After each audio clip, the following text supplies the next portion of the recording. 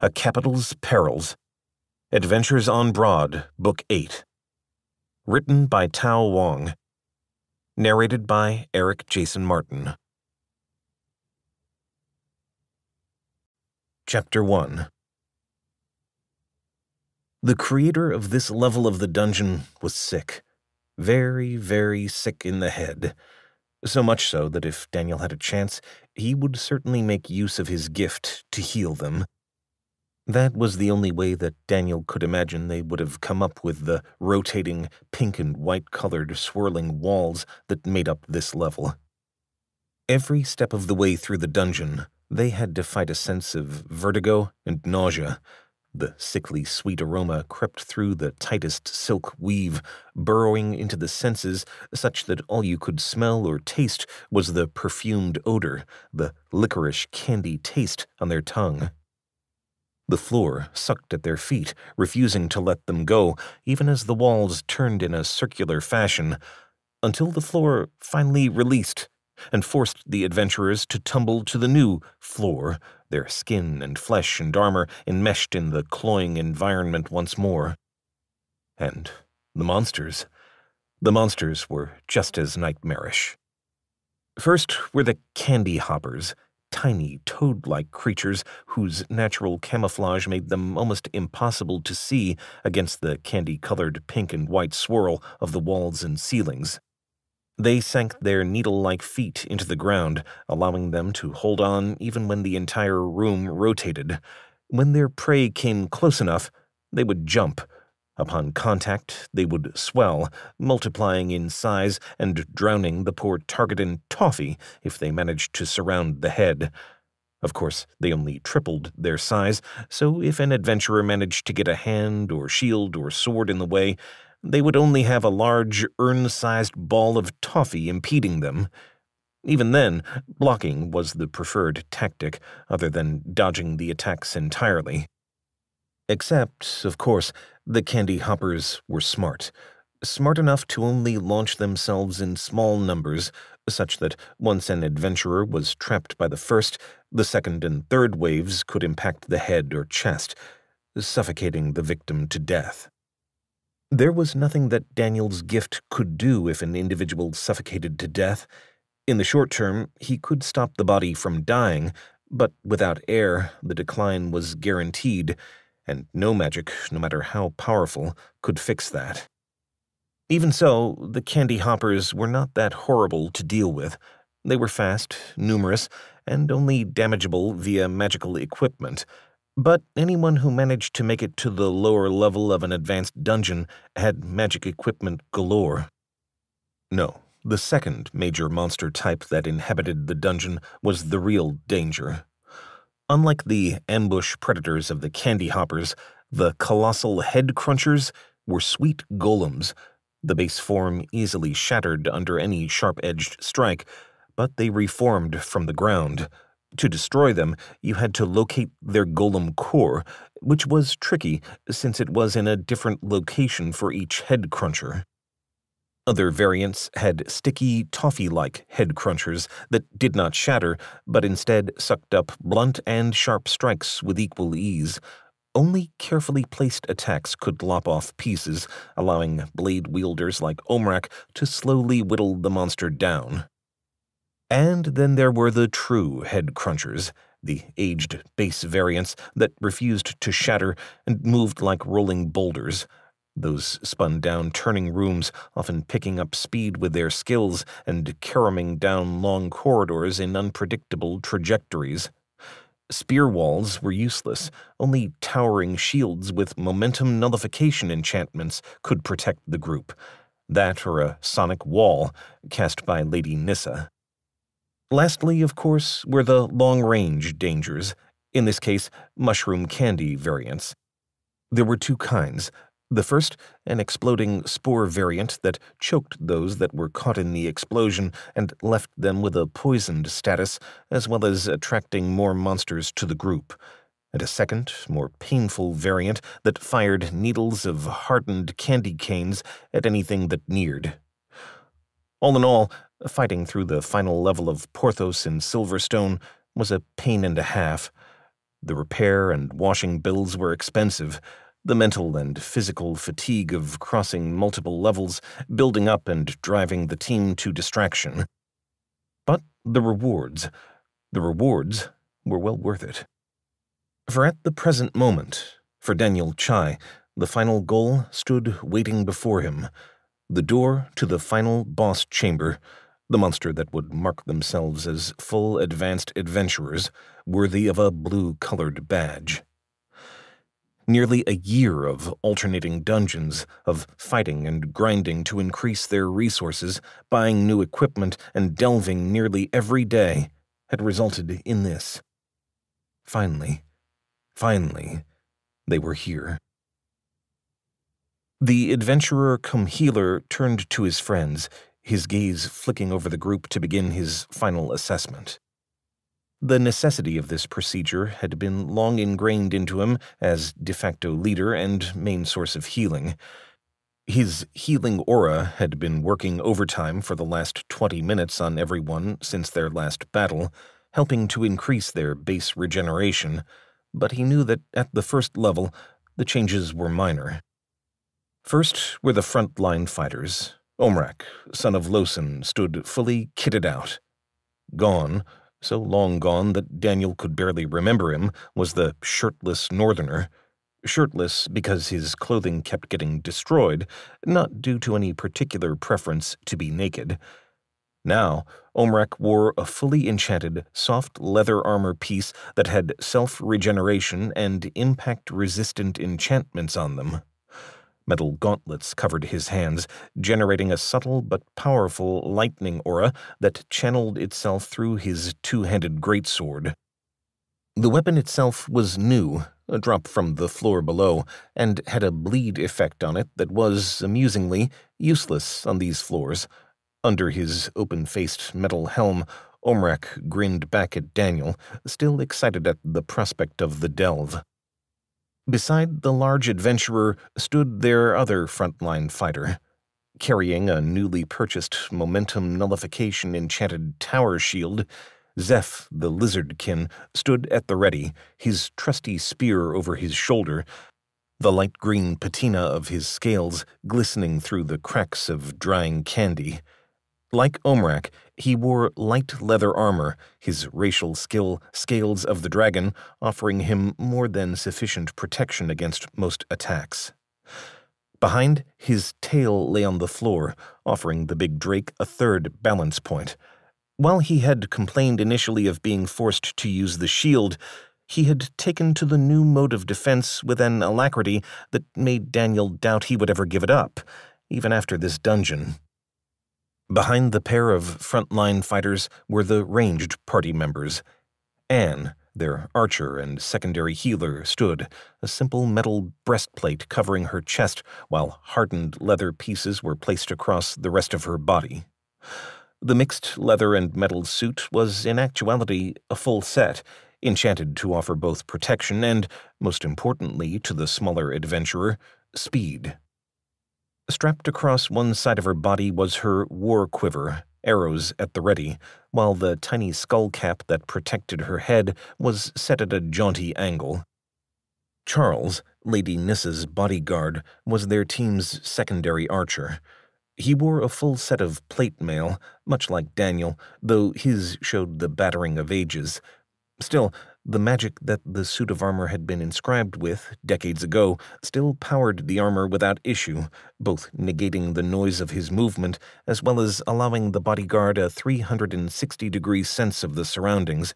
It made him an exemplary bodyguard, a fact that was all too necessary as they journeyed deeper into the dungeon and ambushes became more commonplace especially since the Lady Nissa, their only mage, had yet to learn to pay attention to the surroundings, at least not as much as she should have.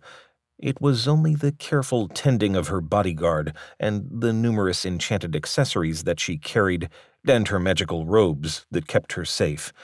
She had everything, from a major necklace of deflection to a ring of misdirection and a bracelet of emergency healing on hand, Never mind the pair of wands that she used for attack and her own spells. She was, to Daniel's chagrin, not readying herself, but chewing on a portion of their latest kill, the broken toffee orb, a part of their loot that she had claimed. The toffee golem orbs, once the head crunchers were slain, were the major loot of these levels. These orbs only lasted anywhere from a week to a month, but during that time produced a small but regular amount of the sweet substance. Since sugar in any form was rare and expensive and required a shipment from outside the borders of Brad, the Porthos sugar orbs were highly prized. There were, of course, two other dungeons in Brad that produced such spoils, but one only via the floor chest in a beginner dungeon, and the other a consumable drink in an advanced dungeon. Beside the oblivious Lady Nissa was Asen, the catkin crouched on the tips of her toes, a wand in hand, which she waved down her furred body. Of them all, the catkin was the one to suffer the most on these levels, the sugary substance stuck to her fur, matted it, and, when she fell, had a tendency to pull hair out. The wand that the light leather-wearing catkin was using on her body helped to allay some of those effects, layering an oily substance across her fur and helping it regrow. It still meant that she had the occasional bare patch of skin showing through, a factor that made the catkin more than a little upset and embarrassed. Still, the money they earned from running the level kept the complaints from the greedy catkin to a minimum. Having made his assessment on the team's readiness, Daniel nodded to himself. Still, he raised his voice to call out and confirm. Everyone ready? Yes. Yup. Aye, friend Daniel. Confirmations rolled in from the group, and Daniel smiled. He pulled the visor of his helmet down, feeling the weighty clunk, and checked that it was locked in place before he hefted his hammer. The summoning enchantment of the hammer was all too useful to leave behind, especially since he had paid for a boost to it. But, like his friends, he too had enchanted his armor. His, unlike many others, gave him an additional spell to wield and a mana store, giving rise to the name of his plate mail armor of the healer. It still seemed pretentious, since the mana in the armor was good for only a single cast of the Heal Major Wounds spell, but since Daniel could cast through the armor, he was not about to complain. Then let's finish this. Omrak put his hand on the door and pushed. The door to the dungeon boss chamber rolled open, leaving the group to step in and face the challenge they had been building towards for months. Chapter 2 The inside of the boss chamber was somewhat less insanely designed, lacking the kaleidoscope coloring and swirls of the current walls and chambers before it. The basic structure, exemplified in the ceiling and floor of the chamber, mimicked the look of a confectioner's kitchen, or at least what to Daniel seemed to be a typical confectioner's kitchen, with multiple tables, the series of ovens, cooling racks, and storage bins. In truth, Daniel had never been to a confectioner's shop, and so he assumed it was similar. In either case, floor and ceiling were all made in what he assumed to be normal wood. The confectioner himself, the confectioner king, was a rural town individual whose hands were filled with sticky toffee that he massaged. He barely even looked up when the team streamed in. It was well known that he did not start fights, though those attempting to attack him from outside the boss room often generated even more problems for themselves. Among other things, monsters would swarm the corridor while its rotations would increase. The longer the adventurer stayed outside, the faster the corridor would rotate, eventually throwing adventurers around and then drowning them in the increasingly liquid and sticky walls. It was for this reason the team made sure to step within the room as a group before spreading out, readying themselves to begin the fight. Daniel eyed the other walls, which, unlike the wooden ceilings and floors, were made out of the strange candy-like substance of the exterior walls. Those were a trap for the adventurer teams that took too long to take down the confectioner king. Daniel held up his hand, counting down from three as they readied themselves to begin the fight. Asen raised and clenched her hand, signaling the archers to release the first volley of the battle. The team did not bother to imbue their attacks with any special skills, for immediately the Confectioner King's special defenses sprang into place. Pans rose up, little moving slimes of sweetness jumped out, intercepting the arrows. Even the thrown fan of knives by Asen, who'd snuck around an angle, was blocked, this time more actively by the king himself. The goopy wave of toffee absorbed her attacks, even as small electric sparks ran along the substance, hardening and making portions of it flake off. Of course, the archers were only the first wave of attacks. Lady Nissa was weaving a powerful sonic attack at the moment, hands moving in arcane motions, even as Omrak strode forwards, his big greatsword swinging and ready to shatter the tables, stools, and other furnishings in the room. Next to him, Daniel was doing the same at an angle that would not take him close to the confectioner king. Only Zeph was staying behind, his job to protect the mage. At the last battle of the dungeon, she would not be holding back, and as such would be the primary damage dealer.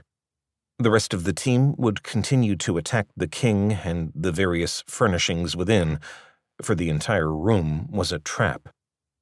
This was proven to both Asen and Daniel a moment later, as the furniture moved and launched their attacks. Asen had to throw herself into a flip, dodging over the suddenly moving metal trolley that had previously been used to move trays of sweets around. Daniel contended with a swarm of tiny, splayed, hand sized sugar slimes. The toffee like, sticky creatures swarmed the plate mail wearing adventurer, attempting to pull him to the ground. He, in turn, swung his weapon, batting them aside with ease, his skill in blunt weapons having grown. Those few slimes that he missed striking were blocked by his shield, though that was less than ideal as the creatures stuck to it, weighing down his defense while slowly creeping upwards. In the meantime, Omrak finally arrived near the confectioner king. He swung his greatsword, his reach so great that he bypassed the table that sat between the pair of them. The king did not even try to dodge Omrak, however, instead thrusting his hands outwards as he sent a wave of toffee at the large northerner. Just before Omrak's blade would hit the confectioner king, he was pushed backwards as the table between them lurched forwards and knocked him away. A moment later, the toffee struck his upper body, enveloping him and quickly hardening. Small tendrils of smoke began to appear across his armor, floating upwards as the acid within the toffee ate away at his defenses. The Confectioner King's defenses were not entirely perfect, as Anne's trick arrow, fired up high and then dropping almost directly downwards, bypassed the swarming furniture. It plunged deep into the boss's arm, drawing a howl from the florid monster. Meanwhile, every single arrow by the bodyguard continued to be blocked, though the slimes that intercepted the arrows grew slower, the poison within the arrows overwhelming their defenses. Daniel, noticing his friend's predicament, quickly scurried over to Omrak and then struck his toffee covering. His first attack sent cracks running through the hardened sugar net and also elicited a grunt from Omrak. Ignoring the pain he was causing, Daniel swung away, attempting to free his friend, even as Asen bounced around the room, dodging living furniture. Jobs, the captain growled out, upset. Daniel understood. His job was to destroy the furniture. But Omrak was stuck. With a heave, the northerner shattered the cracked toffee, growling out, Go! Daniel scrambled away, idly noting that Zeph was casting his spear to destroy moving fridges and warming racks before beckoning it back with his return skill. It just added another layer of chaos to the fight. The next few seconds were hectic for the team as they dealt with the monsters and the occasional blast of sticky toffee, forcing them to dodge or be drenched. Every other minute, the confectioner king would bring his hands down onto the table, and more tiny slimes would spawn. Those that were not destroyed would sometimes grow up, growing larger. As the group scrambled around, Lady Nissa finally finished her spell. The glowing orb in her hand shot towards the center of the ceiling, hanging in midair. It let off a shrieking wind that set the team's teeth on edge, even through the protective enchantments that they all wore. However, the majority of the spell was focused, shaped to target the slimes and their king. Slowly, the vibrations from the sonic cone built up, the slimes resonating to the high pitched sound. The creatures lost control, and even the confectioner king took damage, his eyes, nose, and ears beginning to bleed. Angered, he clapped his hands together. The next stage of the battle began, the entire room rotating. Floor became walls, and the team tumbled towards the sticky toffee that had liquefied, threatening to stem the movements of those who could not stop. In this case, that included the majority of the team. Only Asen managed to stay clear of the new floor. Asen hung off one of the moving cupboards, dodging its attacks even as she threw her knives at the boss. Anne, on the other hand, had released a series of roped arrows that helped attach herself to the ceiling and floor, suspending herself off the new ground. The rest of the team tumbled onto the moving, sticky ground. Their armor began to smoke immediately, the mild acid eating away at clothing and skin. Luckily, the team had applied a resistance potion to all their equipment beforehand, knowing what was to come. Even as the team struggled back onto their feet, Daniel could not help but grin. Lady Nissa's spell was doing much greater damage than they had expected. Without the ability to defend against the sonic attack, the Confectioner King was helpless. The rest of this fight was going to be a straight-up slugfest. Omrak roared, lightning blasting out from the red aura that encompassed his form. The attack made the red light around his body disappear, even as the Confectioner King froze, his body shocked still. In the midst of the creature's shock, Zeph's spear came through the air, plunging into the king's body and skewering it through one side entirely. As the boss staggered away, Asen jumped on it, her knife glowing as she used penetrate to plunge the blade deep into the monster's head. Daniel, a step behind, raised his hand to strike at the monster. However, he never managed to strike the boss, for it burst into white light, its body disappearing as it dispersed. A purple mana crystal fell from its body, bouncing off the ground, the crystal the size of Daniel's closed fist. It was the largest and brightest crystal he had ever seen, and he gulped a little as he grabbed at it.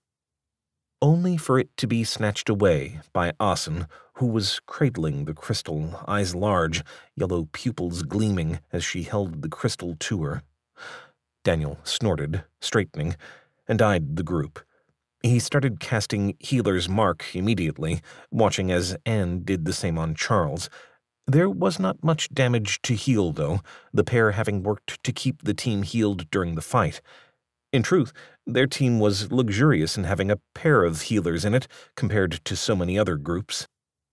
You are going to let us see that, yes? Lady Nissa said, the mage looking less than pristine for once, she was wiping, ineffectually, at the toffee that stuck itself to her body and hair, but she never took her eyes off the crystal.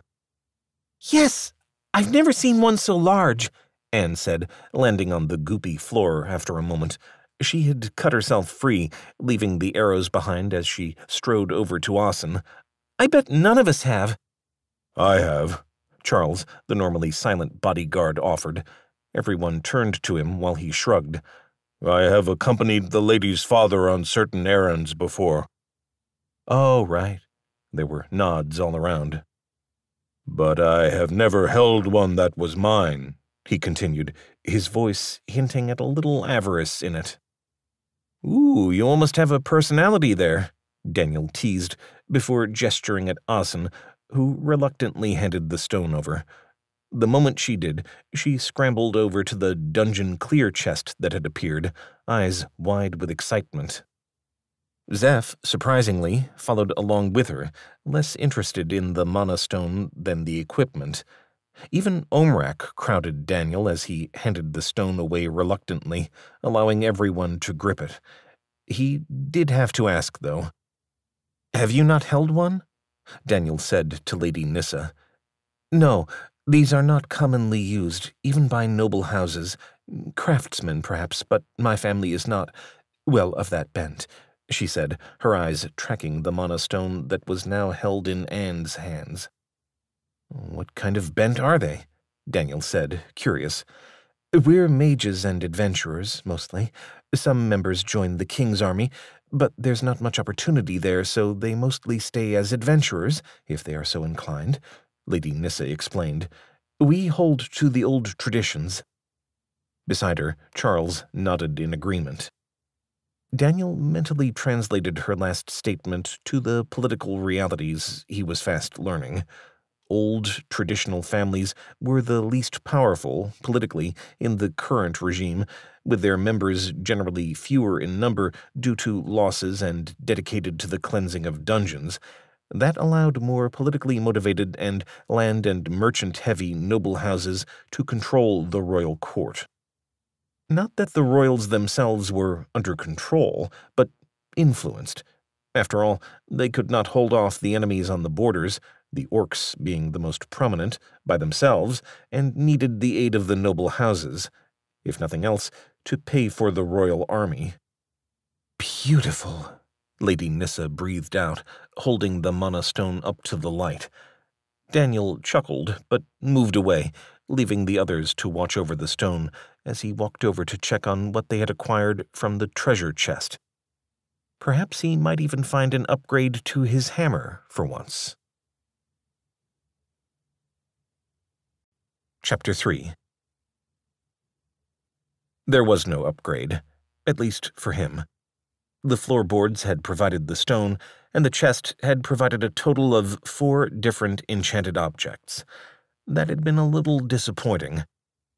The rules of loot in dungeons were that the more enchanted objects that there were, the less powerful each enchantment was, Thankfully, that degree of disappointment was somewhat belayed by the appearance of a rare enchanted accessory. The necklace of aiming was not a particularly powerful one, but the passive boost it provided to thrown and loosed objects meant that it was always in demand. Accessories were much rarer, especially since anyone could and would wear them. Of course, with Anne in play, there was very little doubt that it would go to her. However, to Daniel's surprise, she declined to take it immediately and left it with Asen. The next enchanted object were braces, which were a nice relief. Not only were they sized such that the majority of the group could wear them, barring Omrak, the braces also had the ability to give a skill and a skill proficiency. That the skill proficiency was in lock-picking was about the only negative of the bracers. The next enchanted object was a simple pouch, though the inscription involved was easy to pick up. It was an enchanted pouch of anti-pickpocketing, where its mouth would not open except for the individual who had linked to it initially. It was not entirely desirable, since the pouch was missing the anti-theft option of alerting the owner if the entire pouch was taken. Those were almost always present with more expensive pouches. Even so, this would keep slippery fingers from stealing what was within. However, for adventurers with the inventory skill proficiency, such pouches were almost entirely useless. Only nobles and rich merchants would pick up something like this. Lastly, the final item was a single crossbow bolt. The black-fletched, black-bodied bolt was an unusual item, with an extra wide broadhead tip. It was a crossbow bolt of finding, allowing the attacker to fire and forget the weapon. Since the crossbow bolt was enchanted with durability, it was also extremely difficult to break, ensuring that it was reusable afterwards. Obviously, they were not as popular as an actual crossbow of finding, but the enchantment that affected the crossbow bolt by itself was generally more powerful. Once everyone had picked up their armor and equipment and cleaned themselves off as best as they could, the team exited the dungeon by the simple exit portal. There was nothing else to do, at least for today, rather than, of course, selling the loot and celebrating. It was later that evening, seated in the Seven Stones Guild's guild hall, that the group met once more. What followed were hours of being feted by the other members of the guild, as their clearing of the final floor of Porthos cemented the team as one of the elite groups in the guild, at least for Silverstone. Even Gaddy, the stuffy vice guildmaster, managed to unwind enough to share a couple of drinks. He left soon after, knowing that his presence would stifle the celebrations. That and the fact that the guildmaster had once more disappeared leaving the poor man to deal with the numerous bureaucratic issues that running a guild created. It was only relating to the celebration, when the majority of the other adventurers had trooped off, most to sleep and rest, a new passion for clearing floors burning within them, that the team sat together, and Anne leveled a bombshell. I'll be leaving the team now, Anne said, her voice low and shy. The once overexcited teenager had calmed down in the last year of adventuring with the group, as the burdens of healing and exposure to a world outside of adventurers and dungeon delving at hospices matured her. What? Why? Omrak grumbled, pounding his fist on the table. I was offered a place on another team. Vice Guildmaster Gaddy spoke to me about it just before the run. I've been considering leaving even before that, Anne said. Daniel nodded, having guessed some of that before. While he was not extremely close to the archer, due to their roles and his own position as a more senior healer, the pair spoke often. They had even briefly considered a dalliance before pressures and good sense drove the thought out of both their heads. Lady Nissa, always socially astute, noticed Daniel's lack of surprise. You knew? Daniel shrugged. I expected that might happen, and is needed in other parties. As a certified healer, the spells and aid would make delving much easier, Charles said. Anne nodded, turning her hand sideways a little. Like to try my hand in a new team, the healer. She shot a glance at Daniel, a little shy. The healer could only nod, offering her his congratulations and assurances of support. He understood, since in many ways she would always play second fiddle to him if she stayed. While she might eventually become a more powerful traditional healer, his gift would always make him better. His gift. It always made life complicated.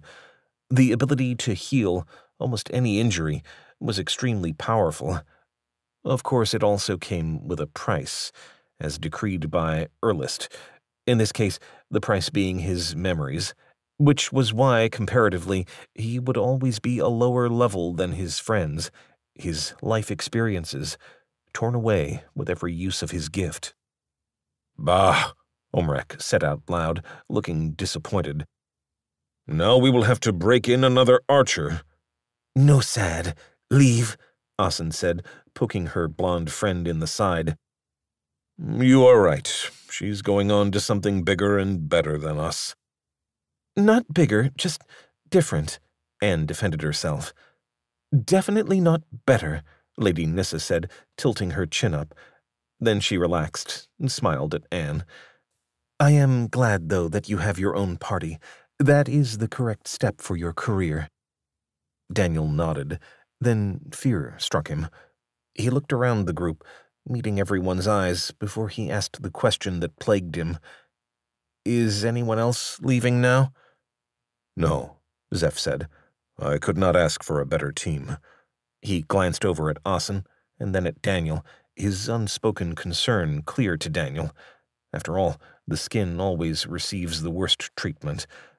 The others were quick to agree with Zeph's sentiment, making Daniel relax. While he did miss the time when it was just the three of them, he had grown used to the new team. though a small part of him noted that Lady Nissa and Charles were likely to leave at some point, when they found a better team, or their noble house sent for them. Let us toast our last night with Anne, Zeph said, waving his scaled hand around until the server came by. Soon the table was laden with even more alcohol, and the poor healer was being forced to quaff drinks. By his side, Daniel could not help but smile a little. All things changed, and at least this wasn't a bad change. Ever since the attacks and his joining of the guild, Daniel had chosen to stay in the guild hall itself. It did not have that many rooms available, even in such a large building, but for the most gifted healer, accommodations were made. Accommodations were always made for him, a fact that Daniel sometimes felt guilty about. Still, he was not guilty enough to stop making use of the large single room that he had been assigned. This morning, Daniel was dealing with a minor headache, one that was easily dealt with by a spell, and his own status screen. After the defeat of the boss monster, he had noticed that he had leveled up at some point during the fight itself, probably when he was killing one of the slimes.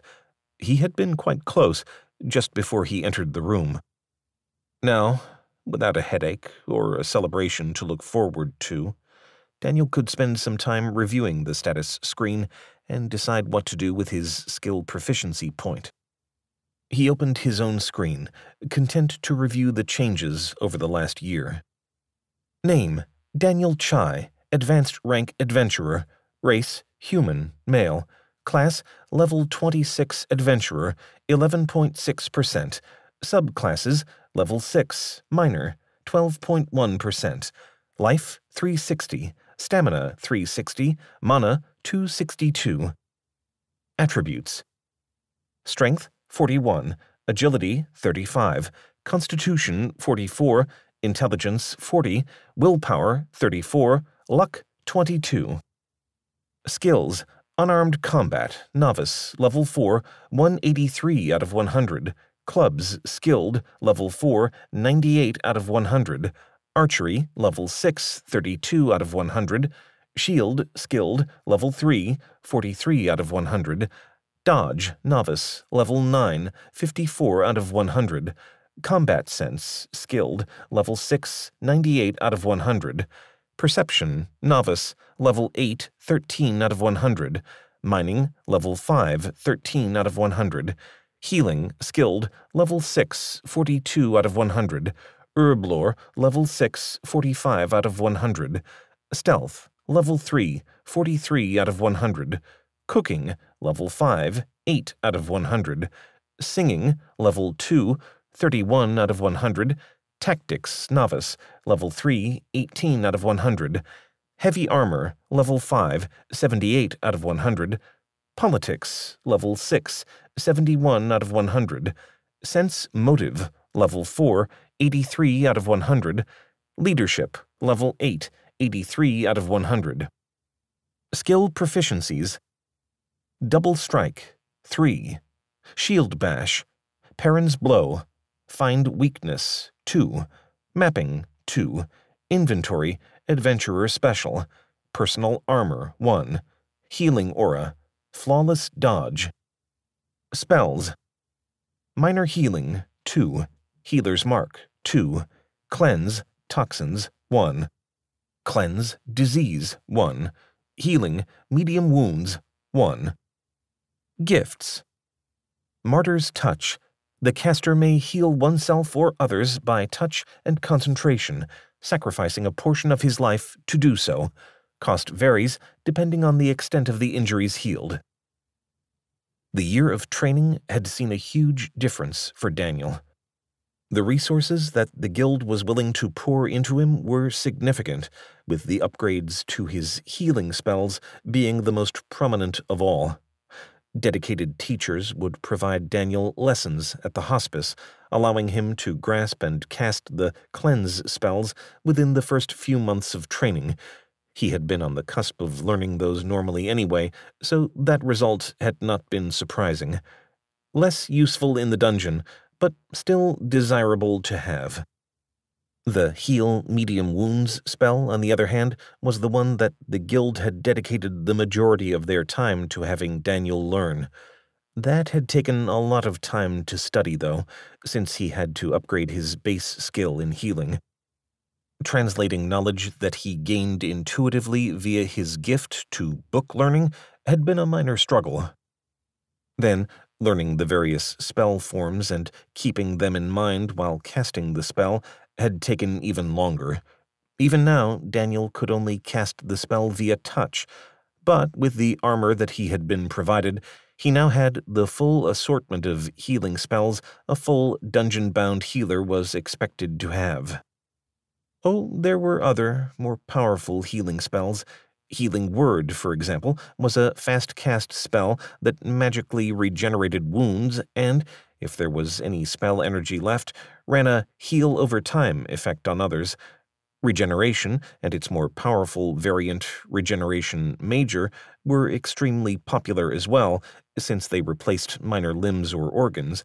They could heal wounds, of course, but the mana to healing ratio for the regeneration spells lent themselves to only selective use. Daniel knew that there were other healing spells, of course. Some groups made do with semi direct healing aids, using things like a Land Guardian's Healing Berry or Drink of Vitality to provide methods of regeneration for teams. But as a spell casting healer, Daniel's next most important spell was upgrading his minor healing to an area effect level. That, unfortunately, required either a dedication of skill proficiencies or time to study. He was close to achieving the minimum skill levels, but the area effect only began when you reached the fifth level, Speaking with Vice Guildmaster Gaddy, the pair had agreed that Daniel should attempt to study and learn the fourth level by himself, thus allowing him to dedicate a skill proficiency directly to the spell when he next leveled. That, however, was some time away. Being able to assess multiple individuals and warp a spell to work for groups at a time and not target monsters or enemies required high levels of not just the healing skill, but perception. Also, some skill points in tactics could help. In truth, Daniel was more intent on healing aura. That had become an option a few levels ago when his leadership skill had reached the appropriate level. His tactics skill had long ago passed the minimum required, but Leadership as a skill set had not begun leveling till the guild trainer had helped him gain his first level. It was weird how some skills did not level until certain preconditions were met, but it was the way of the world. Scholars who had the time and curiosity could care about such things. For adventurers, they just did the best they could, working with guild trainers and the like to trigger or bypass necessary requirements.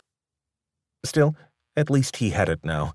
It was a rare skill, since it required three different skills to acquire, but Daniel reviewed the details on the skill proficiency with a grin.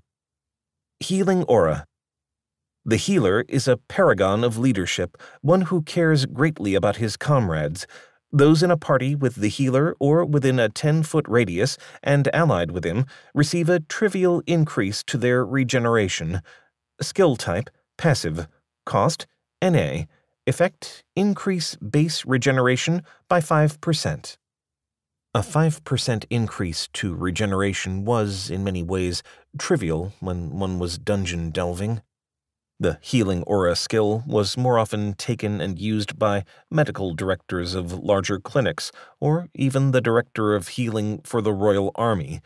A base increase to a clinic by the medical director as he worked in his office could see a faster turnaround of all residents and decrease the number of sick days the healers and their assistants required, even saving them from using a precious skill proficiency point on a skill like immune system boost personal.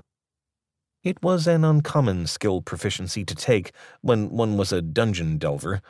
However, the reason Daniel chose it was due to the upgrades, in particular, the fifth one. Healing Aura 5. The healer is a paragon of leadership, one who cares greatly about his comrades. Those in a party with the healer or within a 50 foot radius and allied with him receive a major increase to their regeneration and other healing effects. Skill type Passive. Cost NA. Effect Increase base regeneration by 25%. Bleeding effects reduce in 200% of the time. Pain resistances increased by 50% disease and other toxin resistances increased by 50%. Unfortunately, Healing Aura was a full skill proficiency, and as such, could not be raised in any other way than via skill proficiency points.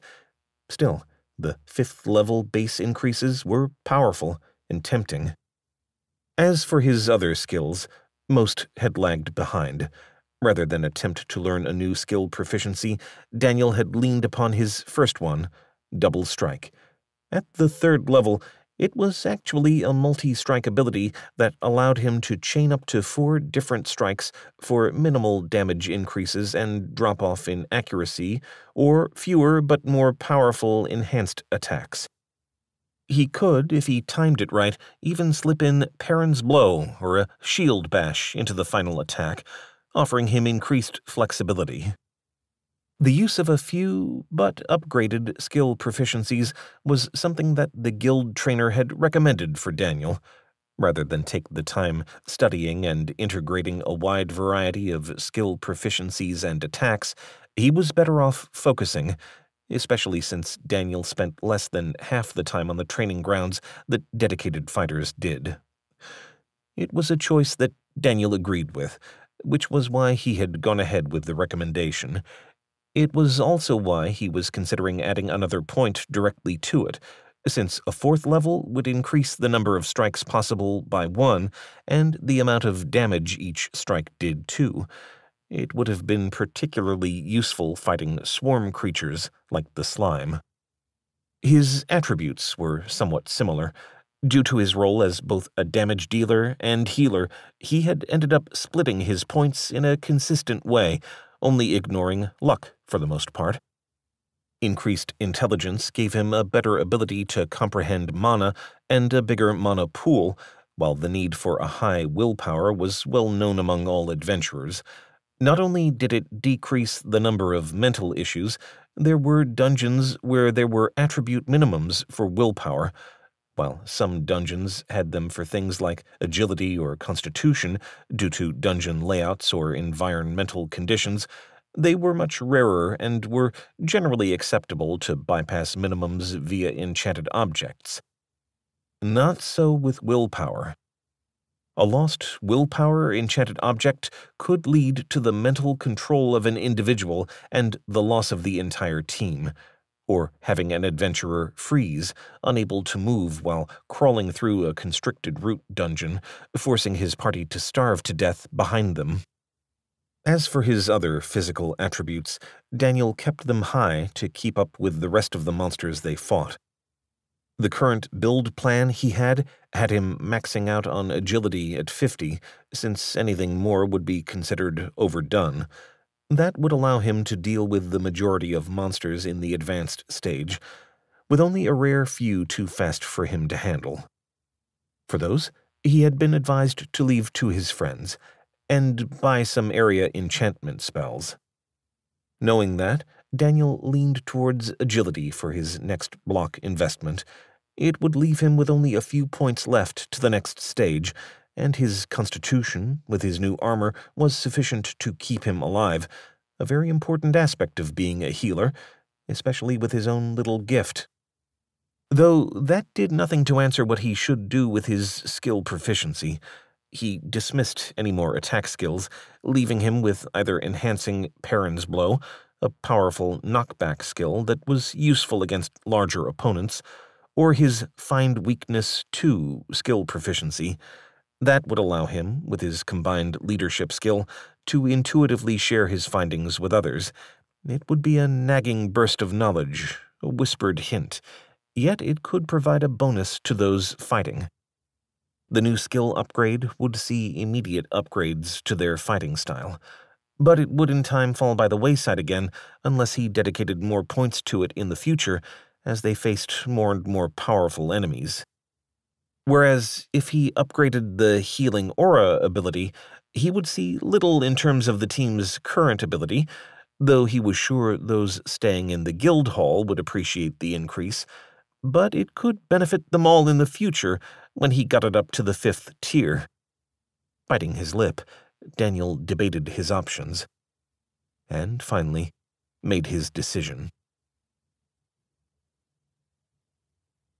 Chapter 4 A day later, the group reconvened at the guild hall. Most were cradling headaches, ones which Daniel was unkind enough to inform them they had to deal with on their own. He was scheduled to do a series of healing sessions with nobles and other groups that had paid for the privilege later that day, and as such had to conserve his mana. The Guildhall living room was somewhat subdued in the middle of the day, as the majority of adventurers were busy in the dungeons and running other quests. The only individuals within were trainees, taking a quick break, and other parties in between runs. Most, though, found other places to hang out, leaving the expansive dining room hall relatively empty. Are we sure we need another archer? said Zeph. He gestured over to Charles, continuing, We already have one. I have my spear, Omrak's hatchets, and even Daniel contributes. Only until they realize he can't hit anything, Omrak said, grinning. Daniel rolled his eyes at the ribbing, though he took no real offense. After all, even after so long, he still had trouble hitting the bullseye on a stationary target, never mind the monsters they faced. Seriously, do we need another? Daniel said, frowning. I recall being forced to deal with those orcs in Aramis. That was not much fun, having to run through arrows. Adding another dedicated archer would help. Charles isn't exactly, well... Omrak looked over to the bodyguard, who smiled. I understand. My skills proficiencies are more focused in the medium range. What few I have for long-range attacks are combined with my other attacks, like unerring strike, Charles said. Even Anne had more skill proficiencies. Right, and if he realized something, even a single good archer could make a big difference, Daniel said. If anything, we are a little lopsided as a team. And what are you saying? That we should perhaps train more skills? Lady Nissa crossed her arms over her chest, glaring at Daniel. I'm not going to use my skill proficiencies on that, and even if I learned how to use the crossbow bolt better, none of us would be able to trade our positions. No one is saying that, Zeph replied. The group slowly nodded, though left unsaid was the loss of loot. The more people in a group, the more they shared their earnings. Already, the team was quite large, bigger than any optimal number. Most teams averaged around five, though there were advantages to having large numbers. For one thing, they could tear through the dungeon faster in general. And of course, some teams had even more members, though they only fielded five or six at a time, due to injuries. Gaddy, Asen said. The catkin, as usual, cut through all the talking, getting right to the point in this case, the best person to inquire about a new team member. We should probably find them, Daniel said in agreement. He knew which team members were free. The guild constantly churned through new recruits, and even if they weren't local adventurers, Gaddy would at least have an idea of someone else. And if not, he might know someone who wasn't part of the guild, but in the city who might want to join their team. They were one of the fastest improving teams in the city. Or at least they were, though how much that would change with Anne gone was up to fate. Daniel stood up, looking around. Anyone want to join me? Asen shook her head. Repair. Lady Nissa, however, among all the others who declined to deal with the bureaucracy, agreed. Daniel raised an eyebrow in surprise before she clarified I have to speak with him about some other matters. Nodding, Daniel led them upwards to his office. Not surprisingly, the vice guildmaster was seated behind his desk, handling the paperwork that his boss constantly put off. What can I do for you two? It's rare to see you grace my office, he said the moment they walked in. An archer, Daniel said, getting right to the point. He didn't think he needed to go into further detail, not with the Vice Guildmaster. Yes, unfortunately, I don't think there's anyone suitable in town, Gaddy said. Before Daniel could add anything, the Guildmaster held his hand up. He shuffled his papers around for a bit before finding a letter and tossing it over to the Lady Nissa. The heavyweight paper fluttered through the air, catching an errant drift and almost falling before the woman caught it, forced to take a couple of steps forward. She peered at the sealed letter, frowning at the seal, one that Daniel did not recognize. But I don't think it really matters anyway. Daniel frowned before asking why. Because we've received a request that you journey to the capital itself, Gaddy said. He inclined his head towards the sealed letter. She might have more information than that. All I received, all we received, was a demand that you make your way there with your team as soon as possible. Gaddy's words made Daniel's stomach drop as worries held long in the background came rushing to the fore. It seemed news of his gift had finally made its way to the royal capital, and with it, his life had changed once more. News of their impending journey jolted the team from their stupor. Lady Nissa, reading through her letter, was forced to explain the issue to those less politically connected, which in their case was pretty much everyone else on the team. Daniel's gift is now a known quantity, as well as the three skills action. The fallout from that caused quite a few shifts in the political web, which is why the Guild has attempted to keep us out of it for the year. However, things have settled down enough that it seems they are willing to bring Daniel to the capital. A slight pause as Lady Nissa tapped the letter. What? Daniel said impatiently. It's just a rumor, but there's belief that the king's youngest son is looking to join a non-royal team. Why would he do that? Zeph asked, frowning. That's dangerous. He's well known to be rather foolhardy and stubborn. He doesn't like being coddled, as he puts it. Can I trade places with him? Zeph said, grinning. I could do with some coddling. Asen snorted and poked Zeph in the side with a clawed finger. He laughed, shifting away only slightly. It wouldn't bother him much, not with his scales and his skill proficiencies. Even Charles had grinned a little at Zeph's joke, though he had kept silent. I think it is admirable that he desires to win glory for himself, Omrak rumbled. You would? Lady Nissa rolled her eyes. If the rumors are true, Having a gifted healer like Daniel might well draw him to the guild. Politics, Asen snarled, her tail lashing out behind her. She crossed her arms, looking truly unhappy. It's the capital.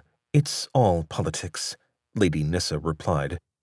More importantly, what kind of dungeons are there to run in the capital? Daniel asked. Everyone turned to look at the Lady Nissa, the only one of the group to have gone to the capital, or so they assumed. She in turn looked at Charles, who straightened. The capital has two master-class dungeons, the reason for its development. In addition, it has also a single advanced class dungeon as well, though the advanced class dungeon is actually a sprawling labyrinth type that accommodates four times as many adventurers as normal. No beginner dungeons? Daniel said, curiously. No, there are four within a day's ride of the capital, though, most in smaller towns and a village. In two days' ride, there are two more advanced dungeons that are available for use too, Charles said. The group frowned a little, with Asen scowling. She spoke, giving voice to everyone's thoughts. Unusual. Yes, it very much is, Charles nodded. The entire region is considered a high mana flow location and highly unusual, though it's not surprising that most other capitals on the continent are in similar locales. There were nods all around. Controlling dungeons, especially master class dungeons, was important. They were what gave birth to powerful master class adventurers, after all, which were individuals that could make significant differences in war efforts. So, when do we leave, friend Daniel? Omrak rumbled. I. Daniel frowned, thinking over the message. As soon as possible, was the request. I guess in a few days? Quest? Asen growled. What kind of quest do you think we could get? Lady Nissa sniffed. Escort quests, of course, Zeph said. Good thinking, Asen. We're on a timeline here, Lady Nissa said. And we need money, Zeph said. Or at least I'd like it. A good caravan escort can be fast and profitable. If there is one, Lady Nissa snapped. Enough, Daniel said, raising his voice. No use arguing. We'll check the boards first, and if there is one that works, in terms of speed and when it leaves, we'll take it. If not, we'll travel without. He paused, then Daniel rubbed his nose. Or at least I will. You guys could come slower? Asen let out a chuff, her tail lashing idly. Zeph, by the side, snorted, and Omrak voiced his disapproval. Lady Nissa obviously intended to be with him anyway, so there was no need for her to speak, and Charles was always with her. Holding his hand up to ward off their disapproval, Daniel nodded. Fine. We're agreed then. We'll travel together and deal with the quest if it comes up. Lady Nissa's eyes narrowed as she realized she'd been tricked into agreeing, but she kept her mouth shut. Daniel, smiling a little to himself, stood up. I'll check it out now. Immediately, Asen popped up, happy to follow along. Charles, at his employer's command, joined the pair as they headed out to the adventurers' hall. It was time to move again. And if Daniel had a flash of sadness at that thought, of never having roots, it was gone soon after as he looked forward to the next city, the next dungeon, the next adventure. Because that's what adventurers did. Chapter 5 The trip to the capital took the team just over three months, including multiple stops along the way at cities and towns, the group joined two different caravans on the way, working as caravan guards as they traveled through the countryside. The presence of monsters in the Wilderlands was a given, though constant patrols and adventurers kept the numbers to a minimum. More dangerous were the occasional bandit groups that preyed on travelers, or, when they were close to the border, orc raiding parties. For all the dangers of travel, none of it was ever particularly dangerous for the team. As advanced adventurers, they were more than suited for the relatively safe ground that they were traveling through. Even the single orc raiding party had been defeated with minimal loss of life, only a single unlucky caravan guard catching a crossbow bolt through the eye during the initial clash.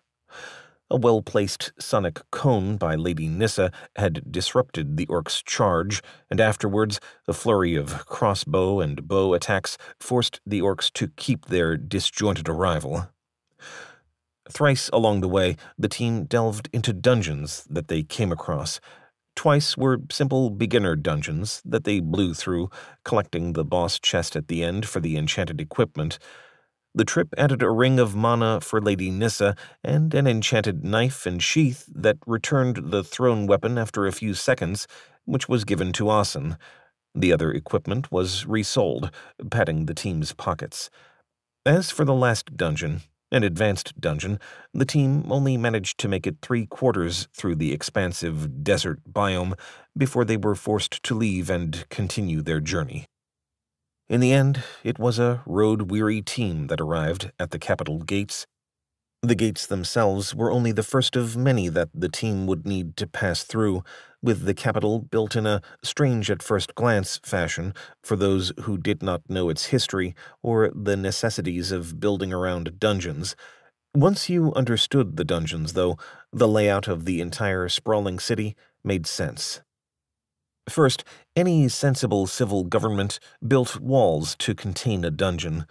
Beginner dungeons might find their walls skipped, like in Karlach, where the possibility of a dungeon break was extremely low. Add the simple expedience of easy to emplace blocks, and most beginner dungeons received minimal defenses. On the other hand, even the advanced dungeons in a place like Silverstone were blocked off. Guards at the main entrances were at a minimum, with additional walls like the ones that formed around Artos added along the way. Concerns of a dungeon break were always predominant, though pressures of civil governance occasionally saw the walls taken down, especially in heavily trafficked dungeons. Even advanced dungeons were unlikely to see a break if they were constantly cleared. However, master class dungeons always had walls around them. Not only was the historical precedent of insufficient master class teams to clear a dungeon well set, the speed that a master class dungeon could overwhelm the local guard force and militia was such that walls were necessary. No local militia could hope to stop them on open ground, and even with enchanted walls, they could only slow them down long enough for the army and adventurers to arrive. So, walls went up around master class dungeons always. Depending on the size of the dungeon, you might even have a second set, though an inner bailey and an exterior larger wall set that encompassed the adventurer's hall and other localized merchants and suppliers were more common. Amusingly enough, Daniel knew that even with the added danger of a dungeon break, the cost of leasing locations within the walls were extremely high due to the higher income of adventurers in general. In any case, that was the first set of walls in the city. Those around each of the master class dungeons and, yes, the advanced class dungeon. Those walls encompassed a larger area just due to the lower threat level and the higher number of adventurers that made their livelihoods there. Then a second set of walls. This was built between and around the civilian buildings, the residences and shops of the civilians who grew up around dungeons. As communal resources that provided a significant number of resources, dungeons always saw the presence of civilians who were there to serve the adventurers, civilians who then needed services for themselves. At first, of course, they would grow up around each dungeon, and since the master class dungeons were set miles apart, it was easier to serve the dungeon surroundings themselves rather than a middle location. And because the surroundings were, initially, dangerous, walls were needed city walls to safeguard themselves. Then, of course, there was the royal castle. That had been built on the hill overlooking the dungeons themselves the castle with its curtain walls and the local noble houses below it, all of which had to be guarded, which meant curtain walls for the royal mile, and then another set of walls for the noble quarters. And then, when the servants and other suppliers grew up, a third wall for those individuals. Farmers had taken to working the land between each of these sprawling villages turned towns at first, but they too built their own walls, Eventually, when the number of farmers and the growing towns had linked up, it was decided that a single larger wall was required, which resulted in a much more significant project, one that was supposed to take into account the future. And thus, another wall was built. This one towered above all the other smaller works beforehand, easily over 50 feet tall, crafted from black obsidian, the working a mixture of magic and highly skilled builders, the Black Wall encompassed all three dungeons, their towns, the royal castle, and the noble quarters and their town, and the farms that fed them all. Then, of course, at a certain point, the land within had been all used up as enterprising nobles bought up land for their farmers, smart merchants built up residences and buildings for the common people, and the city grew again. What seemed like enough space became too little, for there was no more free land. And the city sprawled again, which resulted in the very walls that Daniel stared at now, a shorter, 20 foot stone and mortar construction whose creation was more of a statement of where the city began than an actual impediment. city of a hundred walls, indeed. Name? Daniel Chai, Advanced Adventurer. Daniel held out his adventurer card, smiling a little at being able to say that. He lost his smile a moment later when he was forced to hand over the silver piece. The caravan master had let the team loose the day before, not wanting to pay for their entrance fees. Not that Daniel minded that much. It was just a silver, and if they had journeyed with the caravan, they would still be getting ready. And behind the team, the morning traffic into the city was already queuing up, and the sun had barely broken the horizon. A whole Baal silver, Omrak grumbled, hands crossed once he was through. He looked even less than impressed, but froze along with Daniel when they heard the guard speak. That's not enough. It's a gold for your kind, the guard was saying to Asen and Zeph, who had tried to hand over their silver. What? That's outrageous. They just paid us silver, Zeph said, his tail curling up near his body now. Asen's ears had flattened even as she looked around, the nearby guards on high alert now. Daniel, turning, spotted even one of the guards cranking back on a crossbow, though he had yet to insert a bolt. What's going on here? Lady Nissa called out, pushing up to the pair. She glared at the guard as if he was no more than a bug. And you are? Lady Nissa Mazur of House Mazur. She held up her card. An advanced class adventurer, like the rest of my party. This is my bodyguard, Sir Charles Moffat. Lady Nissa. The guard bowed a little, not even taking her card, but only glancing at it. My apologies, but these creatures are refusing to pay the entrance and warrant fee. Warrant fee? Lady Nissa said, frowning. Yes, it's a fee introduced to pay for the bounty hunters to serve the warrant for their arrest. When Asen let out a low growl, he continued to explain. For when they break the law. Not criminal, Asen snarled. Yet, the guard said, sniffing. I know nothing of this law. When did it appear? Do you have the announcement on hand? Lady Nissa said, holding a small hand out to Zeph and Asen to calm them. Daniel, walking back idly, placed a hand on his hammerhead, though he knew better than to draw. There was no winning this kind of issue with violence. It was published a year ago, and we have a copy within our offices. The guard gestured towards the small tower connected to the wall. If you wish, we can adjourn within, but the beasts aren't allowed into the city till they pay. Lady Nissa hesitated, looking to Daniel. He nodded to the noblewoman, who acceded to the request. With minimal complaints, both Asen and Zeph stood to the side under watch of the guards, including the guard who had now loaded his crossbow. With a flick of his gaze, Omrak and Charles were sent to join the pair and keep things handled, while Daniel joined Lady Nissa within to review the city ordinance. Together, the pair stared at the document that was passed to them, reading through the scroll with bent heads. It was towards the end when they found a small codicil, one that had the noblewoman hesitating. I could, but... She frowned. You're worried? Daniel said, aggrieved. Yes, about how they'd feel about it. Daniel nodded, feeling a little ashamed of what he thought of her, she had not indicated fear of the pair breaking their word. We could ask them. I know Asen at least has the money, but prickly, both of them. Daniel could only nod, and the pair quickly exited. They found traffic had resumed moving, though the adventuring team received more than a few looks. Even as Daniel walked closer, he watched as a farmer rolling past the group cleared his mouth and spat right near the catkin and lizardkin, both of whom had coldly indifferent looks on their faces.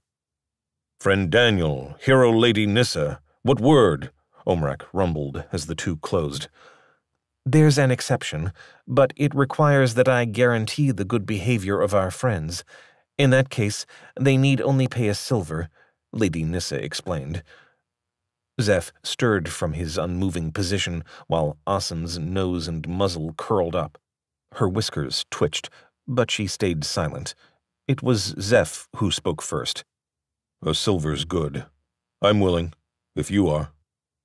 Lady Nissa inclined her head before the group looked at Asen, who in the end made her answer known by stalking over to the guard and holding up a gold coin.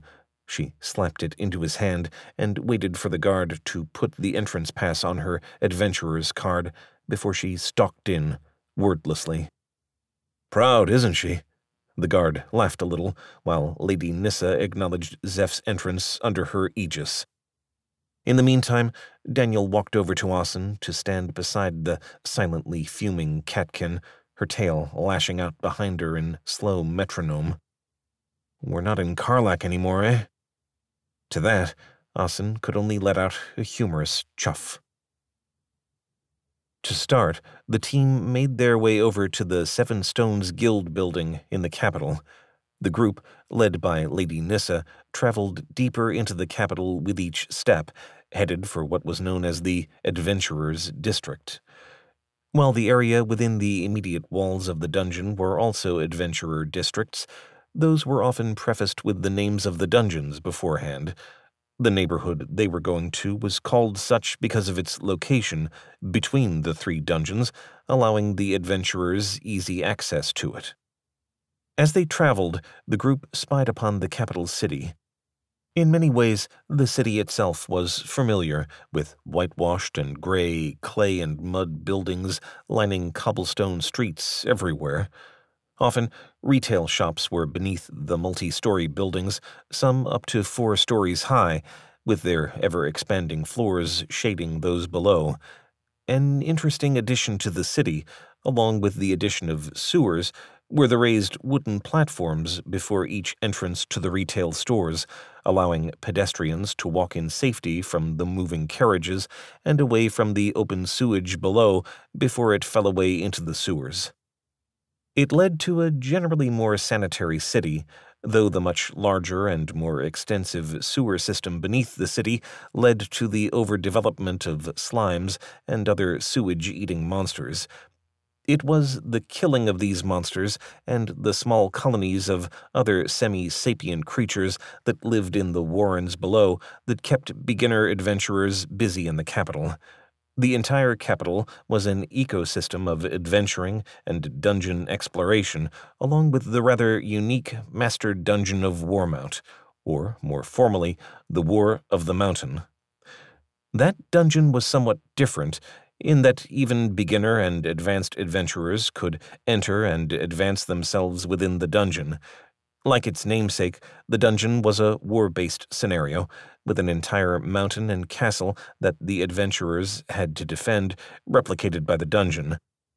Beginner adventurers were forced to run errands within the sprawling edifice, dealing with monster saboteurs and the never-ending replication of shadow creatures within the darker recesses of the building. Advanced adventurers were tasked with holding the walls along with the multiple and varied simulacrum defenders, while master-class adventurers led the simulacrums to seek out enemy champions to defeat and siege weapons to sabotage. To win, the entire encounter required multiple groups of adventurers, all working together to shatter the backbone of the enemy army before driving them off. All of which the team had gathered from rumors and stories told at the adventurers' guilds on their way to the capital.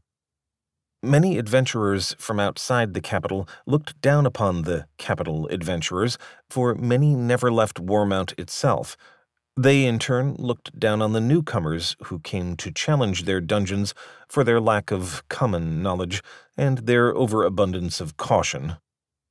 It led to some degree of animosity and adventuring guilds that were capital-specific only.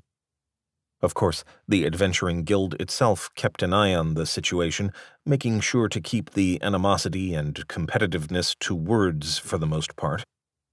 Still, it did mean that non-capital-only guilds, outside of a few well-known examples, were relegated to the adventuring district. Even if the other guilds had the funds to purchase a building within the inner walls of a master-class dungeon, they often found it impossible to do so. Sales of precious land within those districts were uncommon and often done via backdoor channels. By the time most guilds even learnt that such land was for sale, the sale would have been concluded. And that did not even account for the ever expanding influence of nobles in all that. Their political power, along with the funds they could bring to bear, often in towns and dungeons outside the capital, offered them a chance to purchase such land well beforehand. It led to the current situation that the group was staring at. Instead of the sprawling mansion that the team was used to in Silverstone, the Seven Stones Guild building in Warmount was a pair of adjoining buildings connected to one another, barely three quarters the width of the mansion in Silverstone, and more horizontal than vertical. Looking up, Daniel could count a total of six major stories and a glimpse of potentially two more stories in a tower. To Daniel's senses, he could sense the channel of mana flowing through the building, enchantments to bolster the materials that held the building aloft and kept them from collapsing. These were not passive enchantments, but active ones, energy poured into the building via mana stones that were taken from the dungeons an expensive proposition, but it allowed the guild to build upwards in the small amount of space they had been able to purchase. Even so, just from the flow of individuals entering and exiting the paired doors leading to the guild building, Daniel could tell it was insufficient for their needs. Well, I guess we're here, Daniel said eventually, looking at the group. There were short nods from all, Lady Nissa the one looking most impatient, he understood her impatience, since she, unlike the others, had a place to go afterwards. Come on, Lady Nissa said, deciding that the group had done enough gawking. Glaring at the traitor who attempted to skirt around her, she strode in, followed closely by Charles. Asen let out a little chuff and then strode forwards, ears swiveling as she took in the surroundings. The catkin was on high alert, her tail waving behind her in short, sharp jerks. Zeph followed, sticking close to his fellow kin. The low number of kin in the capital was concerning, as was their initial reception. Rather than let his friends leave alone, Daniel hurried after, finger dropping down to his pouch where their letters of introduction were kept. Time to see what the capital was all about. Chapter 6 Hurry up and wait, Lady Nissa grumbled, arms crossed under her breasts. Charles flashed a quick smile before his face smoothed out. The group was seated in an outdoor restaurant outside the Adventurers Guild, having not found a seat within the main building itself. The entire building was made up of multiple connected buildings, with each section dedicated to a different focus. Having learnt their lesson in Silverstone, Daniel had acquired information about the building before they had traveled to it the next day, reporting in to the new Adventurers Guild and registering the completion of their escort quest.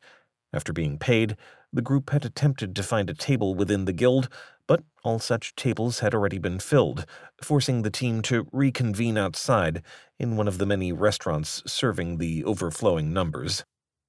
Typical, Asen said. It is good, Omrak rumbled. I look forward to testing these new dungeons. It is long since we have managed to pit our mettle against new foes worthy of our attention. Zeph snorted, his spear propped up beside the table. Rather than answer, he sipped on his drink of pressed grapha juice, a purple and green drink that had cost a single silver per cup. Daniel's eyes had bulged at the price, though Zeph had paid it without a word. It seemed the grapha fruit was rare up here, but common where Zeph's people were from, originally further south. The royal family will speak with us when they wish, Daniel said with a shrug. So would the guildmaster, it seemed, since neither had chosen to speak with him when they had reported in yesterday. In fact, this morning they had already received a reply to indicate their presence in the capital was acknowledged and that an appointment would be made for them at some point. Whatever. Lady Nissa waved her hand. Daniel, my uncle would like to speak with you at some point. He is the head of the household in Warmount and would seek to meet my team leader. Left unsaid was the other aspect of why he would like to see Daniel his powerful gift. That, by common agreement, was not going to be discussed in the capital unless they were under privacy wards. Of course. Till then, as Omrak says, we should look at delving. Daniel made a face as he stared at the remnants of their lunch. Living here is going to be expensive. The price for their meal had been thrice that of Silverstone, and Silverstone was already expensive. Even their accommodation had to be paid for in the guild itself. Day delve, Asen said. When the group looked at her for more explanation, she huffed and added, Summons. Oh, right. Daniel nodded. It was definitely concerning if they received a summons and had to show up the next day and they were doing a multi-day delve. Oh, look at that kitty. It's even got a knife. I bet it thinks it's an adventurer. A voice raised cut through the hubbub. As Zeph and the rest of the team looked over, it continued. And they've got a lizard, too. I guess some people like strange pets. Daniel turned, spotting the smartly dressed brunette of a man who was mocking the group. He was nudging his friends, all of them young men, all of them dressed like nobles. Daniel's eyes narrowed a little, and he began to rise, only for Lady Nissa to put a hand on his arm. She mouthed the word, don't, to him. Ooh, look, it seems the creatures have a master. Asen let out a little chuff, but shook her head and turned away from the taunting group. After a second, Zeph followed her and focused on his drink. That's right, know your place. Why don't you go back to the sewers where you belong?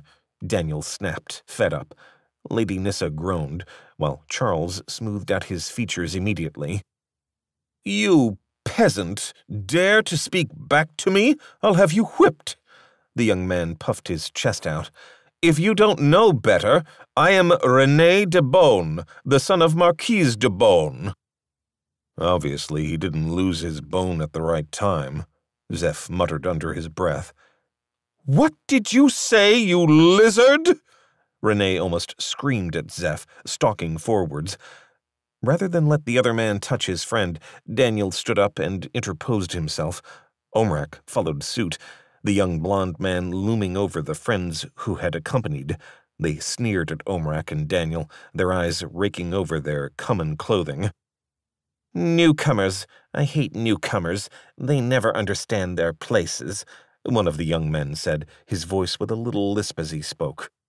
We have done nothing to you. Just go away, Daniel growled, glaring at the youngster. The entire group was probably no more than sixteen, all hot-headed.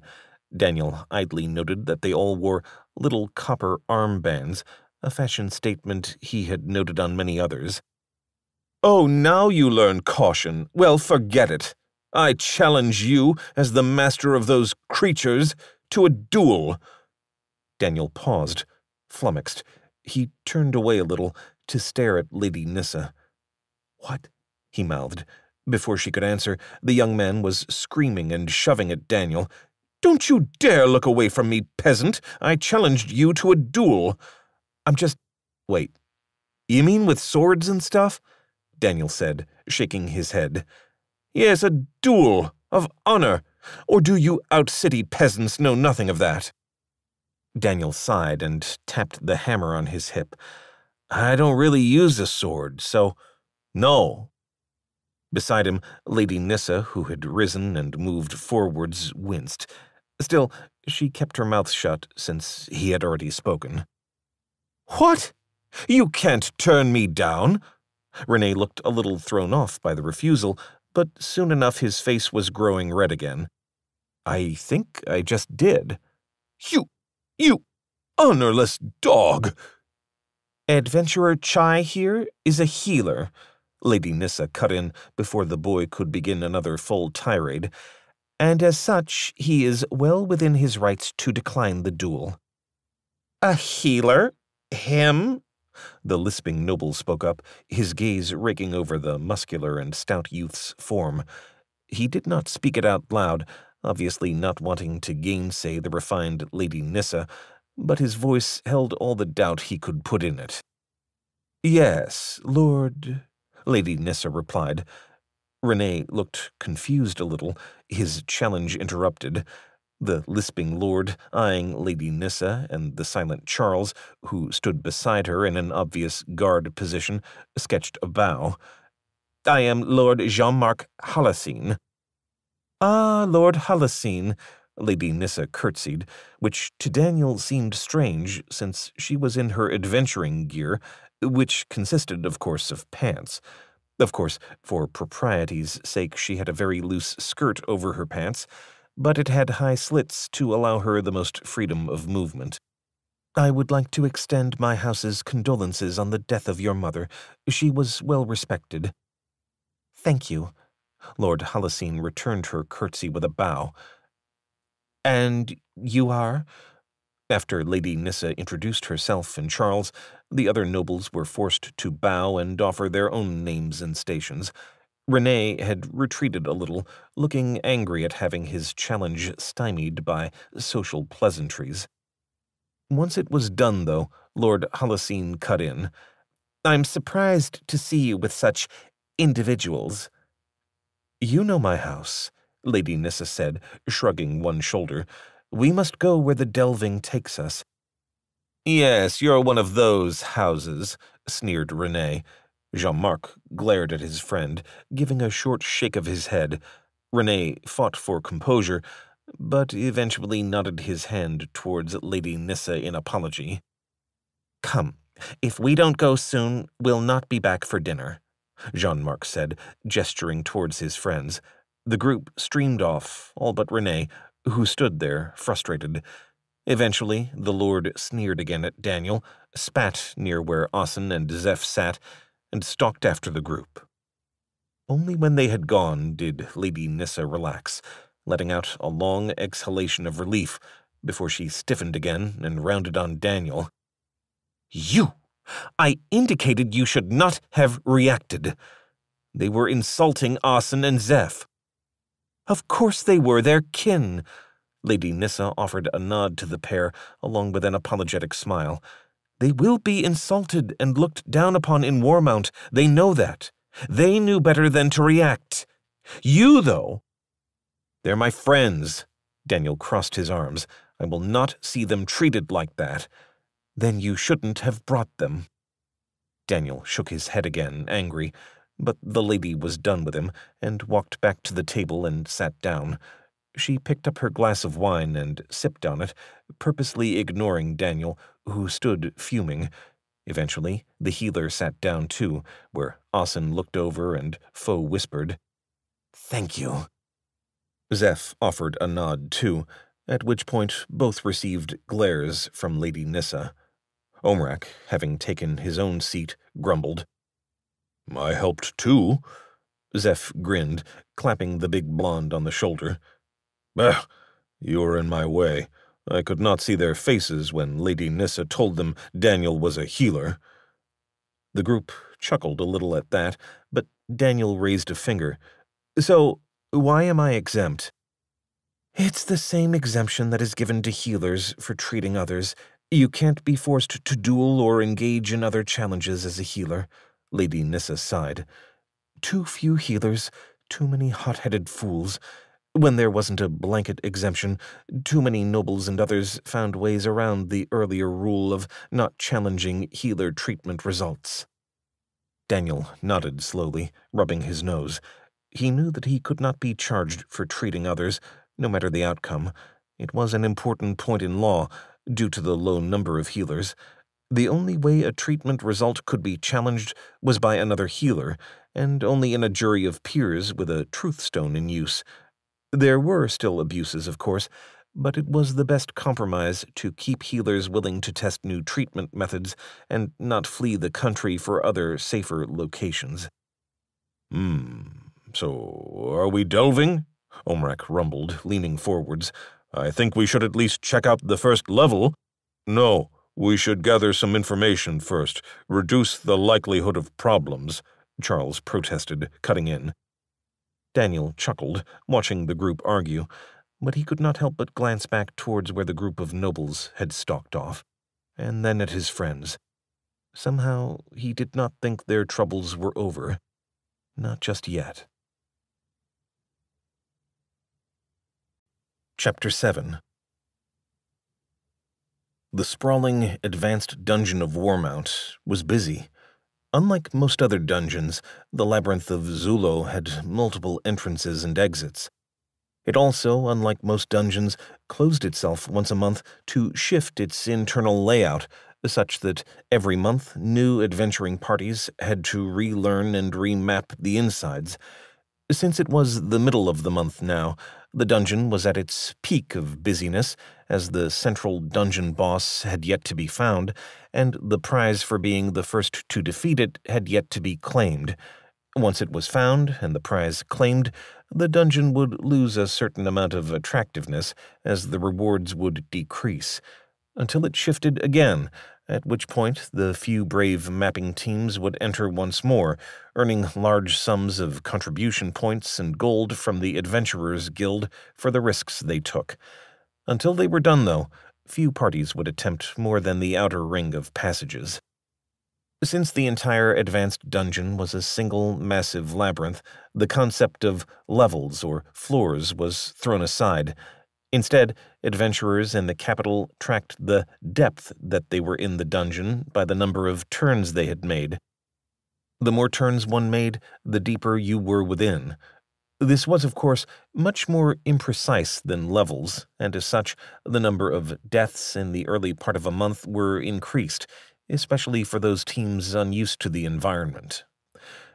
Just as often, monsters altered and changed in the labyrinth, not to the same degree, of course, but unlike the two or three varieties that made up a floor, with a total of maybe 30 different monsters in a large, expansive, advanced dungeon, the labyrinth had something north of 200 varieties.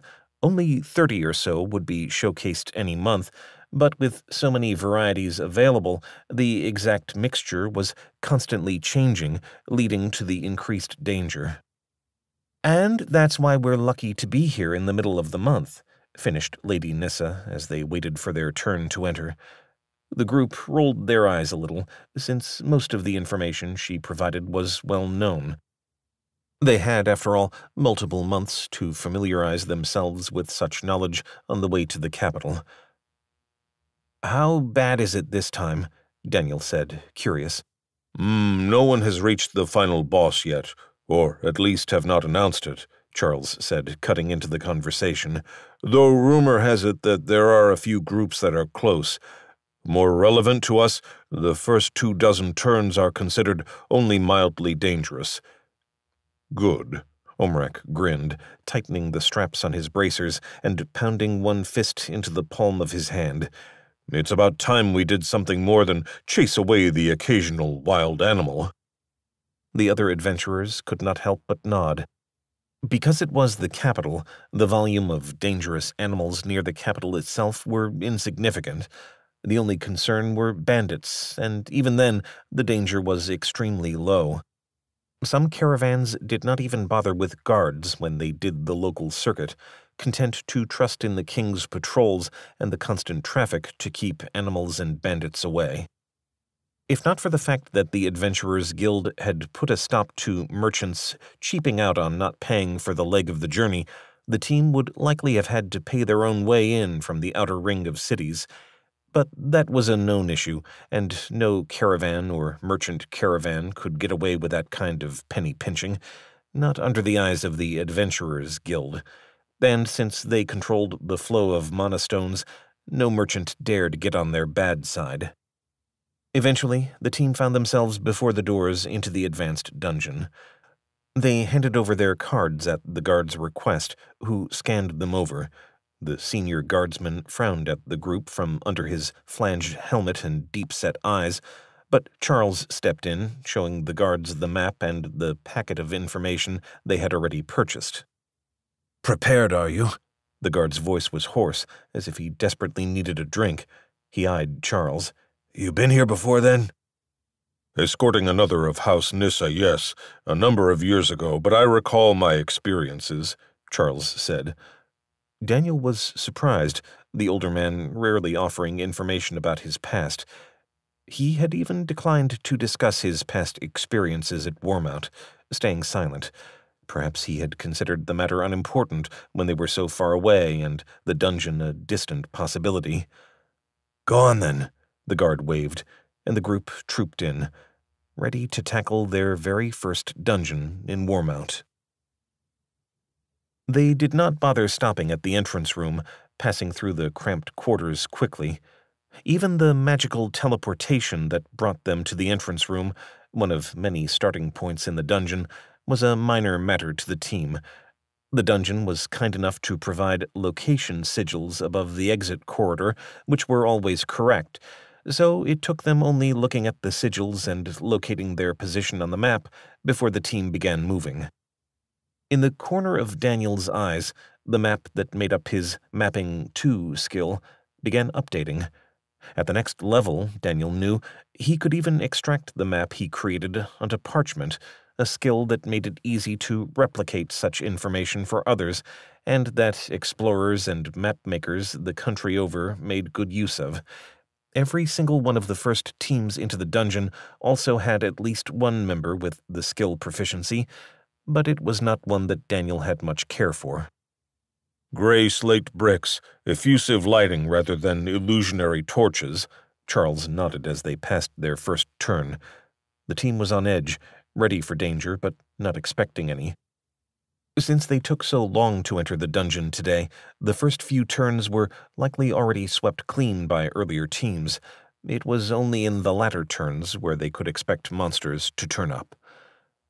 What monsters are we expecting again? Omrak asked, frowning. He already said, Lady Nissa snapped, but the blonde just shrugged. It's okay. We can expect a few monsters here. Stone rats are common in the first few turns, not very dangerous, but they attack in swarms. Holes along the side of the walls and the ground are where they come from.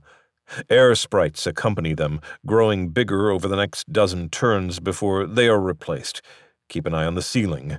They have a tendency to stay there, Charles said, answering without even needing to refer to his notes.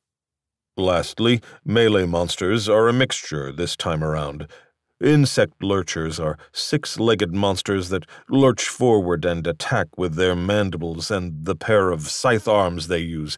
Be careful, their mandibles can shear off unarmored limbs.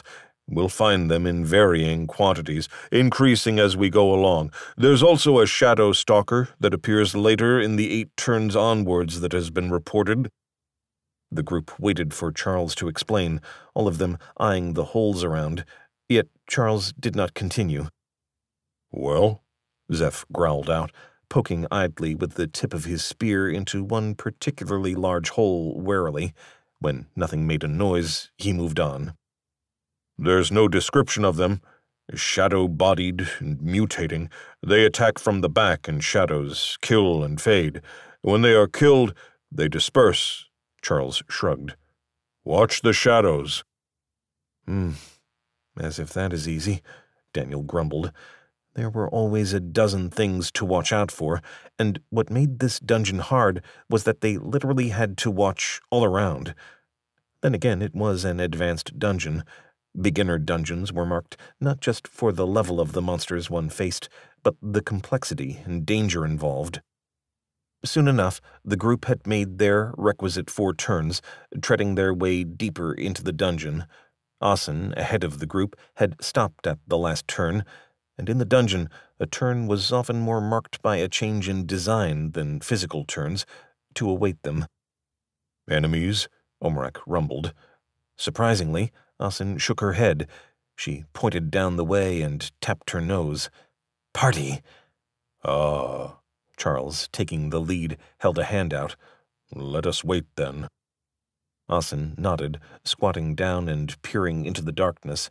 Her tail idly lashed out behind her while the team settled in for the other team to make a few more turns. There was no reason to hurry them, and you never knew how the other party might react. Soon enough, The other moved far away enough that Asen was happy to take the lead again. She resolutely turned down one of the T intersections the moment they reached it, leading the team deeper in.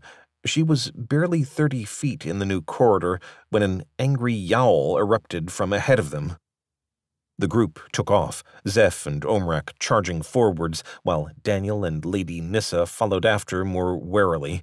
Charles had his bow nocked, but was wary of firing the weapon in the labyrinth. Arrows could travel quite a distance, and you never knew who might turn a corner. It did not take them long to spot the issue. The catkin was being swarmed by stone rats, dozens of them crawling and leaping at her. Their small fangs tore at her clothing and sparked as they interacted with her lightning aura, some of them shocked into stillness. Still, there were so many that the catkin was being swarmed and her superior agility being overwhelmed. Omrak let loose a primal shout, issuing the challenge of the north to call them towards him. In the meantime, Zeph swung his spear in long arcs at the charging swarm that detached themselves from Asen to attack the northerner. Many were impaled. More were struck down by the paired throwing axes the northerner chose to wield against his smaller opponents. Left behind, Asen finished tearing apart a stone rat with her claws, bleeding from multiple shallow wounds. Daniel cast a quick gaze over her and then threw a healer's mark on the catkin before he waded in, taking care to deal with the few rats that had managed to shake off Omrak's challenge to attack Zeph from behind. Where? Above? Charles's call was followed by the twang of his bow. A light sprite was impaled against the ceiling, the tiny creatures that were descending caught before they could launch their surprise attack. Lady Nissa unleashed a sonic cone at the ceiling, shaking the ceiling tiles and causing a half dozen of the light sprites to plummet to the ground, unnerved. Daniel swung his shield and hammer at them, crushing bodies as he crouched low.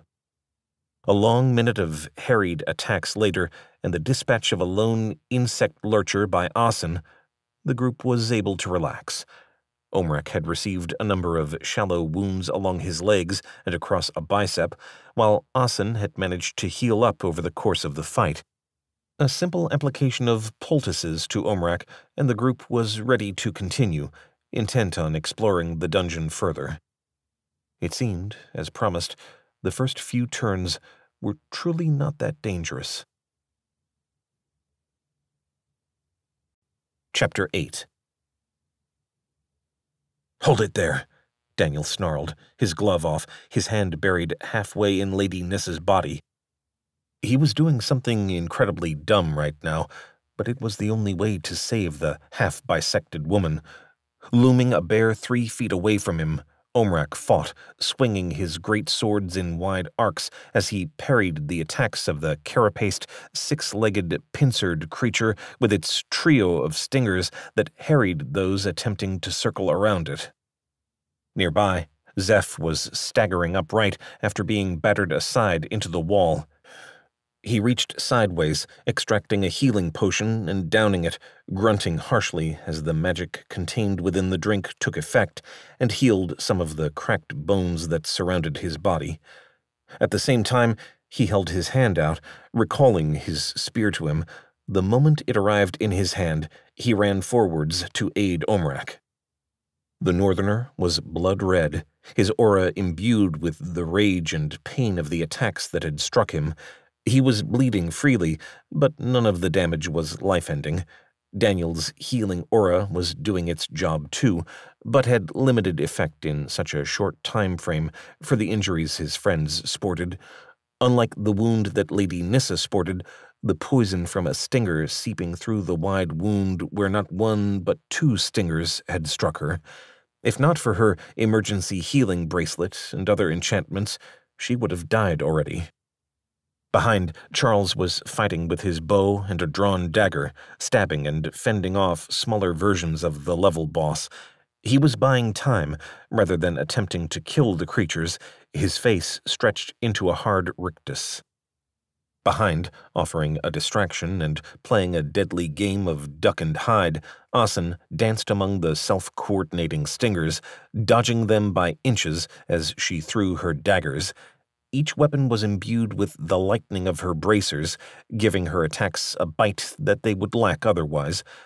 Occasionally, she would imbue her attack with penetration drill attack, an upgrade to her normal penetration skill that required more stamina and mana to use, but allowed even thrown attacks to pierce the thick shell, at least if she hit a joint. For all that, Daniel could not focus on the fight around him. He had a much more important battle in front of him, the one for Lady Nissa's life. The poison ravaged her body, slowing down and truncating any healing that his aura or potions could do. He had to cleanse poison first, but his spell was too low level to deal with this pernicious poison. No, he had to do this the hard way. Inside his mind, inside his soul, Daniel felt her body shift. Energy flooded her form from his, Erlist taking his memories in payment for providing her divine aid, or his body stealing the energy of a life lived to charge his gift. It was a matter of faith and religion, which explanation you accepted. For Daniel, more importantly, he had a job to do poisons to neutralize and pump out, torn veins and arteries to clamp shut with his healing energy to contain blood loss, a body that was going into shock and needed to keep warm, a heart that was stuttering from the damage done, a mind that reeled and desired to flee as pain flooded it. He shut down nerves, clamped down blood vessels, stitched up torn wounds as the last of the poison had finished being neutralized. The human body could do much, fix much, though in many cases it was simpler to just remove the poison, especially a necrotic one like this, where dead or dying cells were shed and discarded and then regrown. It was not, to Lady Nissa's later chagrin, his hardest healing attempt. The champion, so many years ago, was closer to death. Hers just had the complication of a necrotic poison, it was not, however, particularly puzzling. Skin just had to be regrown and reattached to other torn open portions. Skin and muscles manipulated by the same energy to reattach to each end. Organs pierced were regrown, damaged portions broken down for more energy and nutrients. It was simple. Daniel had done this, in mostly smaller portions, a dozen times and so, because there was a fight raging on around him, he looked around and blinked for a brief moment as he turned his head.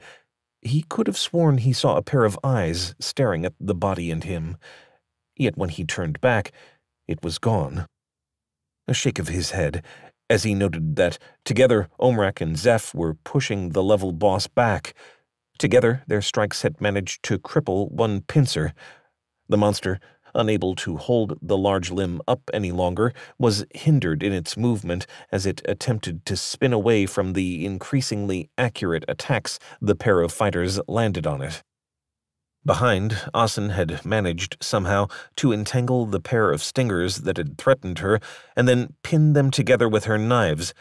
She, in turn, was crouched astride both of them, dueling the last stinger as its entire body bobbed and weaved. It was an insane level of agility, one that only a catkin with her unerring balance ability could have pulled off. Tearing his attention away, Daniel extracted his hand from Lady Nissa's body. The mage coughed, tried to sit up, and crumpled back down as Daniel pushed his bloody hand on her chest. Not yet. I'm not done, Daniel said. He focused deeper, pulling on his mana now as he sent his gift back away. Instead, he wove the skeins of his minor healing 2 spell, using the touch component so that he could keep the majority of the energy for healing. It pulsed through her body, the mana of the spell weaving new skin and muscles together. He cast it once more, before he pushed away from her body, a wave of weariness dragging at him. Done. Good.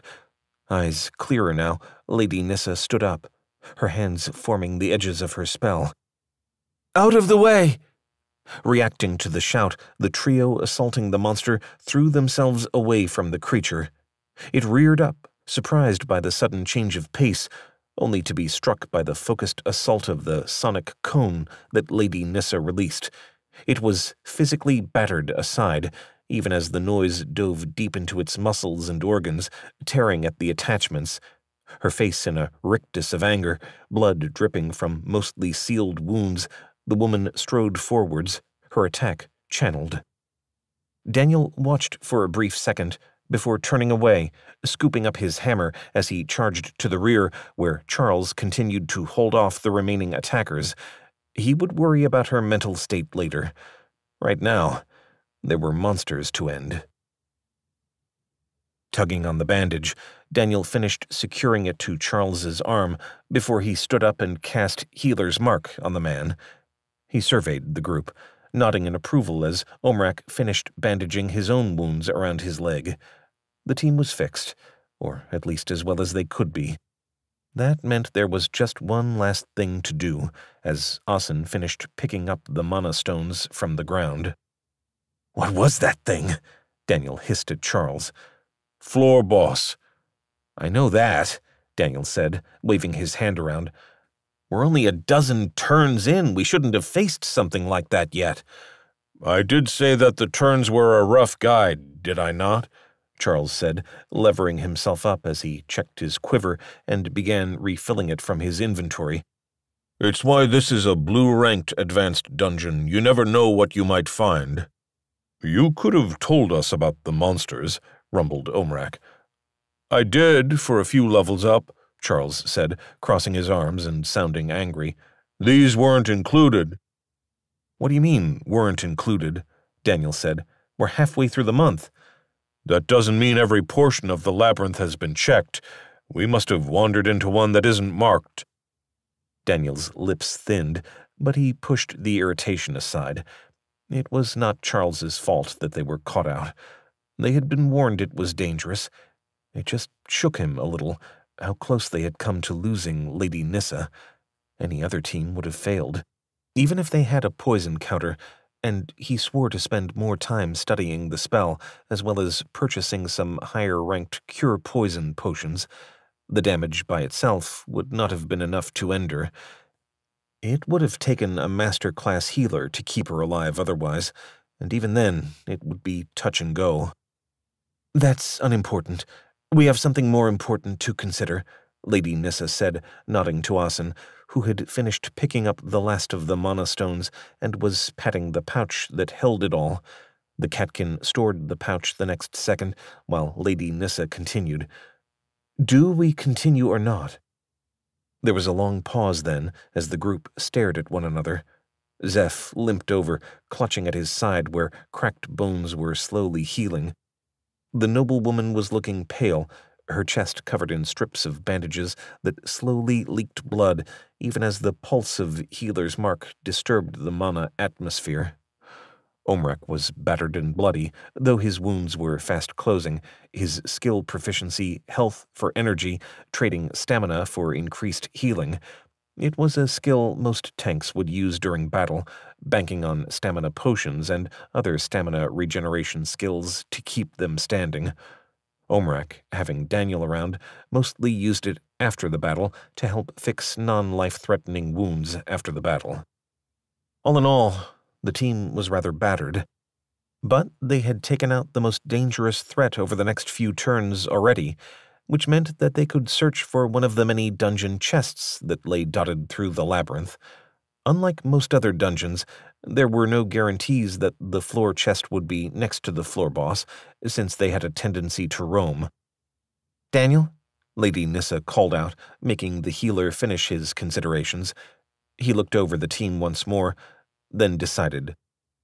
We rest for half an hour, then we keep looking, Daniel said. No deeper, though. We'll keep sweeping in and around and then back. Charles pursed his lips, looking a little unhappy with his decision, but eventually nodding.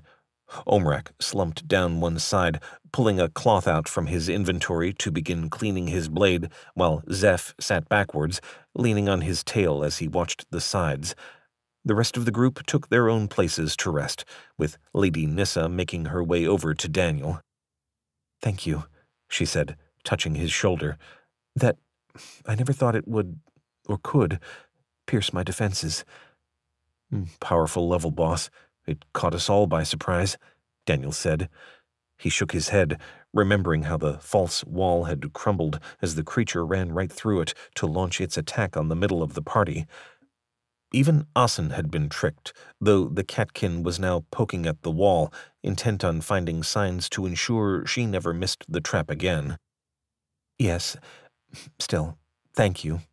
Again, Lady Nissa said, her voice dropped, continuing, And if I can help with the price. You can't, Daniel said, cutting her off. Even if his team knew of his gift, he had yet to explain the full details of his price. He was still reluctant to do so, since it would also indicate the full extent of his gift. That and, well, a certain reluctance to trust instilled into him by his grandfather. For now, at least, the price he paid, the memories he lost, would be his secret. Chapter 9 The group trudged out of the dungeon entrance, the worse for wear. Luckily, they had not met any more dire threats on their further exploration, and even located the floor chest in their region, acquiring a large mana stone and a dagger with a poison enchantment. It was only a mild enchantment, but good enough that most of the team were eyeing it. Of course, Asen had first dibs being their main knife wielder, but if she chose to give it up. Unfortunately, on their way back, they had run into another floor boss. This one had been accompanied by its minions, forcing the team into a harried and tiring battle, even if none of them were in particular danger of death, just injury. Which was why Daniel was nursing a headache right now, his mana nearly fully drained. Healing the team with a series of healer's marks kept them functional and would ensure they could start another delve in a few days, but it did leave him tired. Still, as he looked around in the fading twilight of the day, he spotted more than a few teams leaving with graver wounds. For all that Daniel might complain about his mana loss and the lack of healing he could do for his friends, most teams had to juggle injuries, progression, equipment maintenance, and purchasing and delving timing. In the capital, there were more healers available than other cities. It still did not make their services cheap, but those willing to purchase healing potions or avail themselves of mundane healing could do so. Even magical healing was available, for a price. Foremost, they would just choose to enter the dungeon with minimal injuries, moving through lower floors as they ground out additional income, taking fewer risks and slowing their progression. Some teams would only delve when they were fully healed, going in in the best state possible, and in the meantime training to make up the difference in timing and pushing deep when they entered. In either case, the luxury of entering a dungeon fully healed every single time and regularly was limited too. More and more of those teams would cluster around in the advanced levels, or as master class teams. In fact, there were nearly no master class teams who did not have a healer on board, both the dangers that they faced regularly and the need for constant delving made teams without such an individual on hand non viable. Musing on the vagaries of delving, the group made their way back to the Adventurers' Hall. They stayed only long enough for Asen to sell their mana stones, returning with the funds for them to distribute. The quick discussion between the group saw them divvying up the earned silver coins while reducing the amount that Asen received in return for her keeping the poison dagger. The catkin waved them off as she decided to acquire a new sheath to fit her weapon, and only accepted Zeph's company. Daniel bit his lip a little bit watching them leave, but knew that they would be mostly fine. Even if their presence was unwanted, they were clearly adventurers, and a little leeway was given because of that. In any case, they were likely headed to the beastkin quarters to rest with others of their kind.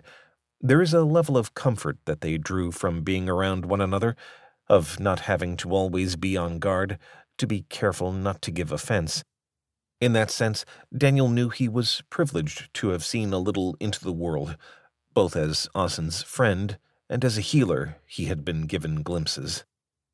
In the meantime, the rest of the team returned to the Seven Stones Guild Hall to rest. Then he wanted to wash and recheck their bandages anyway, and it would be simpler to do at the Guild Hall than anywhere else. He would have to check out the local hospices soon, verify where the free clinics were so that he could ply his trade.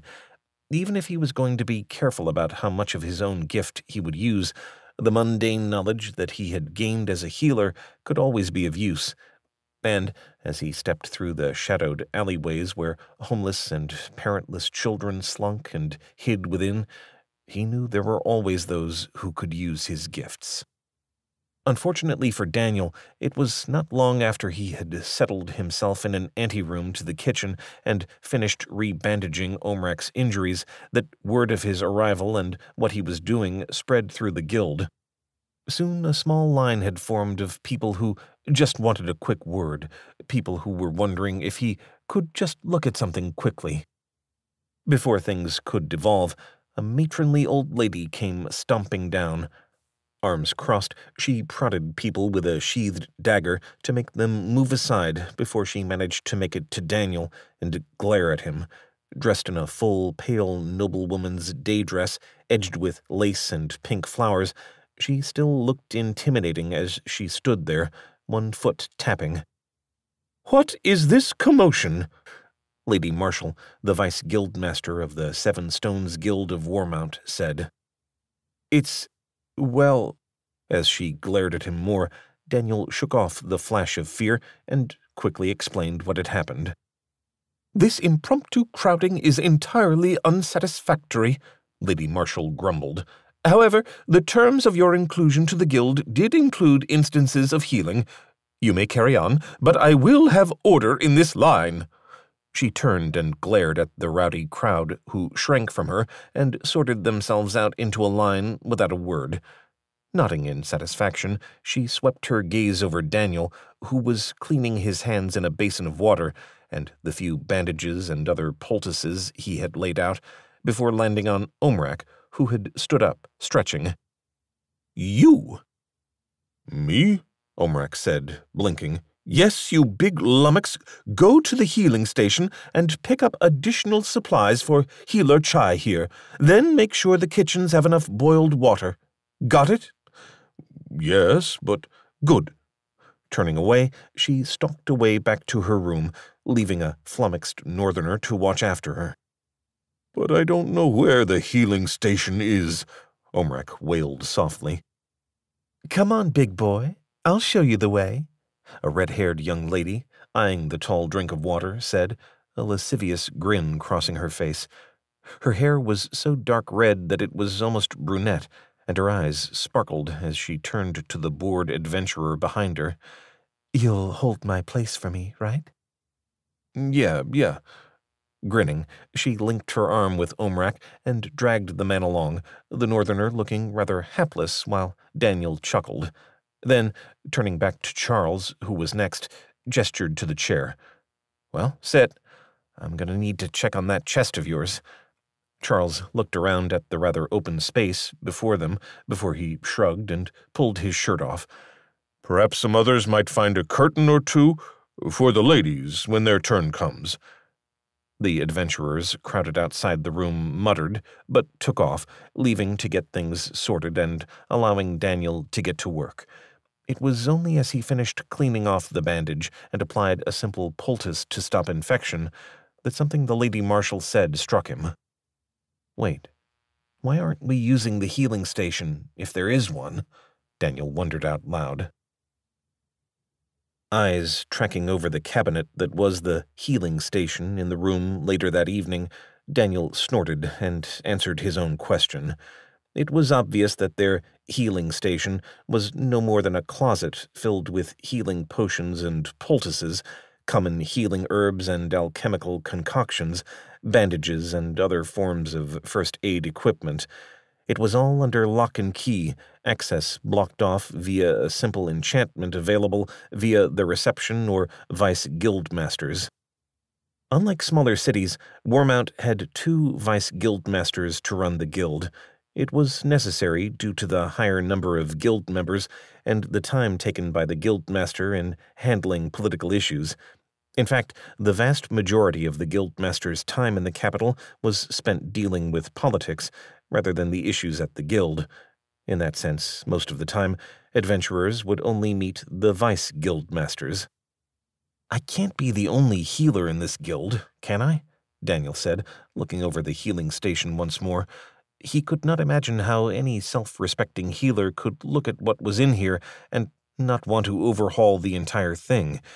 He could spot half a dozen herbs that were well past their peak effectiveness, and at least two of the potions looked to have been handed over while devolving into their inferior quality. Never mind the lack of splints, a variety of bandages, needles, and leeches. He didn't expect them to have things like maggots inside, since that was a frontier remedy, but leeches were a time-worn and effective solution for certain kinds of poisons, of course, you needed to know when to use them, and it generally was only effective against a small range of poisons, many of which were contact-based ones and not what your average adventurer would be expected to face. You are not. We have two other healers in this guild, one a master healer, a second a priest of Quanair. Lady Marshall answered Daniel. He jumped, not having heard her sneak up on him, spinning about and offering her the bow even as she continued. The Master Healer is unfortunately too busy to manage such low-level issues, and the priest, the priest does not have much in terms of mundane healing skills. It is not something that he ever studied. Daniel frowned. He knew that priests received a very different path to progress, their skills being entirely faith-based. Still, he was rather disappointed to hear that they did not even bother to study the basics of healing. What did they do when someone received a bleeding but non-life-threatening injury? Waste mana? Most adventurers learn a little first aid themselves, Lady Marshall said, almost as if she was reading his mind. It makes surviving much easier. Daniel nodded slowly, but was surprised when she continued. I will aid it to your tasks as payment for your guild deals to ensure that we are properly stocked. In addition, so that matters do not devolve further, I will also arrange for you to begin giving basic first aid lessons to our members. Daniel was nodding along, happy to do the first. At the second, he blanched and opened his mouth to begin protesting. He was not, in any way, shape, or form, a master healer he did not feel that he was appropriately skilled to begin such lessons. Now get along, we've got a guildmaster to see. Without waiting for Daniel to answer her, the Lady marshal walked off, leaving the healer no choice but to hurry off after her as they ascended the stairs to the guildmaster's office. Chapter 10 the guildmaster was a tall, languid man that the pair found lying on his couch, legs up on the edge of the couch as he propped his head up under his arm. He was dressed in the latest set of tunic and breeches that was all the rage in the capital, a series of lace collars around neck and arms. His breeches were extremely tight, so much so that Daniel could see the outline of the guildmaster's thigh muscles and the rather large item between his legs, not that Daniel normally looked, but the use of purposeful cod pieces as the new style among nobles had caused adventurers to comment on the matter more than once. A few, a very few, adventurers had begun to take on the court fashion, though that number even among the adventuring nobles was low due to the vagaries of actual combat. The time and place for everything, after all. Adventurer Chai, for an advanced adventurer, you really do cause me quite a few headaches, the guildmaster said, never moving himself from the couch as Daniel was escorted in. Lady Marshall glared at the guildmaster as he continued to laze on the couch before she turned to leave, only to be stopped by the guildmaster's voice. Stay, Carmine. Your understanding of politics might be needed. Guildmaster Ronson, I've asked you to use my title before. Lady Marshall tilted her head up, but contrary to her formal words, she strode across the room and helped herself to the bottle of whiskey by the side, acting as though it was her own room. Guildmaster, Daniel said, in belated greeting. Could you not have kept your gift a little quieter? Ronson complained, turning brilliant blue eyes to fix on Daniel. Though his words were chiding, there was no hint of malice in his eyes, just weariness. I. My apologies, Guildmaster. Yes, yes. Still, your charity speaks well about your character. Ronson held up his other hand, raising a finger as he continued. As has your arrival in bolstering our recruitment numbers. Already? Lady Marshall said, raising an eyebrow. I thought you were supposed to be keeping track of those things, my dear. Ronson smirked, but continued before she could continue. Uh, Javier already reported the increased numbers to me. At first, he thought it was the usual variance, but the numbers kept streaming in. A gifted healer, even if not on their team, is a powerful draw. And that's nothing compared to the questions and requests to join his team.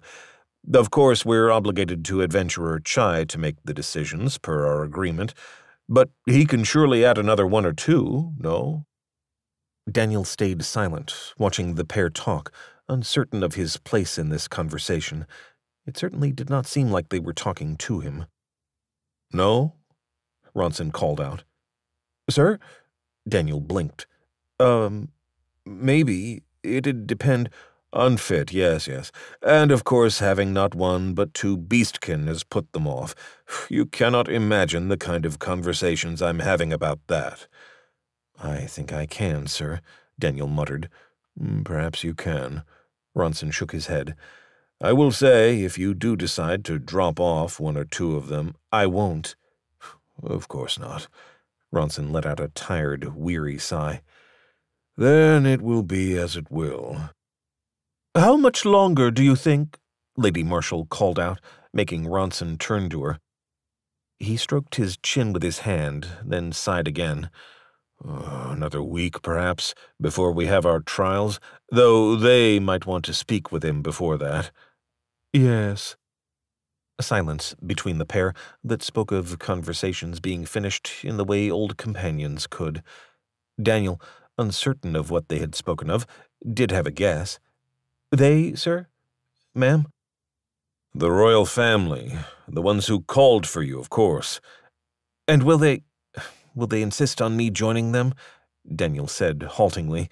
He was uncertain if he should also add the other question, the one asking if they would back him up, but he need not have bothered, for it lay hanging between them. Unlikely. I... Lady Marshall cleared her throat a little, just before she sipped on her glass of whiskey. We have an idea of what they might want. And that is? Best left unsaid in case we're wrong, Ronson said. Daniel made a face, but gave up when the pair refused to expand. Instead, he turned to look between the pair, curious why he had been brought forth. Nothing that had been said could not have been relayed to him. He's a quiet one, isn't he? Ronson said. Mm, strong, too. A decent adventurer, even with his advantages. Steady rise in the ranks, not exceptional, but safe and steady. Hasn't lost a single party member, Lady Marshall said. Yes, I noted that.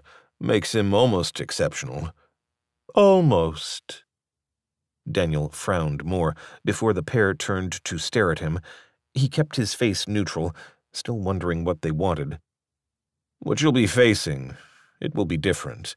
You might be asked to visit noble parties, speak to royalty.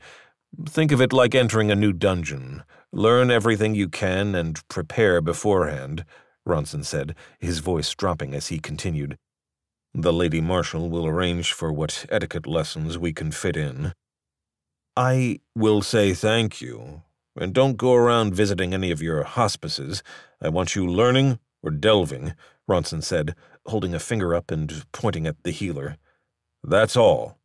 Understood? Daniel frowned, shaking his head. I don't understand why I can't do my usual rounds.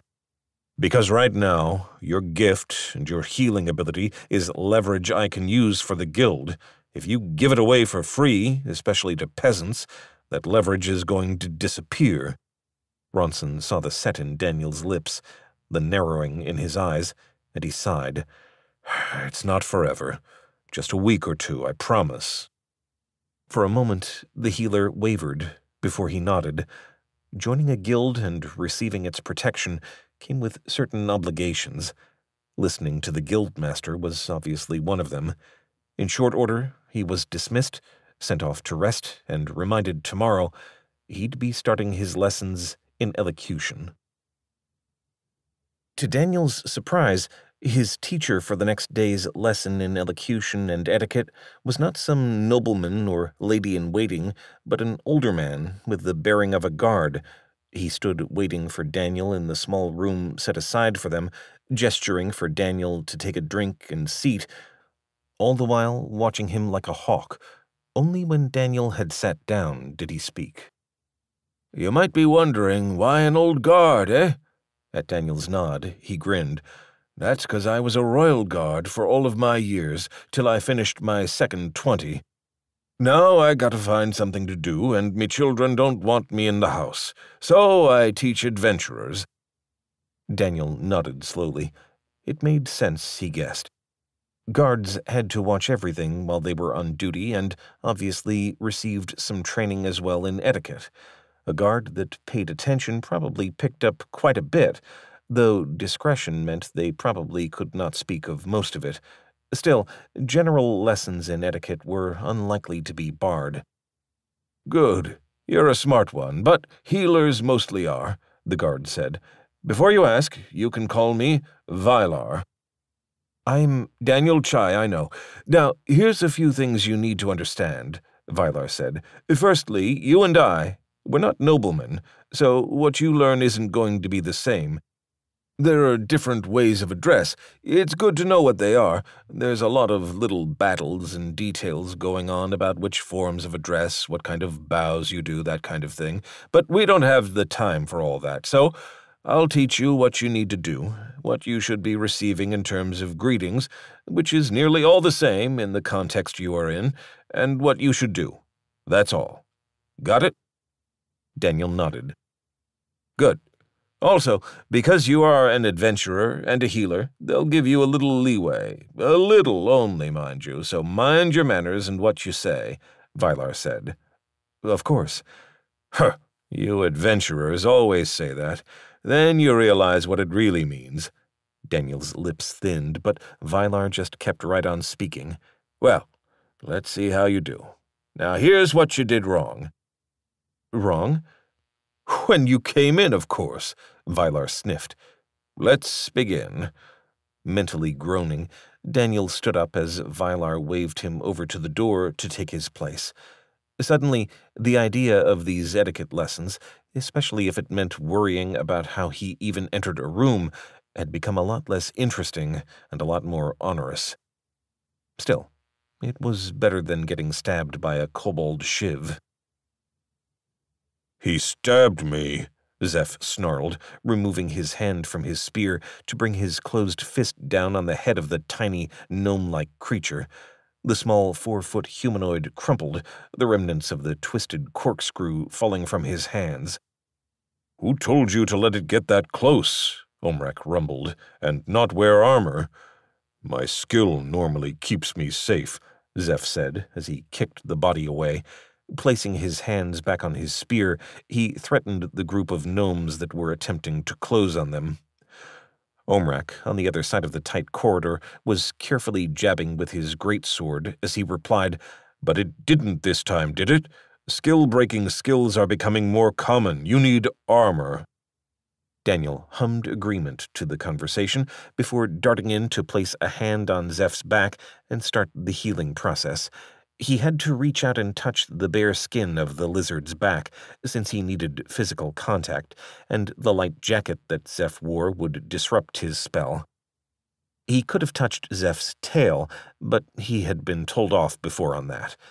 Tails among beastkin were particularly important, and touching another being's tail without her permission was similar to groping a woman without her permission. It was just not done.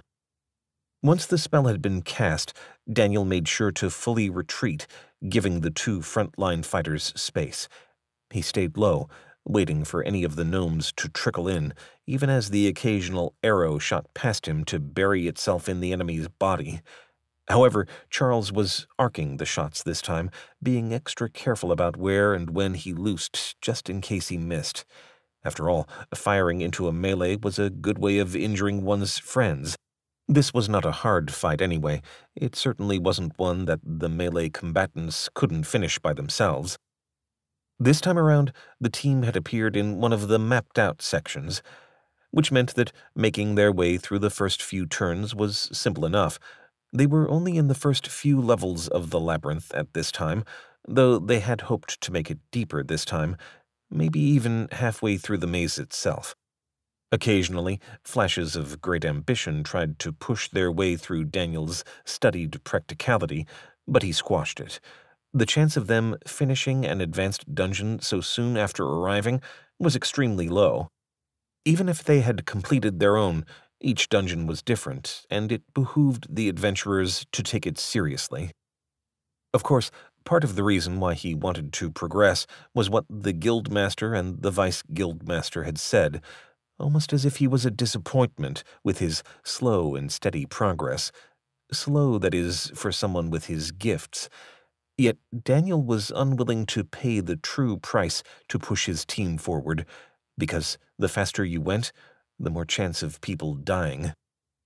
As Zeph finally finished off the last gnome, Daniel focused on the battle, staring at the mana stones that littered the floor.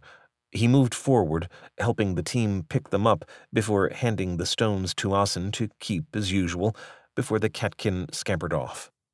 Whatever the pair of beastkin had done the day before, they had not discussed, though some of the enthusiasm that both the kin had shown for coming to the capital had disappeared. It seemed the reality of a species hub of civilization had ground away that naivete. Still, none of that stopped Asen from doing her job. She scouted ahead of the team, though she was careful to not go too far. They had been warned that the labyrinth could at times change even while adventurers were inside. Walls sliding shut, others opening, and portions of the floor tilting to split parties. Of course, all of that was more common deeper inside the labyrinth, but there was no point in taking chances. Overall, Daniel had to acknowledge they were doing good time, and, judging by the number of mana stones they had acquired already, the dungeon paid decently. Of course, the capital was also more expensive, but it was no real wonder that so many adventuring teams chose to come here.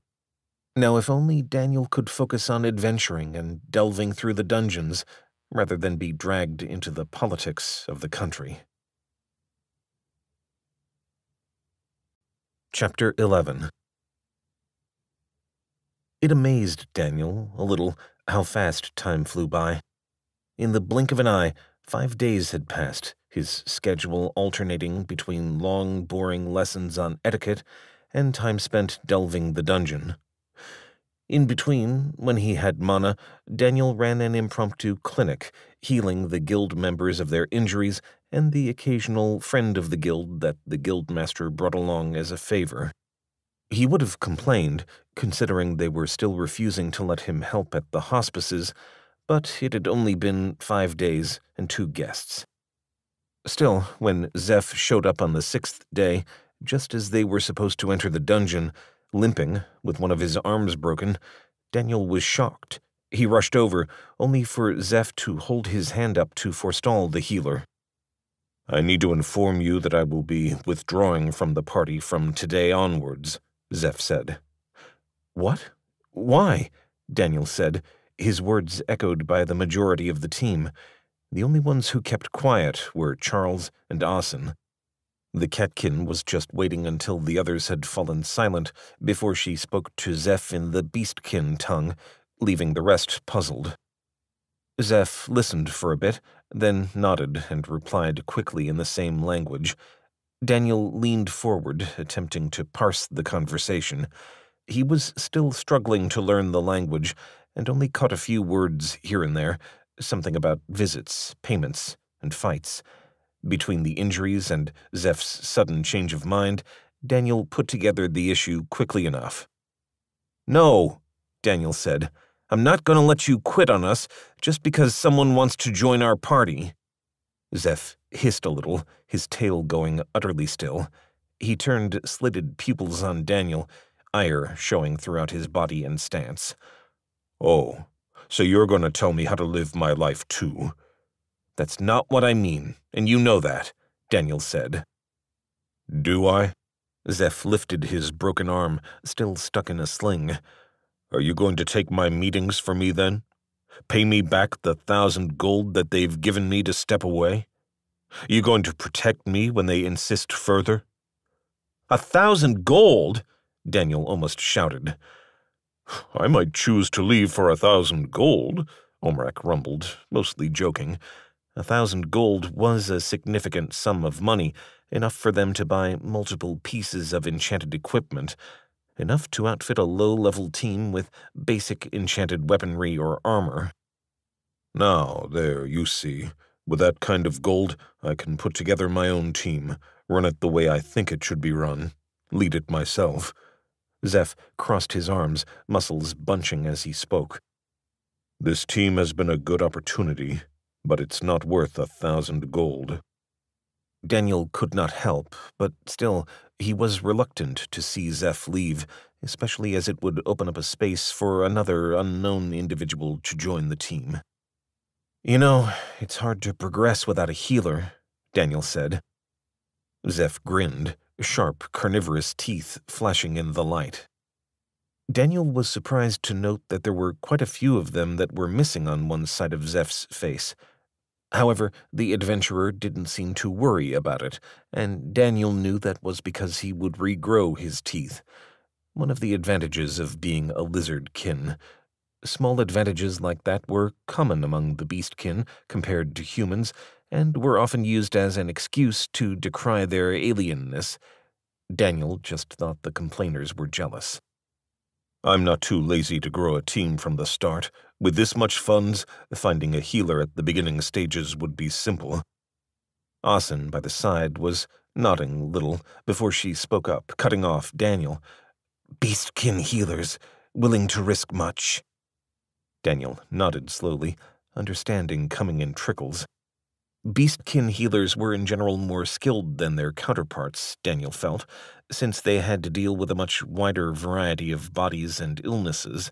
However, the higher requirement of knowledge also slowed down their leveling, along with the lack of resources given to them. So, while there were generally more beastkin healers as a percentage of their population, there were fewer high level ones. After all, at a certain point, leveling required significant resources as a healer, and not just the repetition of the same old acts. New novel diseases, important personages, and new healing techniques were all requirements to level both the healing skill and their class. Finding a new healer willing to risk themselves in the dungeon among the beastkin would be easier for Zeph since additional funds could help said healer progress, especially if they had stopped progressing already. In addition, it was all too common for beastkin parties to work by themselves due to the speciesism that they faced. Building up the party from the ground up, beastkin only or not, would be the most sensible option for Zeph, and even if they never made it to an advanced class, would still make the party a powerful and significant benefit to their communities and clans. And are you leaving? Daniel could not help but ask Asen. No, she said, crossing her arms before her. Zeph stared at the catkin, who returned the stare unflinchingly. Some unspoken communication passed between them before the lizardkin snorted, turning away from the group. Daniel hesitated before reaching out. I can still heal you. Forget it. It'll be a good tester for my new team healer, Zeph said. Daniel nodded and watched as the lizard kin walked away. He sighed, turning his head around to stare at the rest of the group. Did any of you get the offer to leave? To his surprise, nearly everyone except for Charles had been made an offer. When Daniel looked at Charles, the bodyguard shrugged. I go where the lady goes, Charles said. Now Daniel nodded. There was no need to bribe him, if one could bribe the Lady Nissa. When he looked at her, she smiled a little and shook her head, refusing to inform him how much they had offered her. In fact, none of his other friends wanted to expand upon their bribes except for Omrak, who muttered about only being offered fifty gold. Clapping his hand on his friend's shoulder, he dragged the big northerner along to the dungeon entrance. It's okay. I'm sure they'll come and offer you something more. Watching his friend's grin bloom, Daniel could not help but add, Just don't take it, right? The reminder made Omrak sad, but he did not protest, leaving the team to cross into the dungeon, one party member less. Seventeen turns later, the team were caught in another desperate battle. Without Zeph to hold the front line along with Omrak, Daniel had taken his place alongside his friend once more. Unfortunately, unlike Zeph, Daniel did not have the dedicated volume of skill proficiencies dedicated to damage, decreasing the number of monsters that he killed. In general, this was not a major issue, though it did slow their progress down. In fact, they had intended to turn around at the very next bend before they had been ambushed. The team were caught up in a desperate battle against the stone golems that faced them, creatures who were shaped as a variety of monsters that the team had faced. Each golem was slow in its attacks, but supernaturally strong and immune to the majority of penetrating and cutting attacks. Of course, Omrak's own skill made his weapon incredibly durable, allowing him to wail upon the golems without concern for damage, and Daniel's hammer was immensely suited to this task, shattering stone limbs and heads. Unfortunately, people like Charles and Asen were forced to use their skilled proficiencies again and again to penetrate the tough stone armor. Both fighters were panting, their skills using both mana and stamina to imbue their attacks, whether it was penetration by Asen or drilling arrow by Charles that they were trapped by another pair of elementals that had emerged from the ground and put the entire party at even greater risk meant they had to go all out and were unable to support the two frontliners. The most powerful member of the group, Lady Nissa, had taken it upon herself to do the most damage, throwing sonic orbs down the corridor, cracking stone by its very vibrations. Unfortunately, the loud shrieks also damaged her party members, even through the enchantments they wore. After all, to crack the stone creatures, she had to crank up the power of her attacks, leaving all of them reeling. In desperation, the team kept on hammering away at the stone golems, even as their circle of protection shrunk with each passing second. Daniel ducked another punch, swinging his hammer to crack the arm, but an unseen punch came in from his side, hitting his shield arm and forcing him to stagger backwards. He bumped into Asen, throwing her off and getting her clipped with a strike too, forcing the catkin to sprawl to the ground. Even as the pair tried to recover their tempo, Omrak fell back, loosing a roar of rage as he triggered Thundering Strike to shatter the creature facing him, giving him space to aid the pair. Lady Nissa in the center of their shrunken formation, was sucking down a mana potion, refilling her empty pool. Almost immediately, the magical concoction helped push her energy higher, though she held off casting, knowing that they might have to risk a powerful final attack by her. Well, this is concerning. Do you need help? A voice called, alerting the group. Daniel was surprised to notice the quartet before them. They were a strange group, for three of them wore powerful, highly enchanted plate mail and wielded paired swords and shields in the same griffin motif. A part of Daniel's mind struggled to place the motif, knowing that he had seen it before. Mostly, though, his attention was drawn to the grinning and entirely relaxed blond boy at the head of the team. That level of relaxation was surprising to Daniel, since the dungeon was not a place to be relaxed at all. This was the kind of behavior that saw individuals dead, no matter how powerful their protectors. Yes, Omrak shouted, smashing the pommel of his sword into a gripping arm. He had to hit it three times, suffering blows from another five foot high lizard like golem in the side before he managed to free himself. There is no dishonor in asking for aid when one needs it, and we need it. Oh, very well then. Sir Marmonth, the young boy said. One of the guards, Sir Marmonth, Daniel assumed, noted and gestured with his fingers to two of his friends. The next moment, the pair of adventurers flickered, crossing the distance of the hallway in seconds. It would take Daniel time to piece together exactly what happened in the next few seconds. The guards had moved with such speed and precision that they had chopped apart, crushed, and destroyed the various golems among the team and returned to their starting positions, never once having disturbed the party themselves. In a few short breaths, Daniel and his friends were left standing in a cloud of settling dust and falling rock. That seems to be that. Good luck, the teenager called and resumed walking, heading through them and most likely out of the dungeon, too. Daniel was still trying to piece things together when he felt a hand pulling on his sleeve. It was quite insistent, forcing Daniel to bow and step aside to allow the quartet to pass. Daniel turned his head, wanting to ask, only to find Lady Nissa glaring at him, one knee bent. In fact, Daniel realized, his entire team were bowing. It was only as they were passing that Daniel realized who they were. It should have been obvious to him. If not for the low mana and the desperation of the moment, he would have known. After all, the manticore was the shield design of the royal family, and the boy, while Daniel might never have seen him, was exactly the right age for the third prince. It was as they were slowly making their way out that Charles had to remark, Well, that happened. And Daniel had to admit it was as good a summary of the day as anything. Even after all this time, the royal family had yet to make time to see Daniel. It was frustrating, if not for the fact that his days were packed with lessons on etiquette and delving.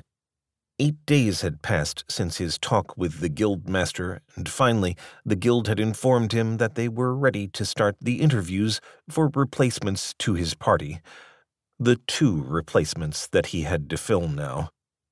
In the meantime, Daniel had heard about the increased pressure his friends had faced to leave. Omrak had even grown quiet about how much he was being offered, while Asen rarely left the guild hall unless she was in the company of others. When Daniel had asked why, she had muttered something about matted fur and refused to expand further. Lady Nissa had been the least bothered, it seemed, with the entire issue, though she had taken to spending less time with the team as a whole. When pressed, she had muttered something about family and social obligations before changing the topic. With his recent lessons, Daniel could not help but sympathize a little more with her. For the first time since they had arrived, outside of delving, the entire team was together. They had been provided one of the larger drawing rooms, and the guild had even provided refreshments, which Omrak was now busy devouring. Inside, the vice guildmaster was looking around, the lady marshal waving Daniel over as he debated which seat to take in the opposed seating arrangement of couches that had been set up. Do you normally do all this? Daniel said, knowing that the interviewees were all placed in a separate drawing room with even more refreshments within. Of course not. Most just get the smaller dressing room if they even bother to ask, Lady Marshall said. But you're our healer, and considering the class of people coming by, it's to our advantage to put our best foot forward. And, mm, good food it is, Omrak said around a stuffed mouth. She said foot, not food, Daniel corrected. The teenage northerner just waved a fried breadstick at Daniel dismissively, to which the healer could only roll his eyes. His own stomach was tight with worry, driving away all appetite.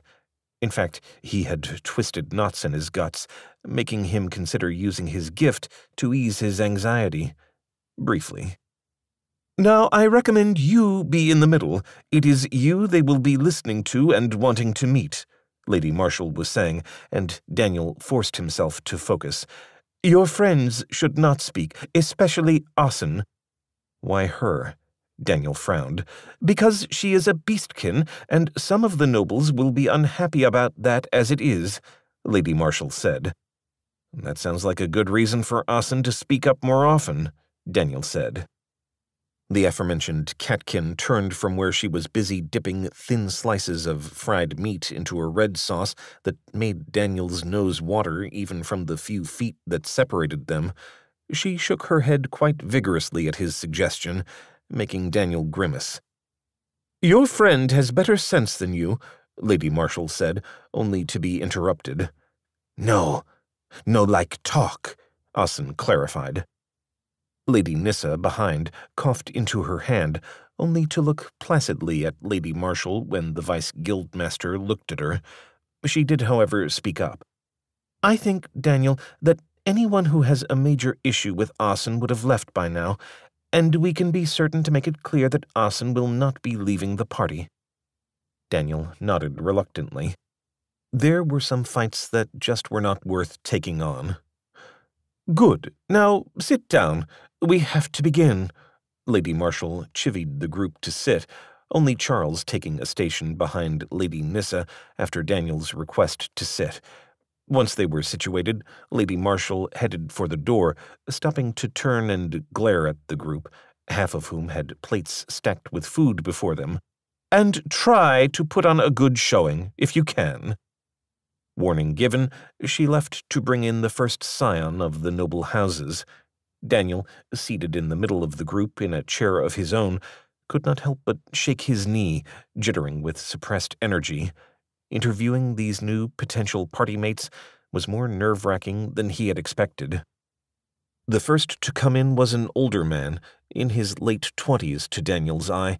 He still had the clear complexion that was so common among the nobles, but there were little lines along the eyes, a little maturity to his face that those still coming out of their teens had yet to achieve. He strode in, nodding absently to the vice guildmaster who had held the door open and showed him the way before she murmured to one of the servants who would be taking over her work, and took the seat positioned for him. I am Lord Taylor Zanasta.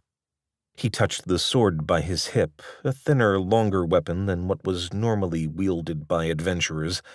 I am a level 29 duelist. Duelist? Daniel said, frowning. It's a combat class, mostly focused on individual fights against a single opponent, though Lord Zanasta has significant experience dueling multiple opponents. He is also a master of the sword, even though he has not mentioned that, Lady Nissa said, offering the other lord a quick smile. I hope that's not too presumptuous, my lord. Not at all. Omrak cocked his head to the side, eyeing the nobleman before he spoke. What adventurer rank are you? I have none, said Lord Zanasta. Then what are you doing here? Daniel blurted out. I will receive a pass from the beginner classes due to my levels. When Daniel looked over at Lady Nissa, she lowered her voice to whisper, the other lord having passed to allow her to make the explanation combat classes of significant skill can receive waivers to enter advanced dungeons if they have sufficient levels and have passed a test. Right. I guess that's good, Daniel said, already feeling frustrated. This was not going the way he thought matters would go. On the other hand, at least he was not feeling scared or tense anymore. But why do you want to go adventuring now? I do not, Seeing that his words had startled the group, he clarified. The royal family considers adventuring a necessity among the nobles. Reaching a master level will open additional opportunities for myself and my family. He nodded to Daniel. You will help ensure I do so in the fastest and safest method. Oh, right. Daniel glanced at his friends, curious if any of them had further questions. They all shook their heads before Daniel turned to the duelist. He was already standing, nodding to the group. Good. I expect to hear from you by the end of the day. And before they could correct him, he had left. Daniel had to admit, if nothing else, the duelist had placed a significant amount of points into his agility, the way he could move. I guess next, Daniel said. When a head popped in, the attendant charged with dealing with the other interviewees, checking on them, he repeated the last word again, this time more firmly. I'm. I'm an advanced adventurer, the young man breathed, looking visibly nervous. He looked up to the side where his mother was standing, glaring at him, and gulped. He turned back to Daniel, continuing, I got it last year. I'm at level, um. Johann, his mother barked. Right, uh, sorry, sorry. I'm not supposed to, um, say. Johann bobbed his head low. But I've got inventory. What weapon do you use? Daniel said, glancing at the short sword Johann wore at his side. That? Uh, I'm a master of arms, Johann said. After inventory, I switched back to Master of Arms. Daniel could not help but let out a low whistle. Even he had heard of the class. It was an extremely tough class to acquire, since it required mastery of multiple weapons. Those who received it were often older adventurers or trainers or prodigies. Team? Asen said, speaking up. The pair of nobles seated opposite them both looked at Asen. However, instead of the usual sneering disgust at her nature, one was nervous and the other considering. I. well, I joined a few, uh, noble teams. You know the kind. We don't, Omrak said. Nobles don't always join the guilds. It adds another level of politics, so for the younger crowd, they often work together to form teams. They can be permanent to semi-permanent to random, Lady Nissa explained, though at the advanced stage, most will choose to join a guild. The advantages start outweighing the ease of teams, and of course, the dangers increase. Right, she's right. The Lady Nissa, that is. Johann flushed again. But, you know, that's why I'm here. He offered a tight smile, then ducked his head. Of course, and that's good of you to be here, Daniel said, then looked at the stern mother. Both of you. He only got a humph in response, so he turned away. Best focus on the interview. I'm a battle alchemist, the young woman before them said, her body smelling of potions and herbs. Asen had backed off the moment she had entered the room, and was now standing at the farthest corner of the room next to an open window, her tail lashing out behind her. I have a few healing globes. The fair-haired brunette hefted a couple of swirling red globes, but I mostly focus on damage and debuffs. Globes? Daniel said, holding a hand out. The young lady happily handed it to him, her eyes glowing. This is not glass. It's something my master came up with. Rather than using potions, we use these. The material breaks when we need it to, but is otherwise quite tough, Reeves said. You throw it at your target, and the liquid seeps into them. How about armor? Daniel asked. Well, that's one of the problems, Reeves said, sighing. I need more materials, more money to work out the way to do it. Right now, the potion is partially injected through mana transference, but it's only a little better than a tenth. Otherwise, you need direct skin to liquid contact. And your other globes are like that? Lady Nissa said, eyeing the half dozen small orbs all across the woman's body. It was surprising to see her, since the last half dozen applicants had been nobles. It seemed that some candidates were just that good that the guildmaster had wanted them to interview no matter what. Yes, air-based poisons and debuffs work well, and the explosive ones are a non-issue, I was experimenting with a dual globed one, with an explosive outer layer first, and the secondary potion beneath to expose the body beneath with my last party, before. Before? An arched eyebrow from Lady Nissa. I fixed the problem. It won't explode anymore. Reeves said, her eyes wide as she realized her mistake. Now you have to inject a little mana before the globes begin their breakdown. It's all good. Lady Nissa made a little noise in her throat, her doubt quite clear. Daniel, on the other hand, smiled a little before speaking up. So, why this team? Alchemists of all kinds are always in demand with guilds.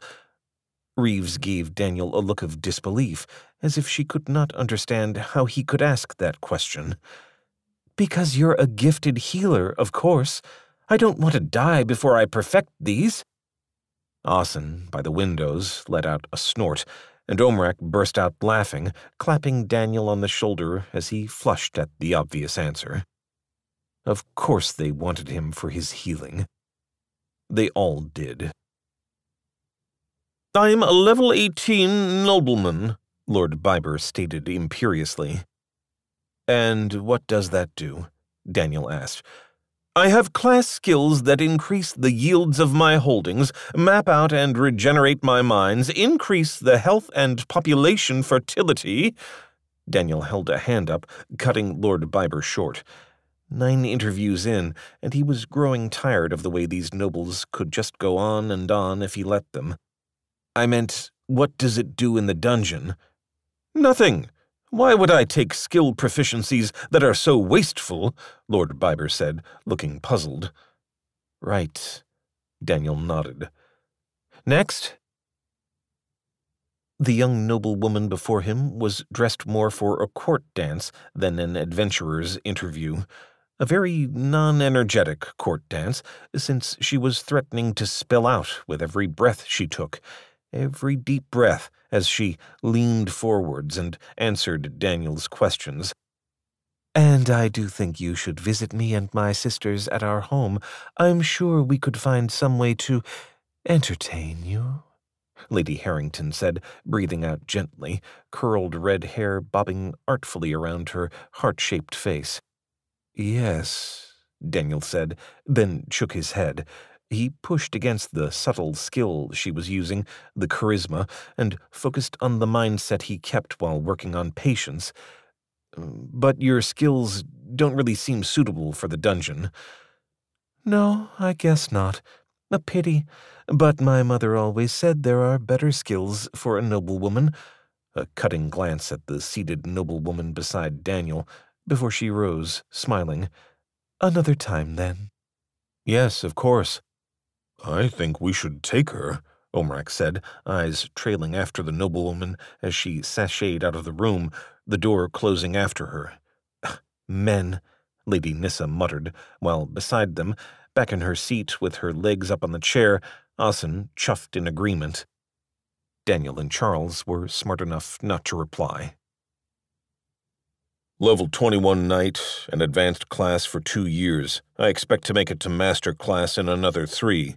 Lord Julian, the muscular nobleman before them, said, I believe your team, with my aid, will be able to achieve similar results. That's good, Daniel said hesitantly. Over by his side, Daniel could not help but notice that Lady Nissa was sitting up a lot straighter and smiling demurely at the knight. I'm sure you could, Lady Nissa said breathily. Do you require your mount? Charles said, speaking up for the first time during the day. Most knights focus their specializations on mounted combat. I have a few that benefit from that, Lord Julian said, running a hand through his hair idly. Doing so made his bulging arm muscles stand out in stark relief to his tight shirt sleeves for a second. But I have also trained in traditional sword and shield combat when unmounted. That breastplate, it's enchanted?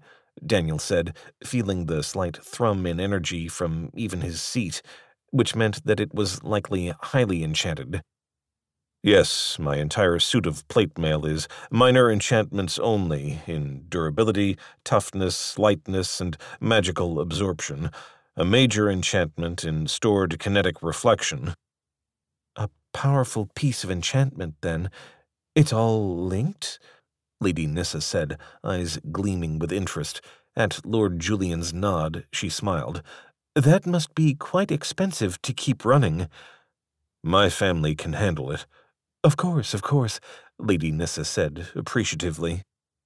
By the side, Omrak rolled his eyes a little when he met Daniel's gaze. Still, they both glanced at Lord Julian's sword, whose hilt was simple and practical, much like the breastplate. Minimal designs, showing a man who actually used his equipment. Man after man, woman after woman, the group listened to the applicants. It was late afternoon, after a single, all too short break for lunch, that the constant stream of individuals had an interruption. Instead of the usual nobleman shown in by the attendant, a pair of guards entered first, scanning the room. Only when they were sufficiently satisfied that no dangers lurked within did the next applicant enter. By this point, the entire group were on their feet, bowing. How could they not be? The tabard on the guards were a clear indicator of who they were to speak with next. And if they did not remember the griffin, the fact that they had seen these very guards a bare few days ago was reminder enough. Your Highness, you honor us, Lady Nissa said, leading the group as they all quickly echoed her sentiments. Please don't. The young boy took a seat, gesturing for them to sit down too. When they hesitated, he glared at the group and the guards standing beside him, the last one having taken station outside the now closed door, stared at the team till they reluctantly sat too. I want you to interview me just like any other member of your potential team. Daniel shared a glance with the others, his heart having started racing at the mention of the interview. Lady Nissa shook her head a little, while Asen, beside the group, was eyeing the guards more than the prince. Omrak coughed, trying not to laugh directly in the prince's face. Is there something wrong, Hero Omrak, son of Losen? the prince said. Dry throat, your highness, Omrak said, pounding his chest.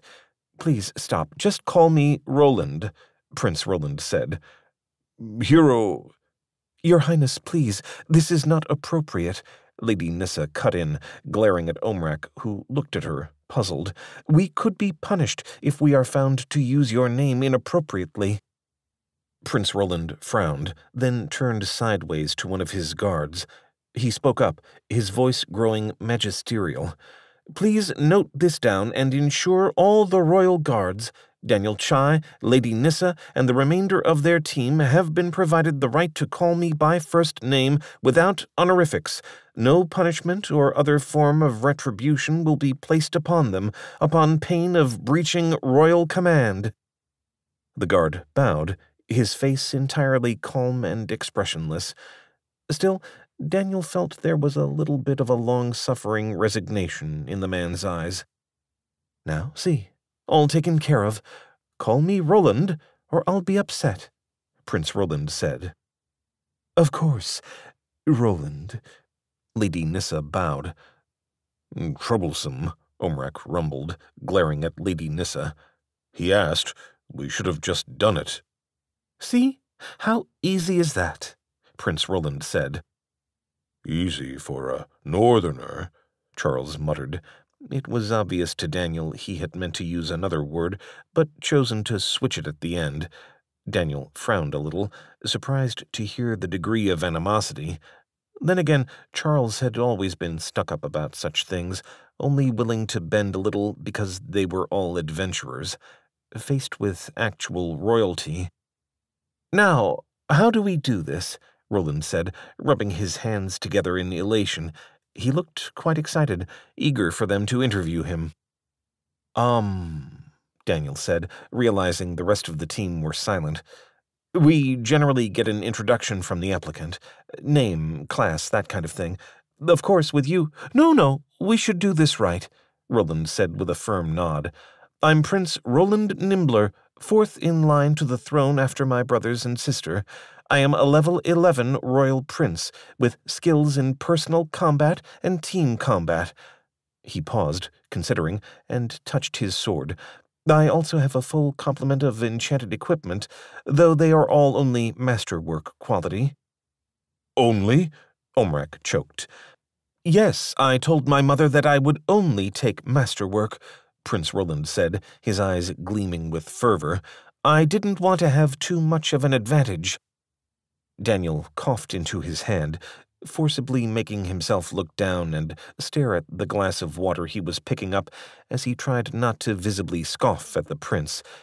He had no idea what an advantage he already had, did he? Will your guards be joining us as well, Roland? Lady Nissa said, eyeing the three griffin guards. Oh, no, that's why I'm interviewing. You'll all be my party, Roland said excitedly. They were just with me because I had trouble finding a proper party. Why us? Asen asked, her tail having stopped its slow thrashing around and was now almost directly rigid behind her. Why, Daniel, of course. My parents said the only way I would be allowed to have a proper team, it had to be with him, Prince Roland said, nodding firmly. So I do hope you take me. Daniel looked at his team, trying to understand how any of this was a request. After all, this was the prince they were talking to, someone in the line of succession to rule their nation. If the guildmaster had an inkling of this, as did the rest of the nobles, it would explain the large lineup they had faced. Still, Daniel forced a smile onto his face, strained as it was. Of course, Roland, we'll just have to finish the interview. Chapter 12 The day was finally over, and the group slumped in various positions throughout the room. Daniel, in particular, was looking exhausted, having taken over the entire couch as he lay there, a hand over his eyes. Lady Nissa had moved over to the interview chair in the meantime, while Asen stalked the floor, passing before the windows as the waning sun streamed in. That was a disaster, Daniel groaned, never bothering to look up. Our heads are still on our necks, so I think that is arguable, Lady Nissa said, trying for levity. It fell flat around the room, none of them feeling it. Mm, he seems like a good man, at least, Omrak said. He's a prince. He doesn't have to be a good man, Charles said, speaking up. He just needs to be a prince. I meant he seemed to want to be a good adventurer, Omrak said, unlike some of the others we saw. Yes, but choosing him. It's complicated, Lady Nissa said, biting her lower lip. No, simple, choose, he asked, Asen said. Not that simple. What if he gets hurt? Lady Nissa said concernedly. Daniel. And if he can't heal him? Lady Nissa rebutted. Daniel let out a snort. Then he's probably dead. And that's somehow supposed to comfort us? Lady Nissa shook her head before she hesitantly added, It's not just that. There are good reasons to not choose him at all. What good reason could that be? Daniel said, frowning. He heard something in her voice that made him sit up and look at the noble woman, who eventually chose to speak. It's, well, there are rumors his choices aren't supported by his parents. They might be happier if we chose not to let him join us, she said. Will they protect us from an upset prince, then? Omrak said. Where I come from, we do not have princes, but we hear the stories of your lords who choose to act on their whims rather than rule with conscience. Careful, Charles hissed. Where how you speak, for you speak of royalty. And so men must learn to watch their words rather than choose truth and honor, Omrak grumbled. That, no, both of you, Daniel said. This is not the time to begin this argument. We have bigger problems. Yes, yes, you do. The voice cut through their hubbub, making the group turn. Standing before them was Guildmaster Ronson, somehow having entered the room silently. You knew, Daniel said accusingly. Of course I did. I arranged for this, in fact, Ronson said.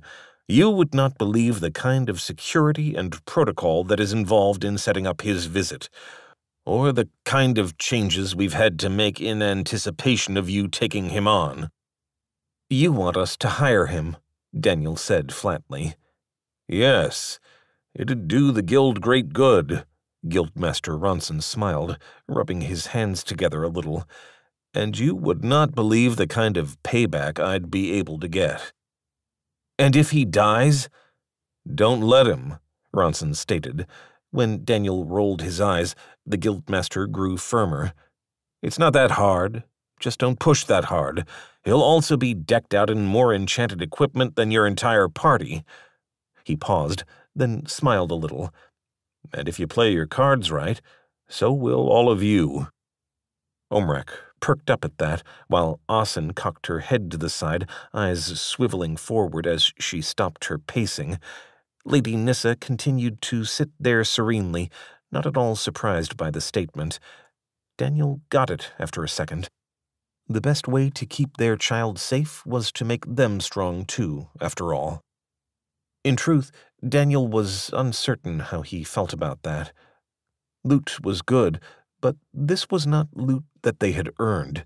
This was given to them, just like his gift. And just like his gift, there would be a price to pay. What it was and whether they were willing to pay it, well.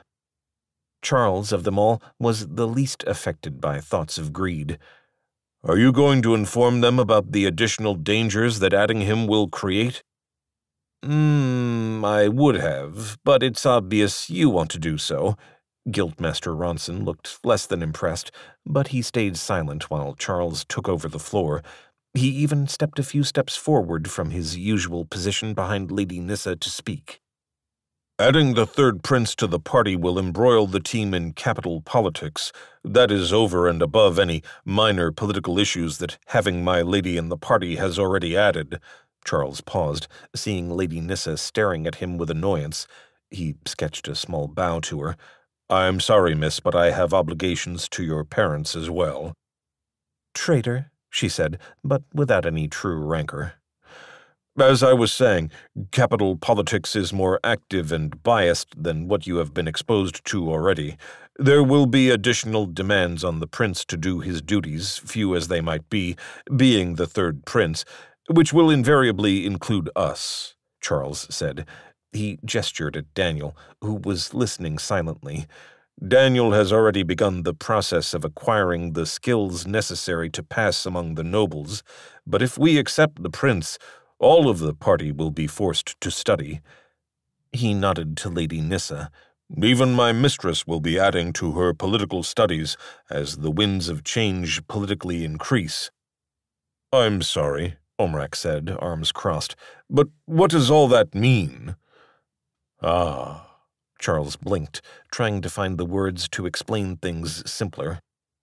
You will be going to a lot of balls, public appearances, and other social events with nobles, maybe even be invited to the occasional royal event, and any of your successes or failures will be highlighted and lauded or derided by the populace. Guildmaster Ronson said. But that's the least of the problems you face. Least? Asen asked, and Daniel noted that her tail was slowly moving, entirely stiff behind her.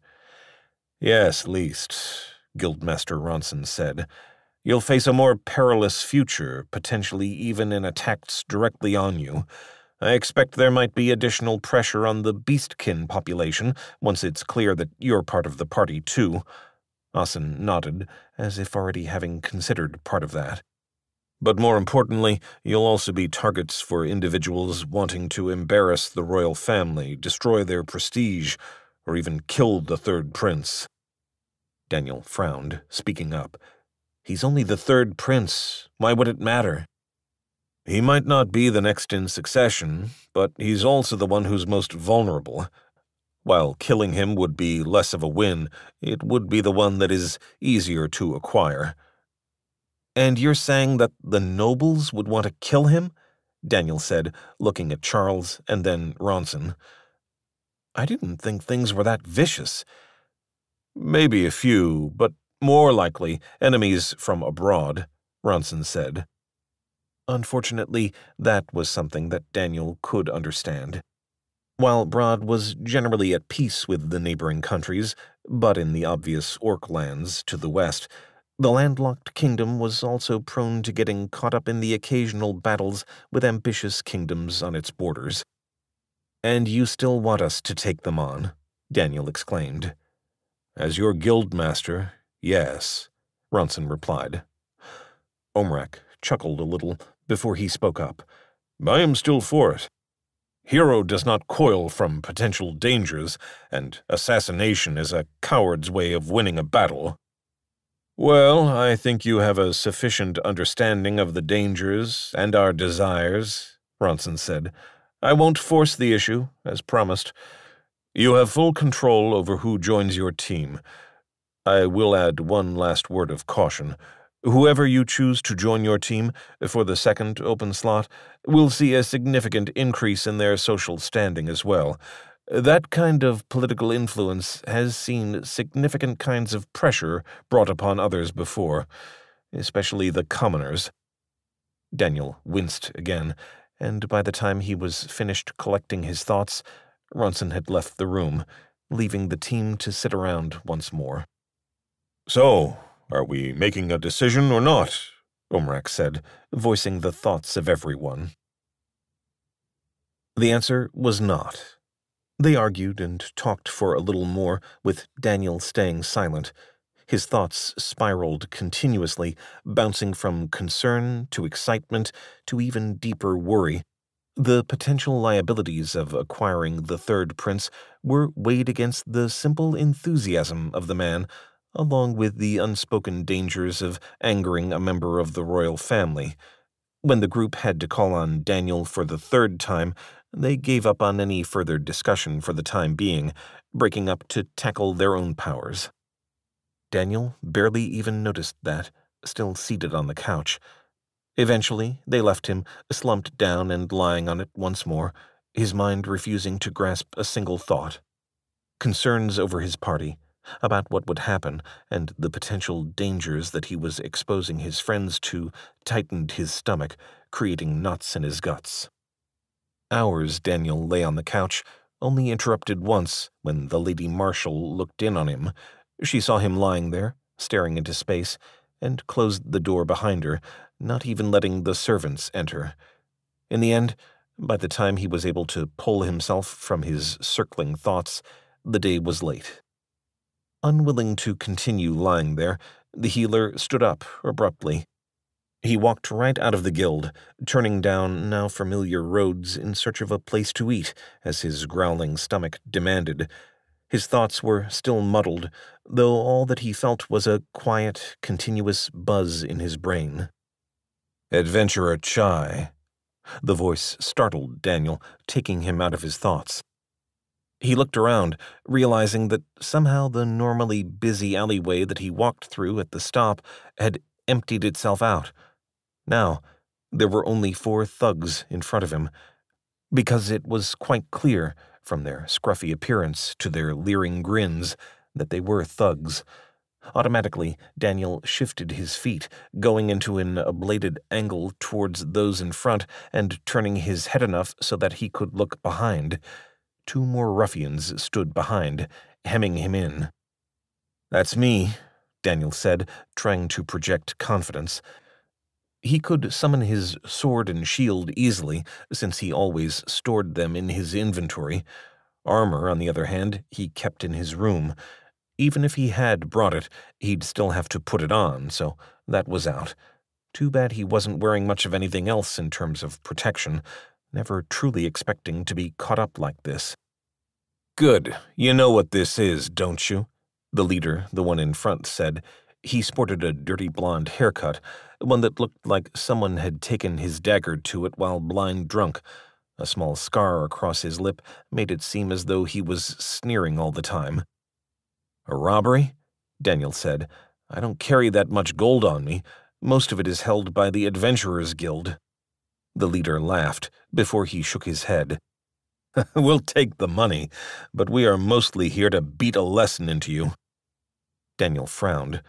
What makes you think I'd give you my money then, if you're going to beat me anyway? Because we can make it a lot worse. A gesture at his side made the leader's friends span out, taking up the rest of the room in front of Daniel. Shuffling feet from behind him told Daniel that the others were closing in. He shifted his position again, putting more of his back to the wall, even as he stuck his hand out sideways and yanked for his shield first. Interesting. Most go for their weapons.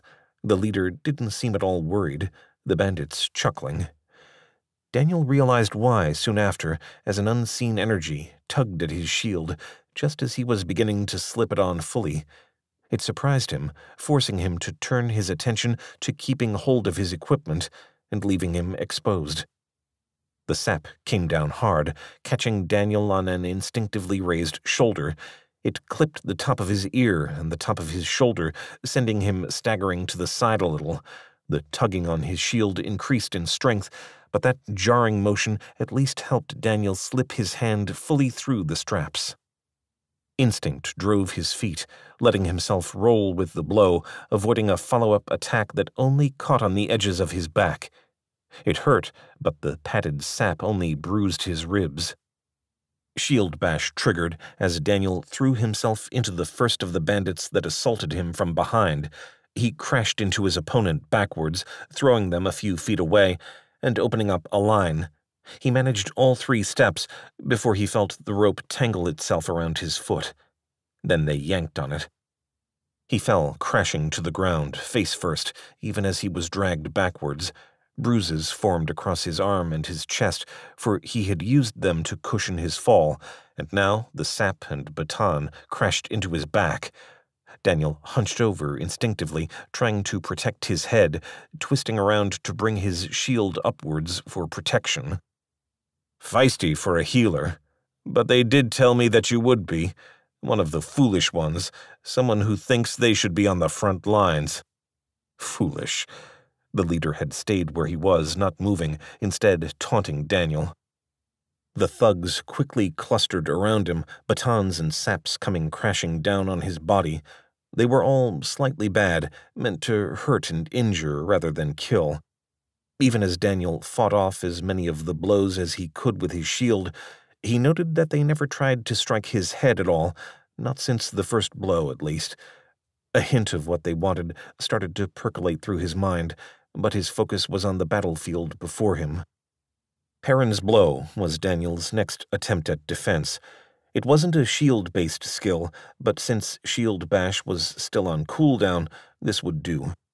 Additionally, the knockback effect of the attack, even blunted by the unsuitability of the shield, meant that when he thrusted into the thigh of his opponent, it sent the thug flying into the wall to bounce bonelessly off it as his head impacted. For a second, Daniel rebelled in his minor victory before another boot came in low and kicked forwards to strike an exposed floating rib. He felt it crack, pain lancing through his body, and instinctively hunched over, curling up on the ground as he tried to protect it from further damage. The foot retracted as he groaned in pain, and someone snatched his shield off from him. His straps suddenly cut, Another half dozen blows, leaving Daniel purple and bruised before the group pulled back. Another chuckle as the assailant leader spoke. Now, probably much more in a positive mindset to listen, aren't you? All Daniel could do was groan as he attempted to catch his breath. I thought so. So here's the message. Get rid of the catkin and the northerner. Daniel frowned, his body aching, but his mind a little puzzled at just a single message. An unseen gesture, and the other thugs reached over, hauling him upwards. Daniel frowned, his body in contact with at least two of his assailants. For a brief, brief moment, Daniel considered using his gift in a different way. It would be the simplest thing in the world to reach out and touch their blood vessels, stop the heart, tear open the battery, he could even do something to the brainstem if he wanted it to be faster. Then, instinctive revulsion, one born of countless hours putting his gift, his skills into practice, doing the opposite ran through him. Part of Daniel also felt that doing so would be a betrayal, a true traitorous betrayal of the gift that Earlist had given him. Now, did you hear me? The leader was up close to Daniel's face, glaring at him. Yes, but is that it? he said. He could not keep the surprise from his voice as he wondered about the simple, singular requests. For now, did you think we were going to tell you, give you hints of who our employee was? Again, that annoying smirk, that confident tone.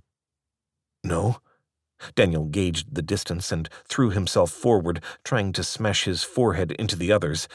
He was jerked backwards by the pair holding him up long before he reached the other, the thugs well used to such tricks. And then you do that. And here I thought we had come to an understanding. I guess we'll just have to beat you a little more until you get it properly. The thug spoke, gesturing to the others. Daniel's arms were held tight, even as he tried to free himself. He could only attempt to roll with the attacks as the other thugs laid into him. Countless minutes passed in a blur before the thugs finally released him, allowing Daniel to lie on the ground, covered in blood and bruises of his own. At least half of his ribs were cracked, and at one point they'd taken to punching his jaw and face, leaving his tongue bruised and bloodied. Worse than the physical beating, though, as he slowly recuperated and managed to cast a healer's mark on himself to begin the healing, was the embarrassment. He was a healer and adventurer, supposedly stronger, more deadly than any civilian. And even if they were thugs, people who had the semi-combat class, they were not adventurers. They did not fight for their life every day.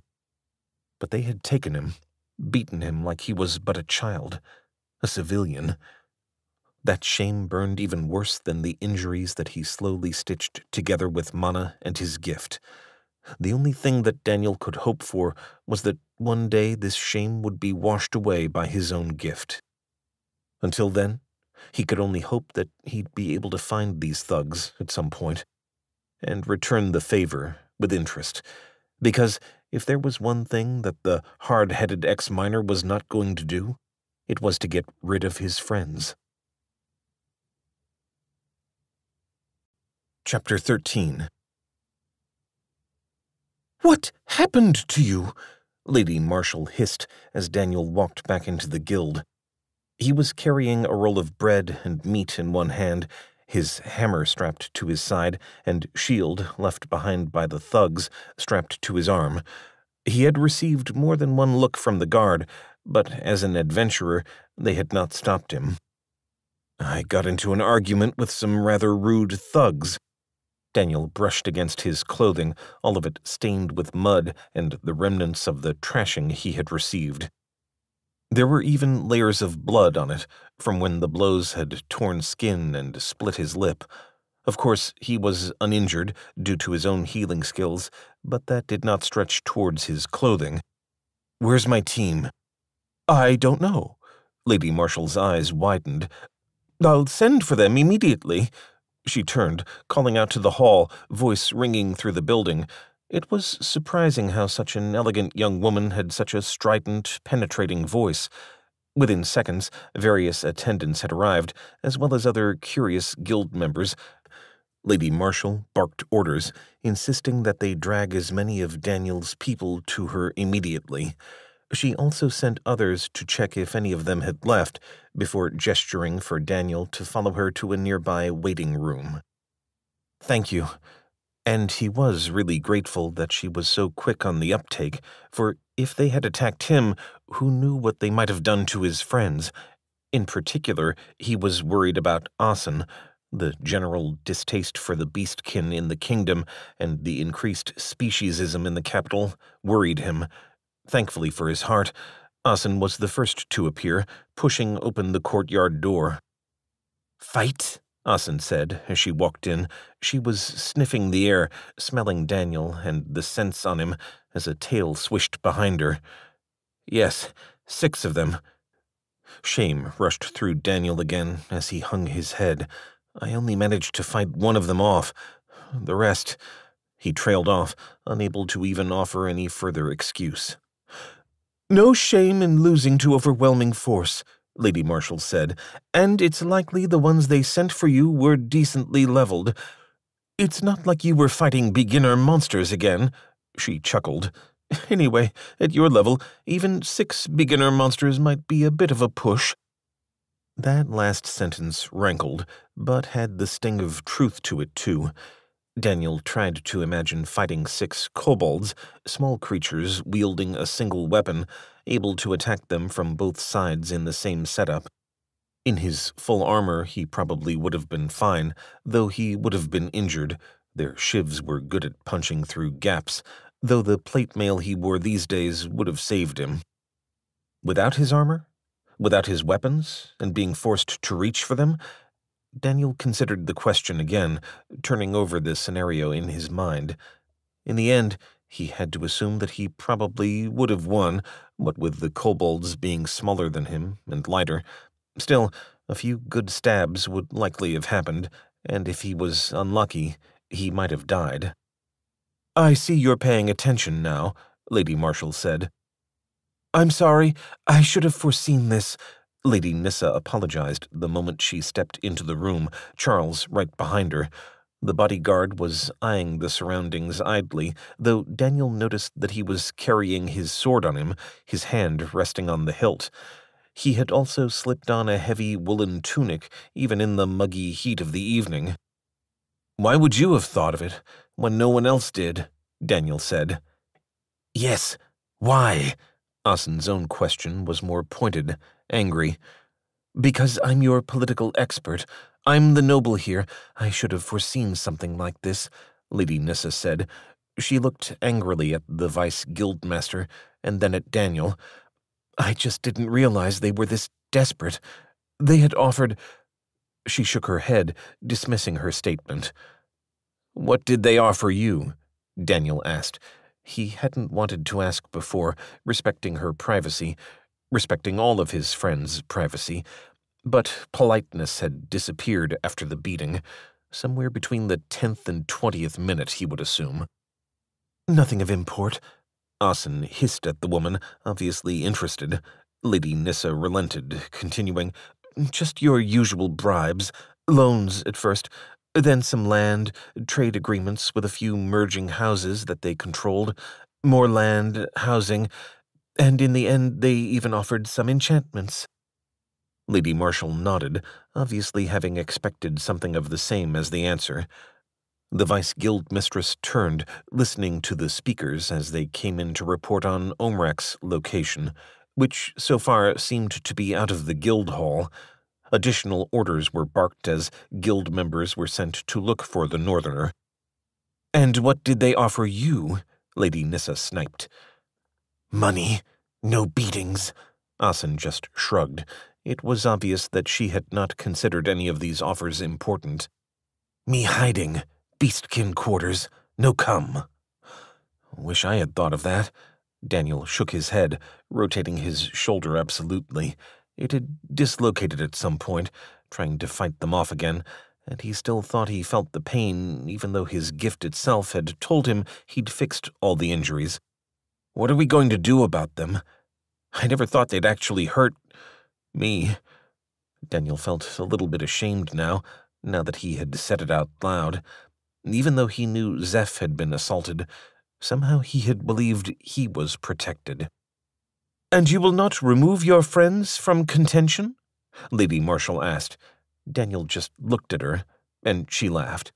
Do not look at me like that, child. You might be valuable, but I am not one of your teammates. Daniel ducked his head, understanding what she meant. Giving the vice guild mistress a dirty look, someone who was in the master ranks, was probably not in his best idea. He quickly apologized, and the guild mistress waved his words away. It is a legitimate question, and while I believe Asen and I know the answer, it would be comforting to hear you say it, Lady Nissa said. I will not be letting any of my friends go. If you wish to leave, I will not stop you. I'm sure whatever they can offer is well worth considering in most cases, Daniel said firmly. But I do not betray my friends. And that is why leaving would be foolish, Lady Nissa said. Mercenary, Asen said. There was no rancor in her words, though. Instead, it was almost admiring. Again, Lady Nissa shrugged an elegant shoulder. Well, it's good to know. But I think, more importantly, we should consider what we should do about these thugs and their employers. The group discussed the question of revenge over the next hour over a platter of sandwiches brought in when Daniel noted his need for sustenance. The conversation drifted a little, going round in circles as they found their first major roadblock a lack of knowledge of who it was that had hired Daniel's attackers. The vice guild mistress had barked additional orders, setting the entire guild into a frenzy as they deployed the considerable resources of the guild to locate this information. Asen had slipped out too, returning after 20 minutes, having activated the Beastkin Whisper network.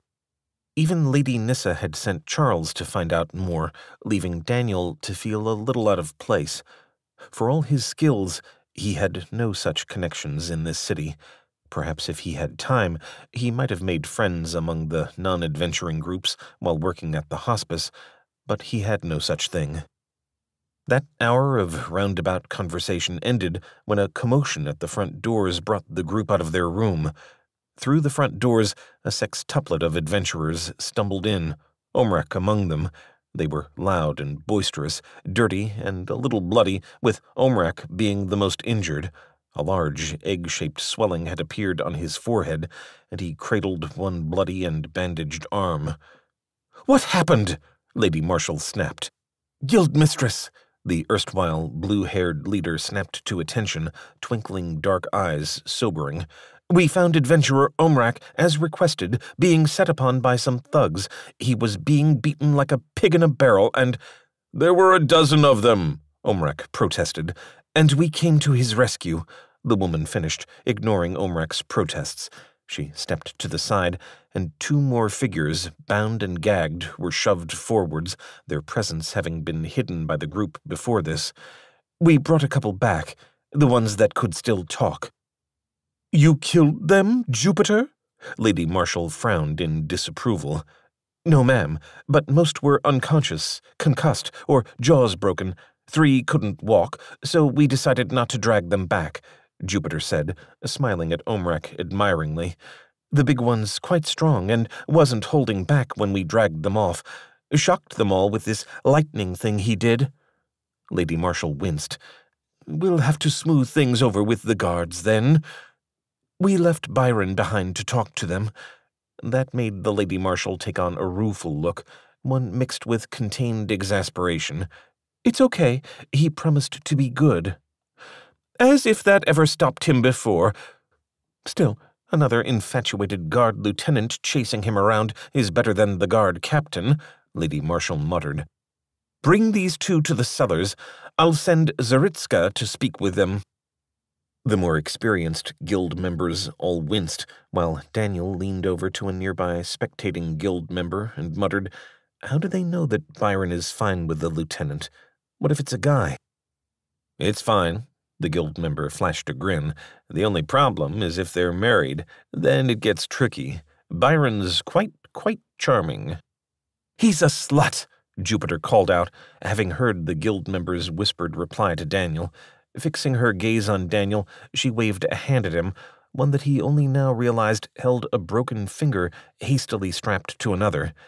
Now, do you mind? Of course. Daniel waved the team in while others took hold of the two prisoners to bring them down to the cellars. A part of him wanted to know what would happen below, but a much wiser and older part knew that it was better not to ask. Some things would push the boundaries of what his own code as a healer could bear. Healing the group was a simple matter of applying his healer's mark spell, since none of them were significantly injured, in fact, Daniel was certain a few of the injuries being touted as coming from their most recent battle were a little too old, but he did not begrudge them a chance to bring themselves back to full health.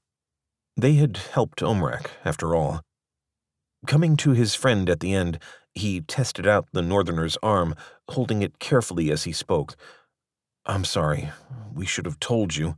Nothing to be sorry about, friend Daniel, Omrak rumbled. Curs like that will gather always around the strong.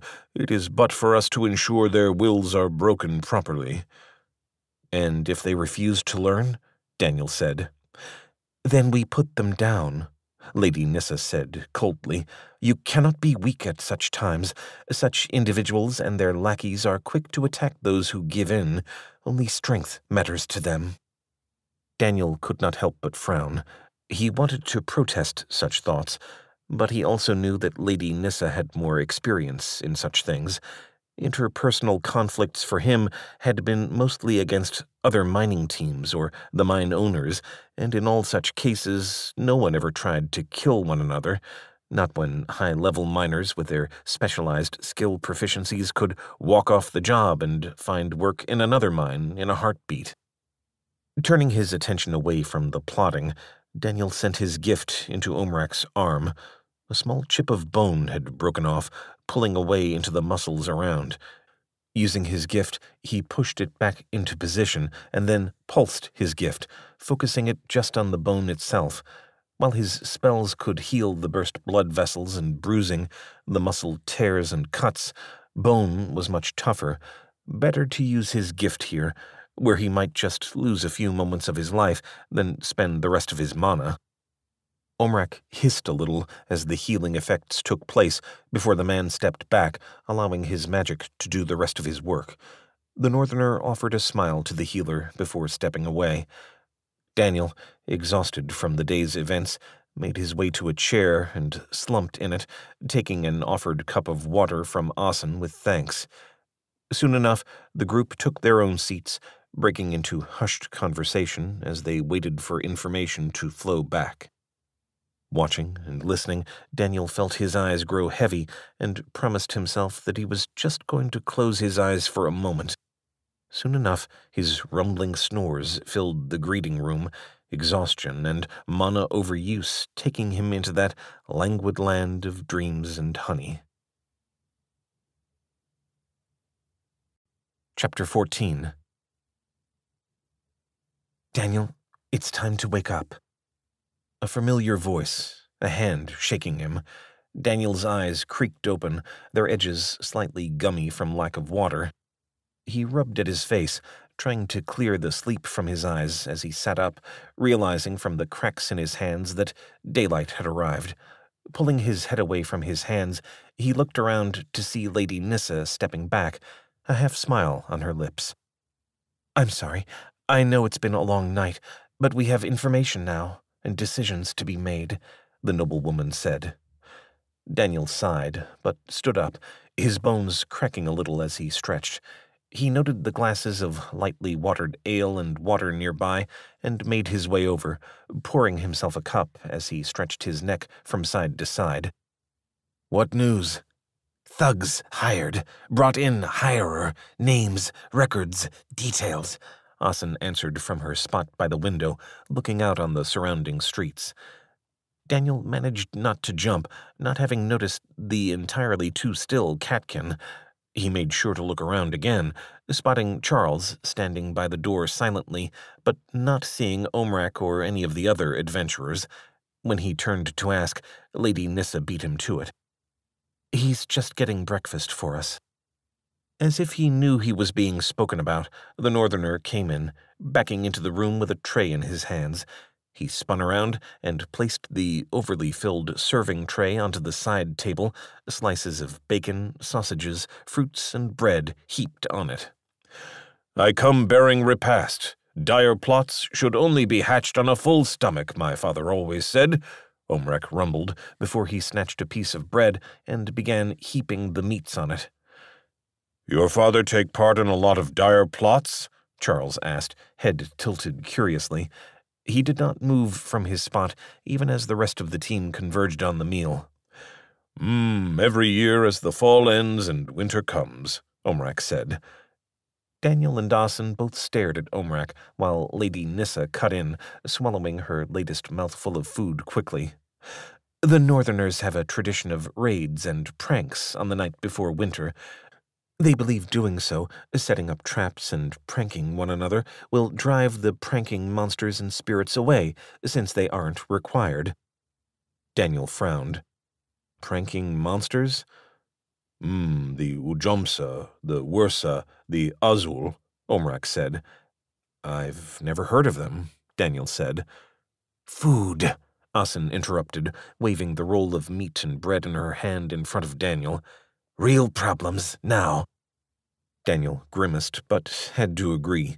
He scarfed down the meal, the group choosing to keep silent until they finished. Eventually, he sat back, crossing his hands over a replete stomach. Now, tell me, what happened?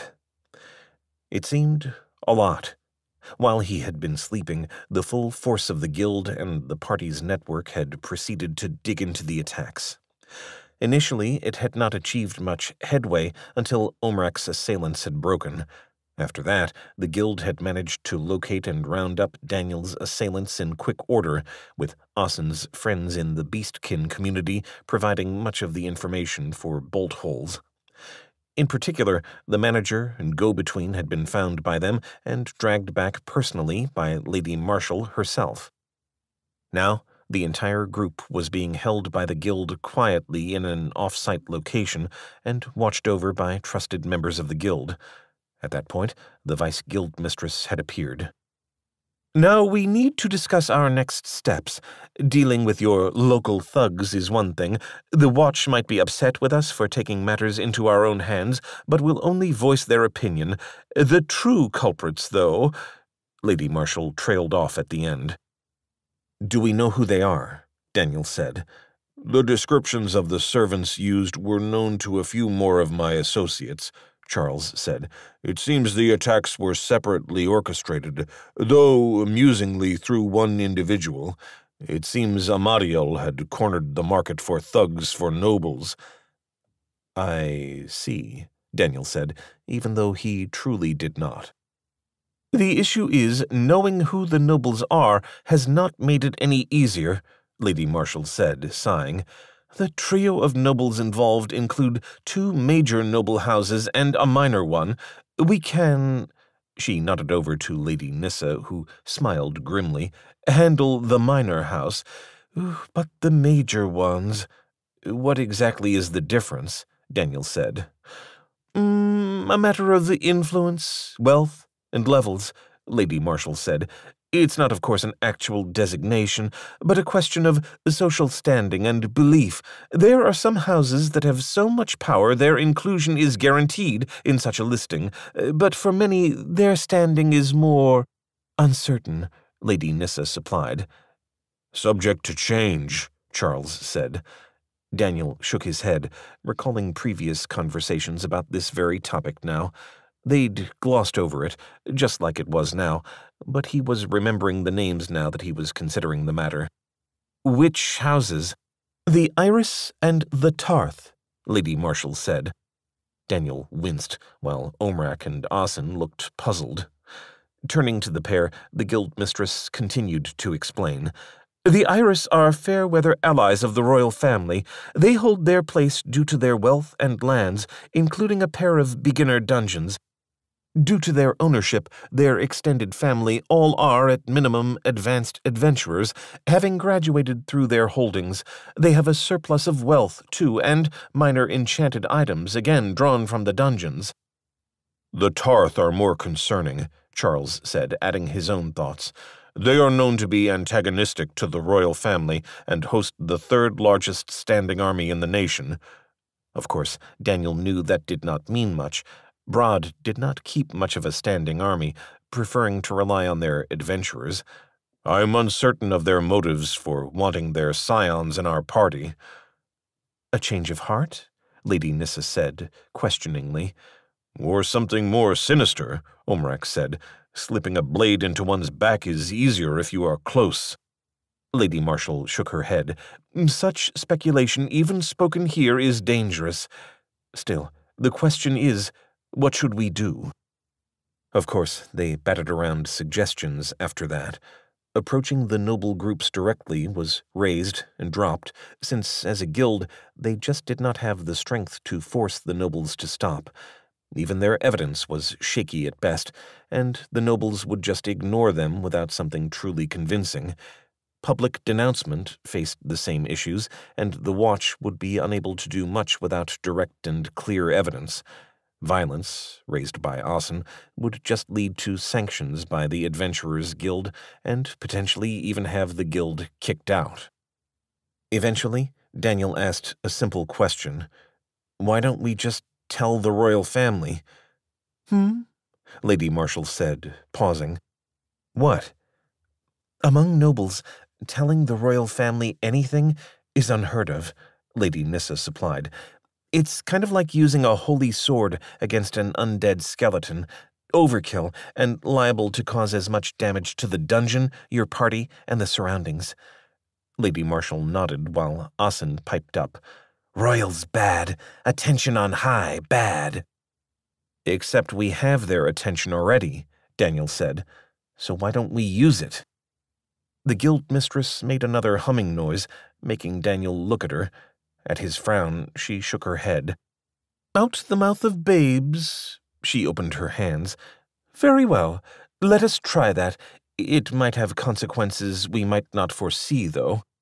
Well, the consequences of ignoring their demands are quite foreseeable and dangerous. Daniel nodded over to Omrak, who had fallen asleep, bored from all the political talk and drained from the healing. As you said, let us wake the griffin, then. Daniel stalked the living room back and forth, back and forth. He moved in a pendulum motion, never ending as he waited. After his 58th circuit, he snarled and threw his hand up and shouted, What the hell is going on? What's taking so long? Talk, Asen replied succinctly. I know that, Daniel growled, irritated. We should be in there. These are our lives they're dealing with. Asen shrugged in reply, making Daniel growl again in frustration.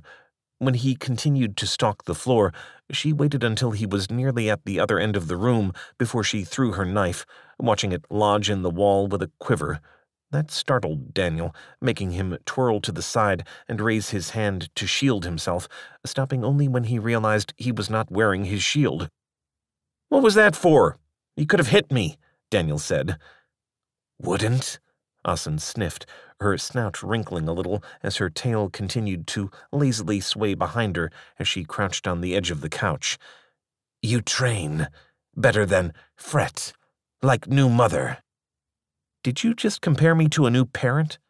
At Asen's nod, Daniel shook his head firmly. Aren't you worried?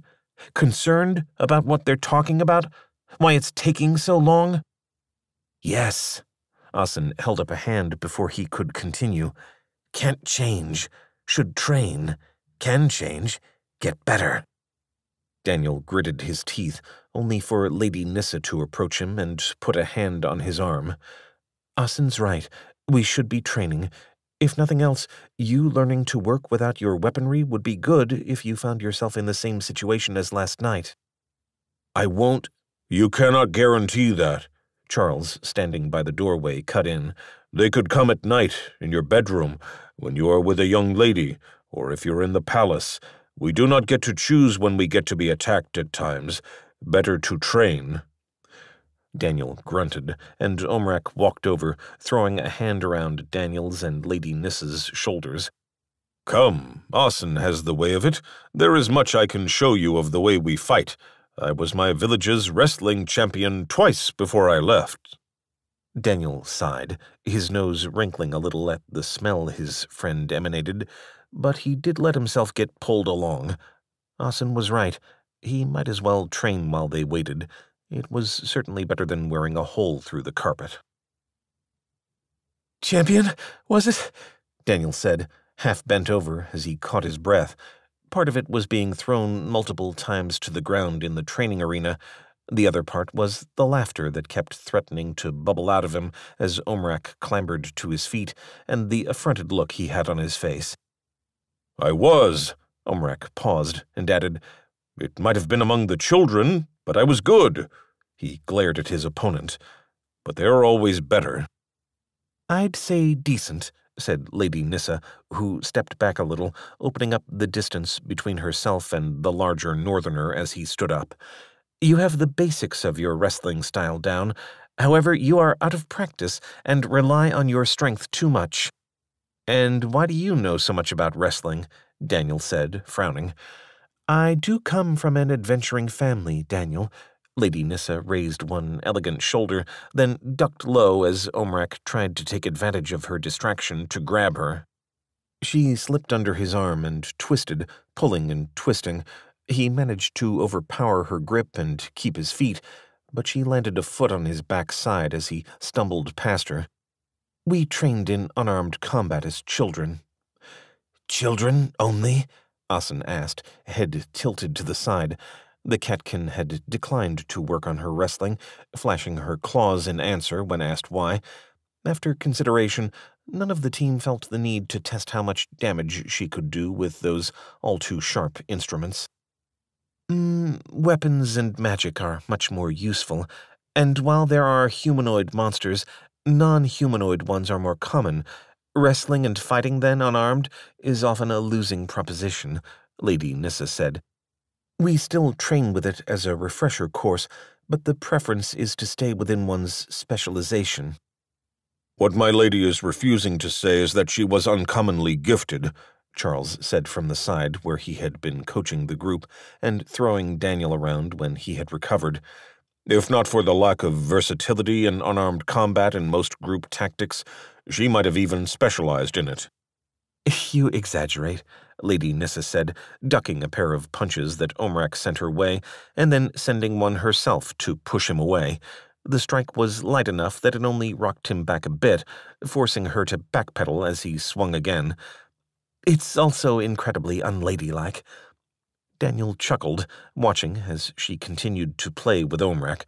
It was not entirely one-sided, since a moment later Omrak managed to feint a strike and catch her counter, using it to lever her to her knees. She attempted a roll, at which point he kneed her in the ribs, releasing her arm as he did so, rather than hold on to it and potentially dislocate her shoulder. Even then, the noblewoman sprawled on the ground, catching her breath. Nicely done, Omrak! Daniel cheered his friend on. He had been thrashed by the pair soon after they started, which was why he was relegated mostly to working on the basics with Charles. Well, it seems you've gotten your breath back, good sir. Come, Charles said, interrupting Daniel and his observances. Wincing, the adventurer turned and put his hands up, a second later, the pair were engaged, busy throwing punches, kicks, and the occasional jab, while Charles coached Daniel on his footwork and timing. In the meantime, Asen threw her knives at a convenient target, keeping an eye on the surroundings. The catkin's nose wrinkled occasionally, her ears swiveling as she took in the noises and scents of the training yard around, watching over the group while they waited.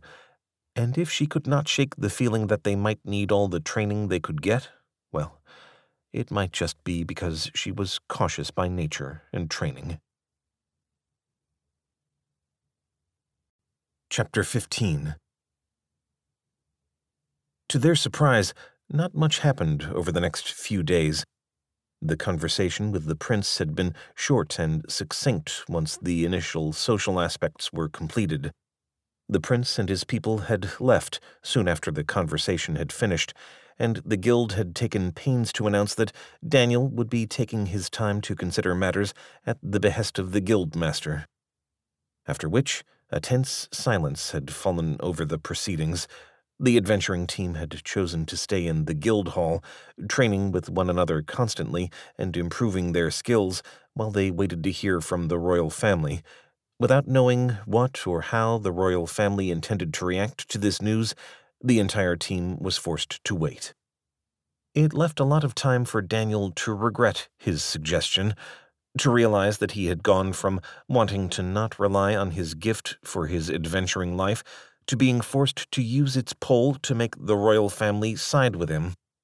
that he had, without meaning to, entangled himself even further in kingdom politics, that if they had not paid attention to him before, now they were certain to do so.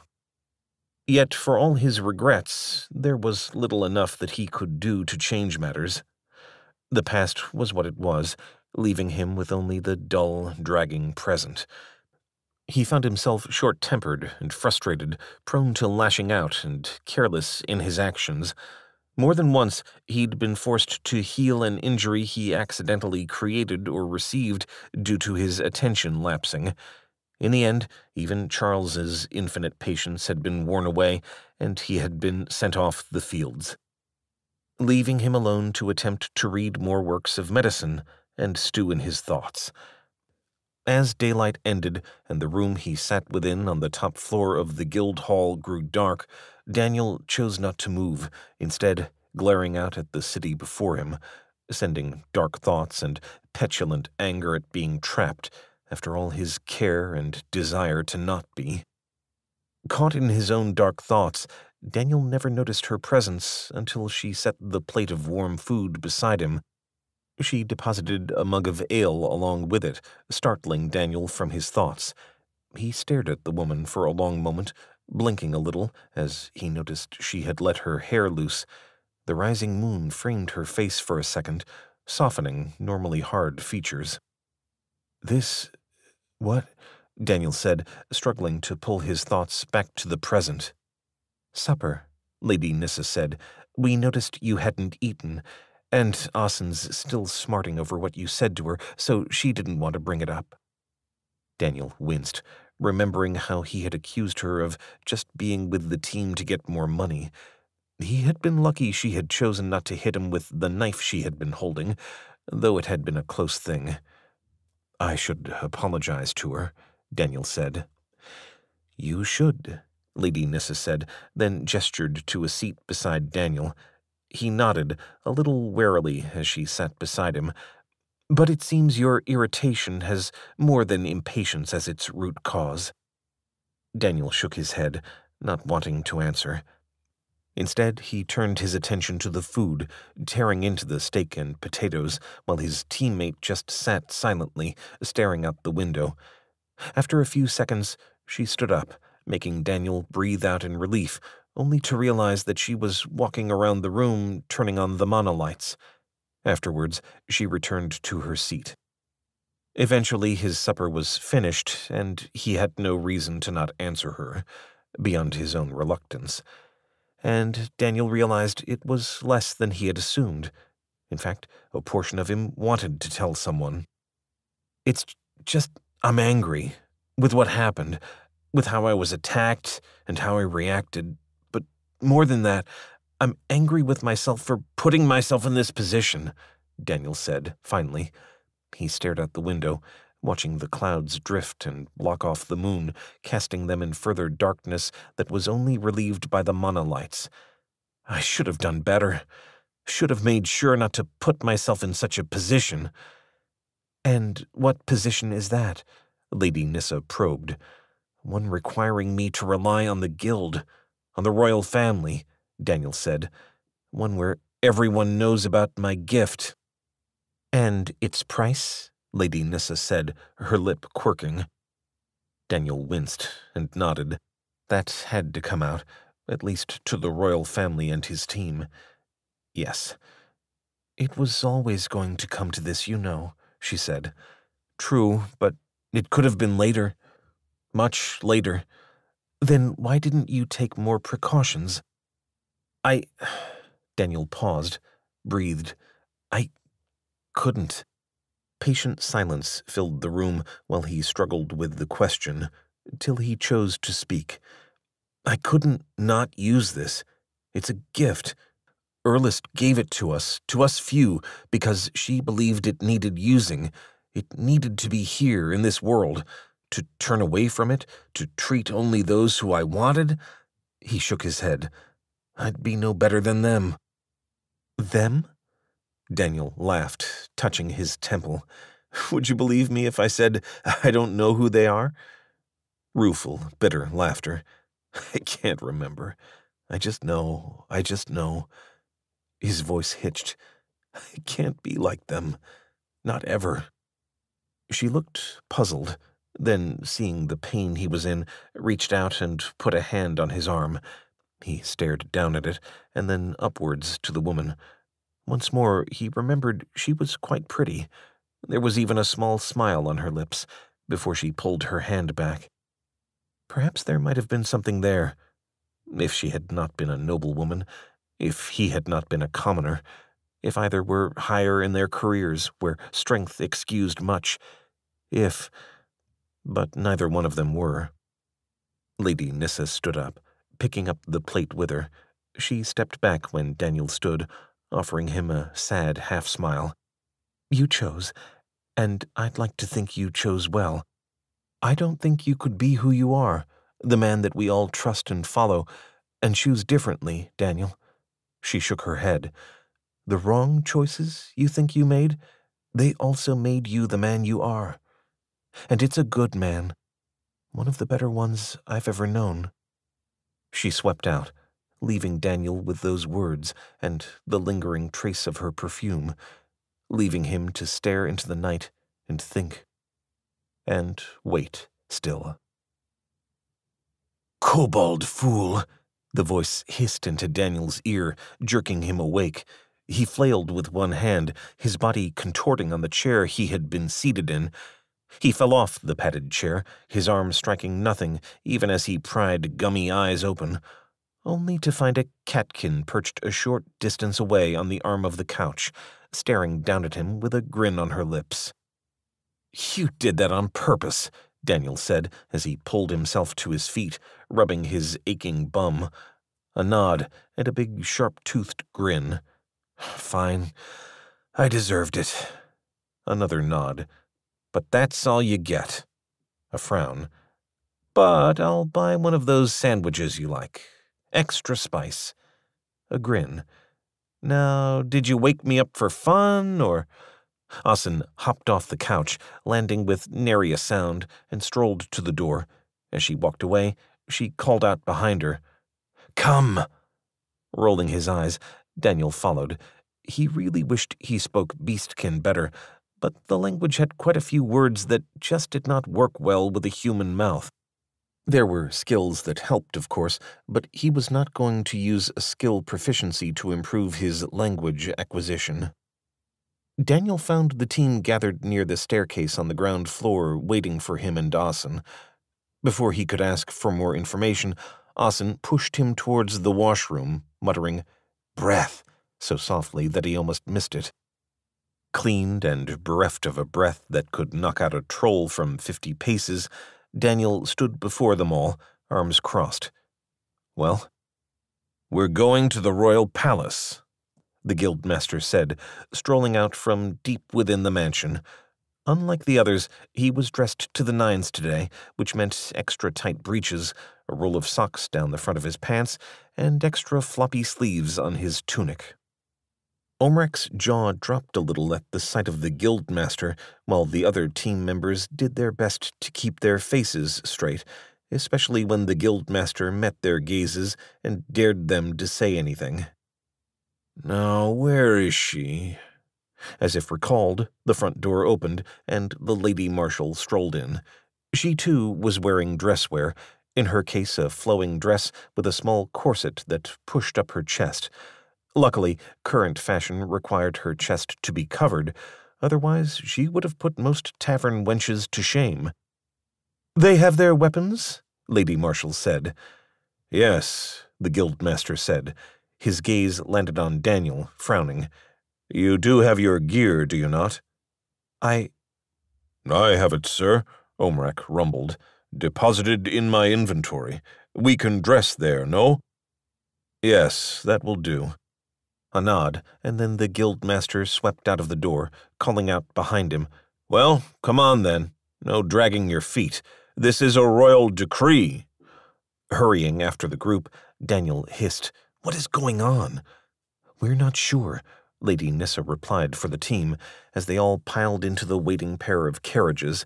We've been told to come to the palace, and that is all. Groaning, Daniel sat within and stared down at his clothing. He had not washed, nor had he changed. Somehow, turning up to the palace in dirty clothing seemed like a bad idea, one that he raised, for which Charles had a solution. A simple spell, one that the servant had on hand, at least removed the body odor and freshened up his clothing.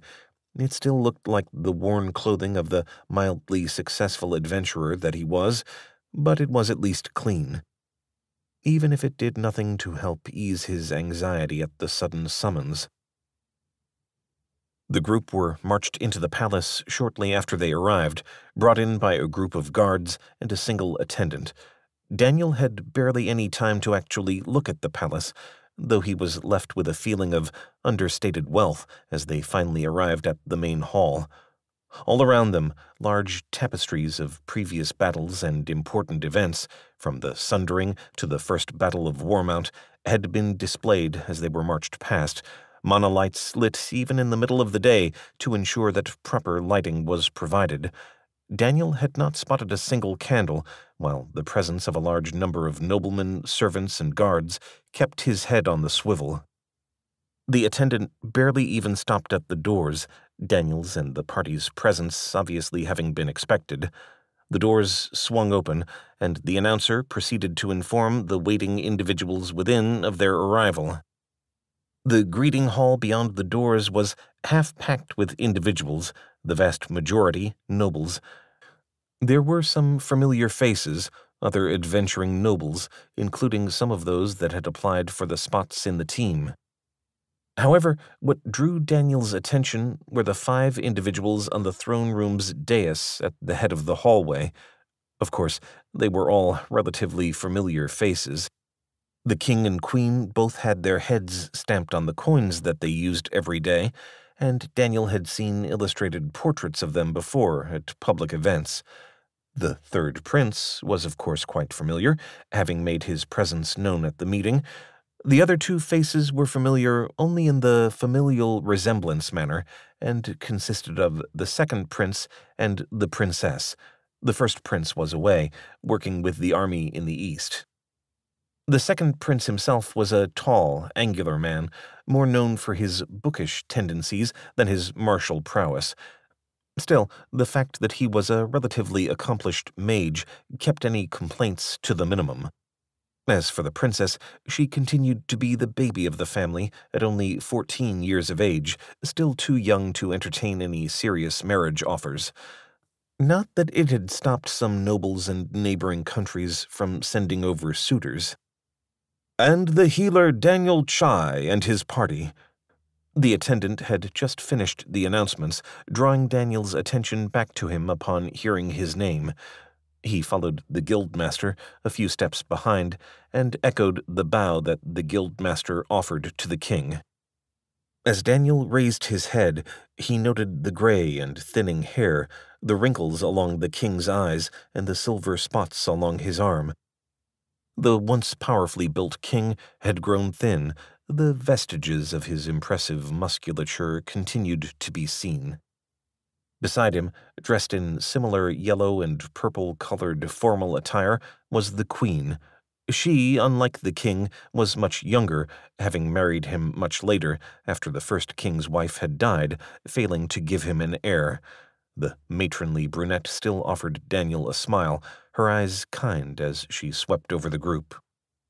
Around Daniel, he could hear the harsh murmurs of the crowd, the angry and annoyed conversations as they took offense at the presence of Asen. It did not escape Daniel's eyes that this was a very human court, not a single other beastkin being present. So, this is the gifted healer that has caused us so much trouble, the king's gaze swept over Daniel, and he found himself unconsciously straightening his back. The imperial aura held by King Lassiter was a powerful skill that included the entirety of the land, but it was most prominent in this room. He's shorter than I expected, and brawnier.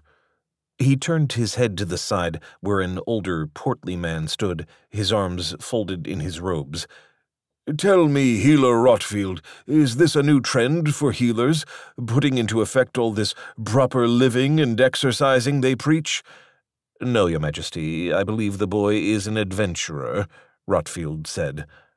I've seen healer adventurers. None of them are so wide, King Lassiter said. Hush, husband. A hand came to rest on his arm, the queen inclining her head to where Daniel had flushed a little at being so openly discussed in public. You've embarrassed the poor boy. You know he was a miner before. Yes, a miner and then an adventurer, while being gifted with a healing ability that puts even our court healer to shame. A long, elongated pause as the king leaned forwards. Or so it's rumored. Not a rumor, Your Majesty, Guildmaster Ronson said. Adventurer Chai has proven that multiple times at our guild hall and at other locations. For me, for example, the champion Aranin said. Daniel and most of the audience started, turning to stare at the champion, who somehow seemed to have faded into the background. That was a surprise, considering the champion was a six-foot-plus scion of a man, clad in full plate armor. Yet, having stood in the back quietly till now, everyone had ignored him. Daniel peered over, and though the man was a little too far away for him to see, he knew that a faded scar lay on the champion's left cheek. Yes, I recall that particular note, King Lassiter said, gesturing for the champion to come forward. You even said that he'd fixed that persistent ache in your foot, that even Rotfield was unable to do anything about. As I've mentioned before, Your Majesty, old, old injuries are the hardest to heal and require either re-injuring the location, which is not advised with non-critical injuries, or a powerful spell which would take you many hours if not days to recover from, King Lassiter parroted. I remember. But this young boy, with his gift, could do so. Yes, he can. The gifted can always do more than those of us can, except in the most extreme cases. That is, after all, what the gift is about, Rotfield said, his voice cool. Well, I'd love to see that, then, Lassiter said. That? Guildmaster Ronson said. The healer's gift. I believe my wife has mentioned that she has had some persistent problems since the birth of, well, Eyes twinkling, the old man moved away from the fan that his wife had found, striking him in his arm. Uh, that's not required. I'm sure he can locate the problem and fix it. Rotfield's eyes narrowed. Your Majesty, as your healer, I must caution you on this. I hear you, Rotfield, King Lassiter said, cutting the man off, but I trust Guildmaster Ronson and Champion Aranin. Now come, Guildmaster. Of course. Ronson turned to Daniel, raising an eyebrow only for Aranin to speak up again. My liege, there is one other side of the coin for our extraordinary gifts, he said. The price, yes, we will discuss that, but first, let us see this gift. The king gestured again. Daniel felt the weight of the attention of the entire court shifting to him, and he gulped. He took a step, finding his legs hard to move under all that attention. Yet he forced himself to keep walking, ascending the dais where the queen and the king sat. As he neared, the prince actually moved closer, almost standing beside his mother and Daniel. He said nothing, but the look he gave Daniel reminded the adventurer of the stakes he was playing at. I need to touch you, Your Majesty, Daniel said, bowing a little. Is my hand sufficient? the queen asked, holding it up. Yes. Daniel hesitated before forcing himself to take her hand, finding it extremely soft. He held it for a second, his body tensing as he reached within himself. His gift, as always, was within easy reach. This might take a second. There should not be much pain, but if there is, let me know. Of course. Daniel exhaled and delved into her body. For a woman of her age, one that had given birth to four children, she was in very good shape. In fact, there was very little wrong with her, at least not on a major level. Then again, Daniel would not expect anything else. He sent his mind in, further and further, reaching with his gift. There were minor issues, a bunion there, a small cluster of cells that he felt was wrong, aggressive, He killed that with his gift with nary a thought. Then he crossed across her organs, finding her heart, her liver, her kidney. The kidneys weren't as strong as they could be, but he could work with that. A little bit of a push, a little prod. But lower down, lower, that was where Daniel felt it. He could tell the birth had been hard, not life-threatening, but damaging enough that the effects of torn labia and weakened muscles had persisted. If he had more details, perhaps he could have pulled together a more complete picture, but it almost felt like the multiple births and the healing spells used afterwards, or even during a birth, had exacerbated the problem. This, Daniel trailed off, shaking his head. I'll need to fix it by breaking it down, Daniel said. It'll hurt a little. He paused, feeling as memories slipped away. He only had a glimpse of them, a brief fraction of a second to see what they were like. A midnight kiss, a combination strike with shield and mace, entering an outhouse. Understood. Do what you have to, adventurer. Her voice was soft, commanding. Daniel took a breath, then let it out as he delved within. Muscles had to be broken down, old scar tissue torn apart and rebuilt, capillaries and blood vessels stitched together again, tendons reinforced. He dove into his healing, even as he felt his memories, his very being, escape with each moment. Daniel could have made it go faster, rushed the process. With anyone else, he would have. It would have meant fewer memories lost, but in turn the Queen would have felt more pain. He chose not to, a part of him knowing that he was being watched. He healed her, speeding the process along as fast as he could, and then, slowly, pulled away. He dropped her hand, feeling a wave of exhaustion strike him before he steadied himself. Memories, the edge of what he lost, raced through his mind. The taste of breakfast just the other week, the feel of a mandible crushing his leg, shattering bone. Laughter, as a night of carousing with Asen and Omrak left. His gift took its price and left Daniel diminished. And, my dear? King Lassiter asked. The queen tapped her chin with a single finger as Daniel was gently ushered down the dais. Her second son watched the proceedings silently, lips pursed, while the third son flashed Daniel an encouraging grin, which he returned warily. I feel no major differences, mm, some minor changes, but, she shrugged. May I, your majesties? Rotfield strode over at their nod, touching her shoulder and casting a spell. He reviewed her status, reading the information, and then, frowning, cast another spell. And another. Healer Rotfield, King Lassiter said, his voice growing concerned.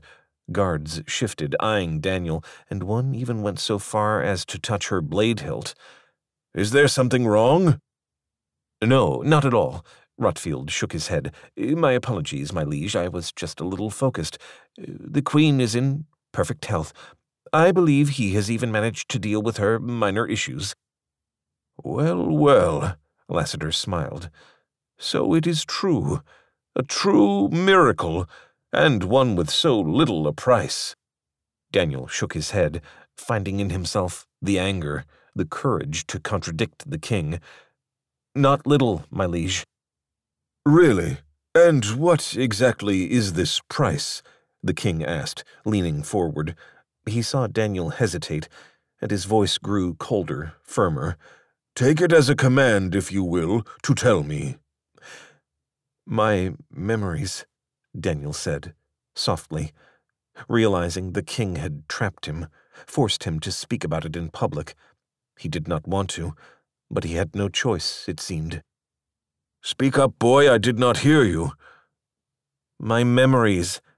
Daniel's voice grew louder, firmer. The royal hall grew quiet at that point, before conversation broke out. Daniel caught a few snippets of conversation, his face flushing with both anger and embarrassment. Memories? What kind of price is that?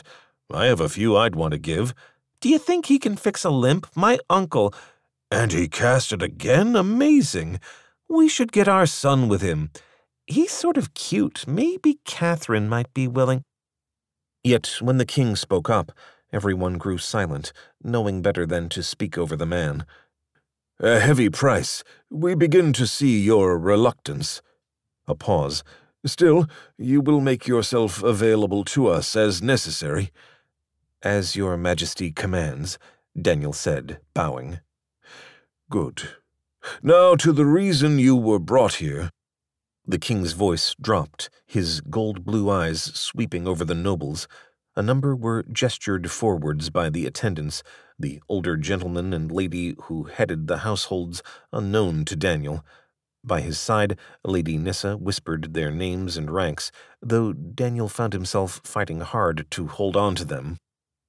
For one thing, that anger at being mocked, at his secret being revealed, combined with the sight of his tormentors, the young men who had insisted on joining his group.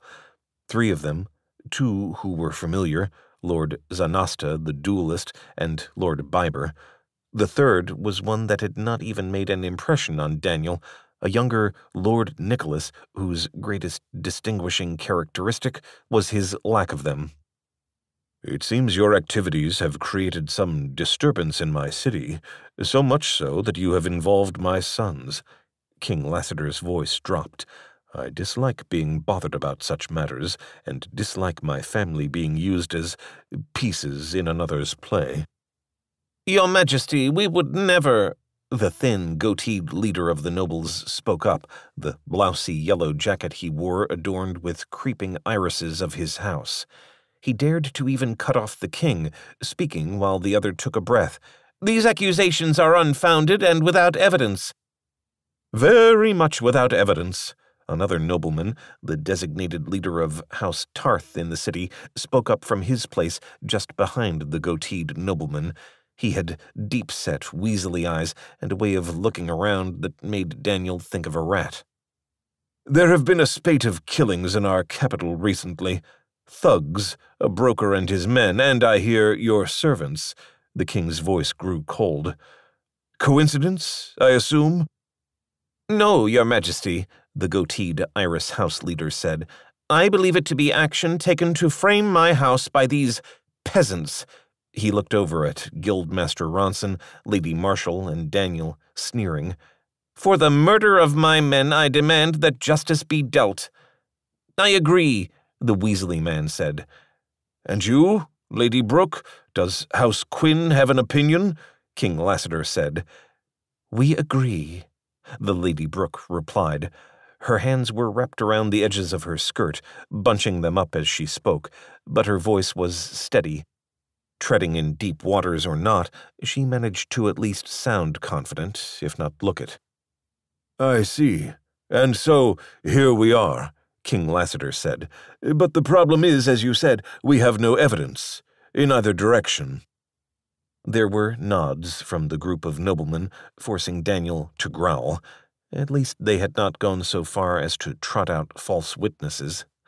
It would have been difficult anyway, what with truth stones and peacekeepers able to discern the truth. It might be viable to conduct such fraud in other cities, but the king had access to significantly more resources than a local magistrate. No, Your Majesty, I'm sure some of those killed were their accomplices. Again, the Iris househead sneered. Daniel gritted his teeth, his anger threatening to erupt. The king swept his gaze over Daniel, noting his reactions and those of his party, who were just as incensed, before his lips twisted into a wry smile. It seems we are at an impasse. Perhaps, but I have a recommendation, the Weasley man said, his voice oozing charm and slime. At the king's gesture, he continued, I suggest we resolve this traditionally. Trial by combat between our noble houses and the Three Stones Guild. After all, I do not think the healer would take such action. I see, Lord Barber, and you have of course thought of what you will get if you win. We only desire some minor things. Removal of the healer from the Seven Stones Guild. They are obviously a bad influence. We'll make sure to ensure he and the prince are properly managed. Lord Barber said, touching his chest. Access to his gift, of course, for the damage caused to our reputation. Is that all? Daniel said, unable to stop himself from speaking. Dismissing my party and working for you for free? Quiet. Even a lowly peasant like you should know better than to interrupt their king, Lord Barber snapped. And you should learn to speak properly to the gifted, the champion rumbled, hand on the hilt of his sword. He is no simple peasant, and you would be wise to remember that. Lord Barber turned, a sneer on his lips that he smoothed out after a second. Of course, I misspoke, though the healer should know better. Daniel moved to speak further, only to be silenced as Lady Marshall touched his arm. When he looked at her, she shook her head, while Guildmaster Ronson requested to speak. Receiving the king's agreement, he spoke up. We categorically deny any wrongdoing in this matter, but we do agree that a trial by combat is the simplest method to deal with this issue. However, I note that this is very one-sided in penalties, when the Seven Stones Guild wins, compensation for besmirching our name and for the attacks will be required. Just like a merchant always looking for money, the Iris House leader said. He waved a dismissive hand. House Iris will cover whatever coin or good penalties that might arise as judged by your majesty in the event we lose. Well, that seems simple enough. King Lassiter said, smiling as he leaned forwards. A trial by combat to settle matters. He paused, his gaze sweeping over the group, House Iris and Tarth already gesturing towards their own men to come forward to act as champions. But since this entire situation started with the healer and his party and your sons, they will be the participants in this duel, none other. Your Majesty, Protests rang out, but the king gestured, cutting them off. I have spoken. Captain of the Guard, make ready our training grounds. We shall see this matter settled. Today. Chapter 16 To Daniel's disgust, they were led away through the palace to a sprawling, highly equipped sparring grounds. The space itself was triple the size of the training grounds the Seven Stones Guild had in Silverstone and could easily rival the size of the Adventurers Guild's own training center. Except, unlike the Adventurers Guild's training center, which was packed with adventurers at all hours of the day, this particular training ground was empty, bereft of individuals.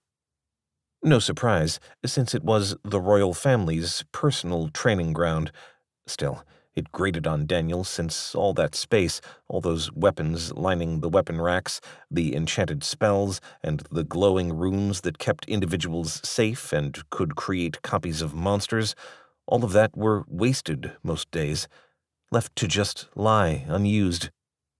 Now, seeing that there are four of you adventurers, but only three challengers, one of you will have to choose to step aside, the king said. He smirked a little, gaze flicking over the group before he continued. The nobles stirred, some moving to object while the king spoke up. There is no fear about death here. The royal healer and, of course, adventurer Chai are both here to heal any injuries, while the enchantments in our training grounds will protect against any immediately fatal blows. Unless, of course, you don't believe the enchantments we have are adequate. Of course, all the nobles and attendants were quick to assure the king that the royal enchantments which protected the royal family were more than sufficient. Nodding along, King Lassiter cut them off once he was satisfied. Then there are no objections, are there? The last was a rhetorical question, obviously. However, to everyone's surprise, there was a response. It came from Lord Biber, his voice dripping with scorn. Only that we are being forced to fight such creatures, that our word as noblemen is weighted to the same extent as these peasants. Now you are correct, the king said. You are my nobles, the individuals most trusted in my reign. It should be impossible for you to lie, but this is a trial of combat, and the speaker gifted. It will be overseen by Erlist herself. Still, I can perceive your concerns. I understand them. So I will rule this. The adventurers will have to win all the fights for this their accusations to hold. But if they succeed, I will strip every noble son who stands on the field of combat of their rights as nobles. Your parents will have to find a new heir. Lord Biber's jaw dropped open, even as Lord Barber, standing next to the boy, winced. Unfortunately, there was nothing he could do, for the king had spoken. And as his gaze trekked over to Daniel's group, he could see that they too were unhappy with the pronouncement. Now I think I should leave you all to begin your preparations. In fifteen minutes, send out the first of your combatants. King Lassiter finished speaking and then strolled away, heading for the pair of chairs that had been hastily set aside for him and his wife. The other members of the royal family were also found smaller, less elaborate chairs to sit upon and spectate the upcoming fight. Everyone else was forced to stand. Quickly enough, attendants drew Daniel and his team aside. Guildmaster Ronson followed along with them, casually eyeballing the nobles who were headed to their own corner of the training area. Even now, Ronson noticed how Lord Biber was berating the team, obviously less than impressed with the results of the king's choice. Then again, he was the main heir to the House of Biber, and as such had the most to lose. As for the small, slight boy who was all too average, he slunk along behind in silence. In short order, the entire group were assured of two changes to their equipment. The adventurers had all carried their gear under his instructions, and so was only a matter of being dressed.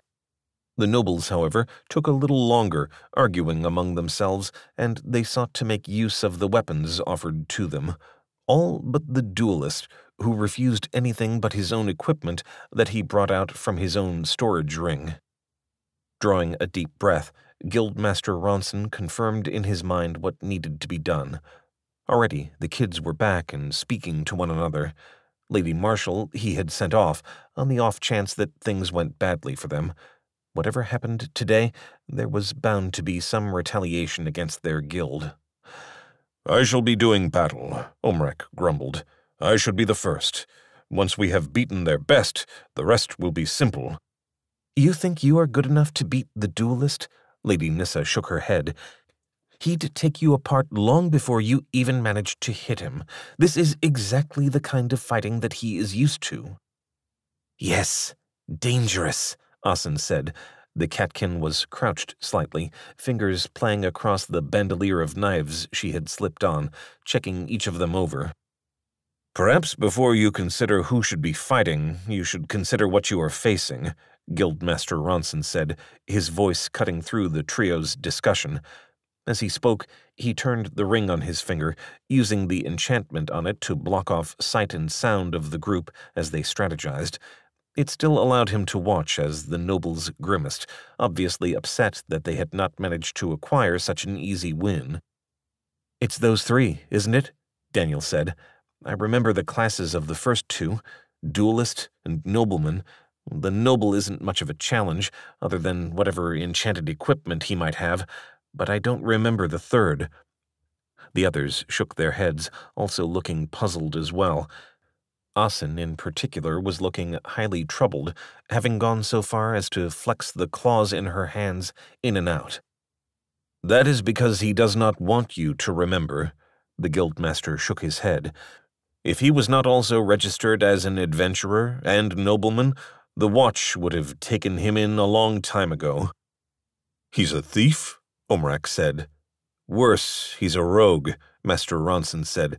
At least, that's what his papers say officially. I have my doubts. You think he's an assassin, Lady Nissa said. Her voice held a little bit of fear in it, and she glanced at the utterly average man and his parents. Assassins? Daniel frowned. Aren't they just children's stories? I mean, you can hire a classed up rogue to kill someone, but as a class? It doesn't seem very useful. I mean, anyone who just inspected him would know. Lesser class abilities include the ability to hide such information, Guildmaster Ronson said. But it is all speculation. At the very least, he's fast, able to hide himself and make you forget about him. He might carry a sword like the others, but you'll notice it's a little shorter than normal. I don't think that's even his primary weapon. Your only advantage against him is that this is not his arena. Duelist, Asen said. Yes, exactly. This is a duelist arena. And in that sense, you are all at a disadvantage. Not only can you not use your teamwork in these individual bouts, but the duelist is much stronger, and you must win all three fights. Ronson shook his head. You have to win. You understand that. The group nodded grimly before Ronson gestured at all of them. Now, if you listen to me, I have a suggestion about who you should send out, and the order. Finding themselves unexpectedly faced with an extremely serious guildmaster, the group hastily agreed, even as they noted how little time they had to choose. Guidance, in this case, was the best option. Her? There was a rumble of surprise that swept through the crowd as the first member of Daniel's party stepped forward. Rather than the large northerner that most had expected, it was the mage who approached the dueling ring. Opposing her was the duelist, his hand on the hilt of his sword. His eyes tracked Lady Nissa as she walked over, eyes narrowed in consideration. A bold choice, Lord Zanasta said, lips pursed. It was obvious that they had chosen to win the entire challenge quickly by sending out their best fighter. Lady Nissa chose not to answer the statement, instead taking her spot a short distance away at the starting positions marked on the floor. Lord Zanasta drew his weapon, lowering his center of gravity, his sword held low but pointed towards Lady Nissa. Daniel knew that particular stance, since it was a common starting form, Highly offensive, the low point still allowed the attacker to transition to numerous guards, allowing the point to target any number of locations. Fist clenched tight, Daniel could only stand and watch from the sidelines as the mage got ready. In many ways, the environment of the arena put the mage at a significant disadvantage, her spells required casting time, but the limited size of the arena meant she had to start close to her opponent. Without a front line to block her attacker, she had little enough time to prepare her spells, and by the rules of the duel, she could not even pre-cast the spells. It was because of all that the other team and Lord Zanasta were surprised by her presence. Of course, everyone knew she was a mage and a noble, thus having some form of enchanted protection. Given enough time, she could likely turn the battle around, but it was for that reason that the duelist was ready to charge her. The referee, the royal family's personal master at arms, stood between the pair and off to the side, a long staff in hand. He raised it high and then dropped it, using his voice at the same time to signal the start of the duel. Lord Zanasta blurred, crossing the ground between the pair in three hasty steps. Flicker movement was a duelist skill and one he was well known for, allowing a duelist to cross the space between himself and his opponent in a flash. The action allowed him to strike first almost every time and to ensure he did not miss. Daniel noted the swirl of mana that formed around the tip of his weapon, another duelist skill, unerring strike, activating. Combined, it was a deadly combination. Not impossible to beat, though. Flawless parry or shield block were common counters to unerring strike, so long as the melee fighter was able to react in time. The combination was so common among beginning duelers that few at Lord Zanasta's level would even consider using it, since it spent so many skills and stamina immediately. However, Lord Zanasta was not facing a melee fighter, he was dueling a mage, and it was thus no surprise that he managed to cross the ground and land his attack without opposition. Lady Nissa even flinched backwards, a foot rising, as she attempted to pivot away even as her lips worked, starting the chant for her spell. The crack of the unerring strike, hammering into an enchanted shield, echoed through the training grounds, bringing with it gasps from the audience. More than a few eyes noted the flaring of power on the adventurer's necklace as it expanded its shielding charge to cover her inadequate defense. Eyes dancing with amusement, Lord Zanasta did not let up. He activated his third skill of the day, duplicate attack, immediately, his hand thrusting forward with the same strength and speed as his first attack. He managed to shift the second attack slightly, even as Lady Nissa kept spinning, borrowing some of the impetus of his first attack. Then, to his surprise and the audience, his second attack landed. The blade aimed at her shoulder had been forcibly shifted off course a little by the spin, the skill allowing him to borrow strength and speed, but not accuracy. Still, it skewered the mage through her body, even as she completed her own attack. Leg raised, instead of being used to step aside, it was used to kick outwards. It caught the duelist in his ribs, pushing him and cracking a rib, surprising the man as much for the kind of attack as the sacrifice she had made. Then, foot falling back to the ground, never having stopped weaving her spell, the mage raised her hand. Again, Lord Zanasta darted forward, but this time he was too late. Injured or not, the mage, a battle mage in truth, had managed to complete her spell, and while the duelist might have managed to dodge or dance aside from any other attack, utilizing his skills to avoid most attacks, the shrieking orb that Lady Nissa unleashed struck the entirety of the arena. Outside, the buzz of her attack was just a low-edged hum to Daniel's ears, the enchantments around the dueling ring were sufficient to dampen the attack. Within, though, Lord Zanasta staggered backwards, bones and skull shook, ears burst, and balance robbed of him. It was testament to the enchantments he too carried that he had not fallen immediately, receiving the full brunt of the mage's channeled attack. Even injured, the duelist pushed forwards, but the mage was easily able to escape his staggering pursuit. In short order, the battle was over, the outcome no longer in contention. Only when the shielding around the arena had dropped did Daniel rush forwards to his friend, only to be beat to the healing by the royal healer. Daniel shot him a grateful glance, only to find healer Rotfield giving him a smirking smile. As the pair walked back to the group, Guildmaster Ronson was standing by them all, gloating. Told you the damned duelist would fall for it. They always think in terms of points, but we're adventurers. We can fight through pain if we have to. A big hand came up and clapped down on Lady Nissa's shoulder, making her stagger and hiss out in pain. Guildmaster Ronson flashed her an apologetic smile, before the Master of Arms called out, Next fighters! This is unfair, Lord Biber whimpered, sword and shield held before him. He was fully armored in plate mail, visor down, but even then Daniel could see his legs shaking.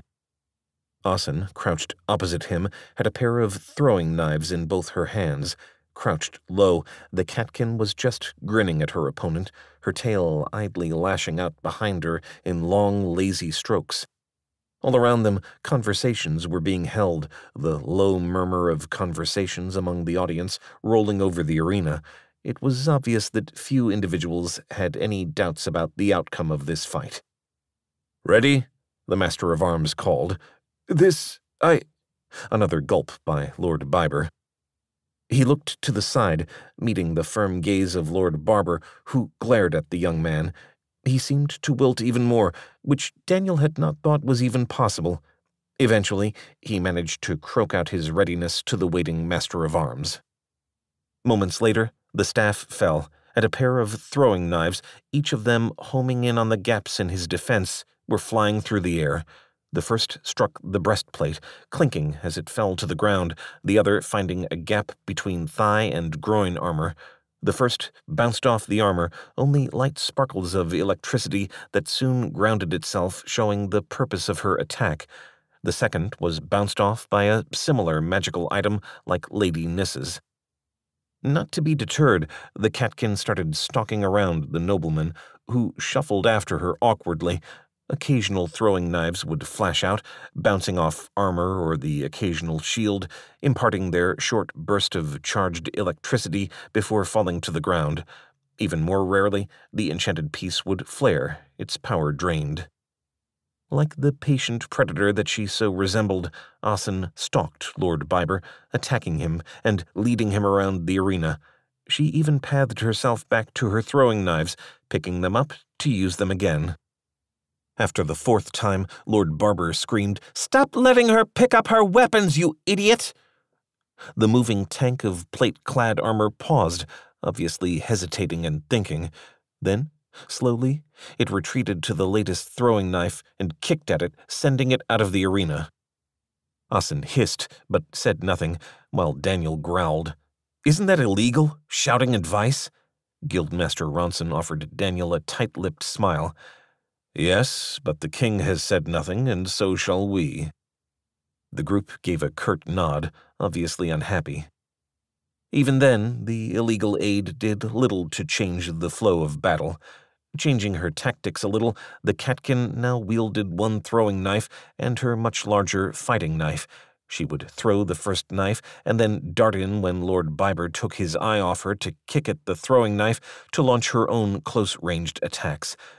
Sliding to the outside of the shield, or sometimes under, she'd lash out with her long bladed knife to score armor and find gaps. All of which were foiled by the heavy plate and the flickering enchantments. Yet the catkin did not despair as she picked at the noble. Each of her attacks, enchanted by her bracers, did a little damage, draining the enchantment.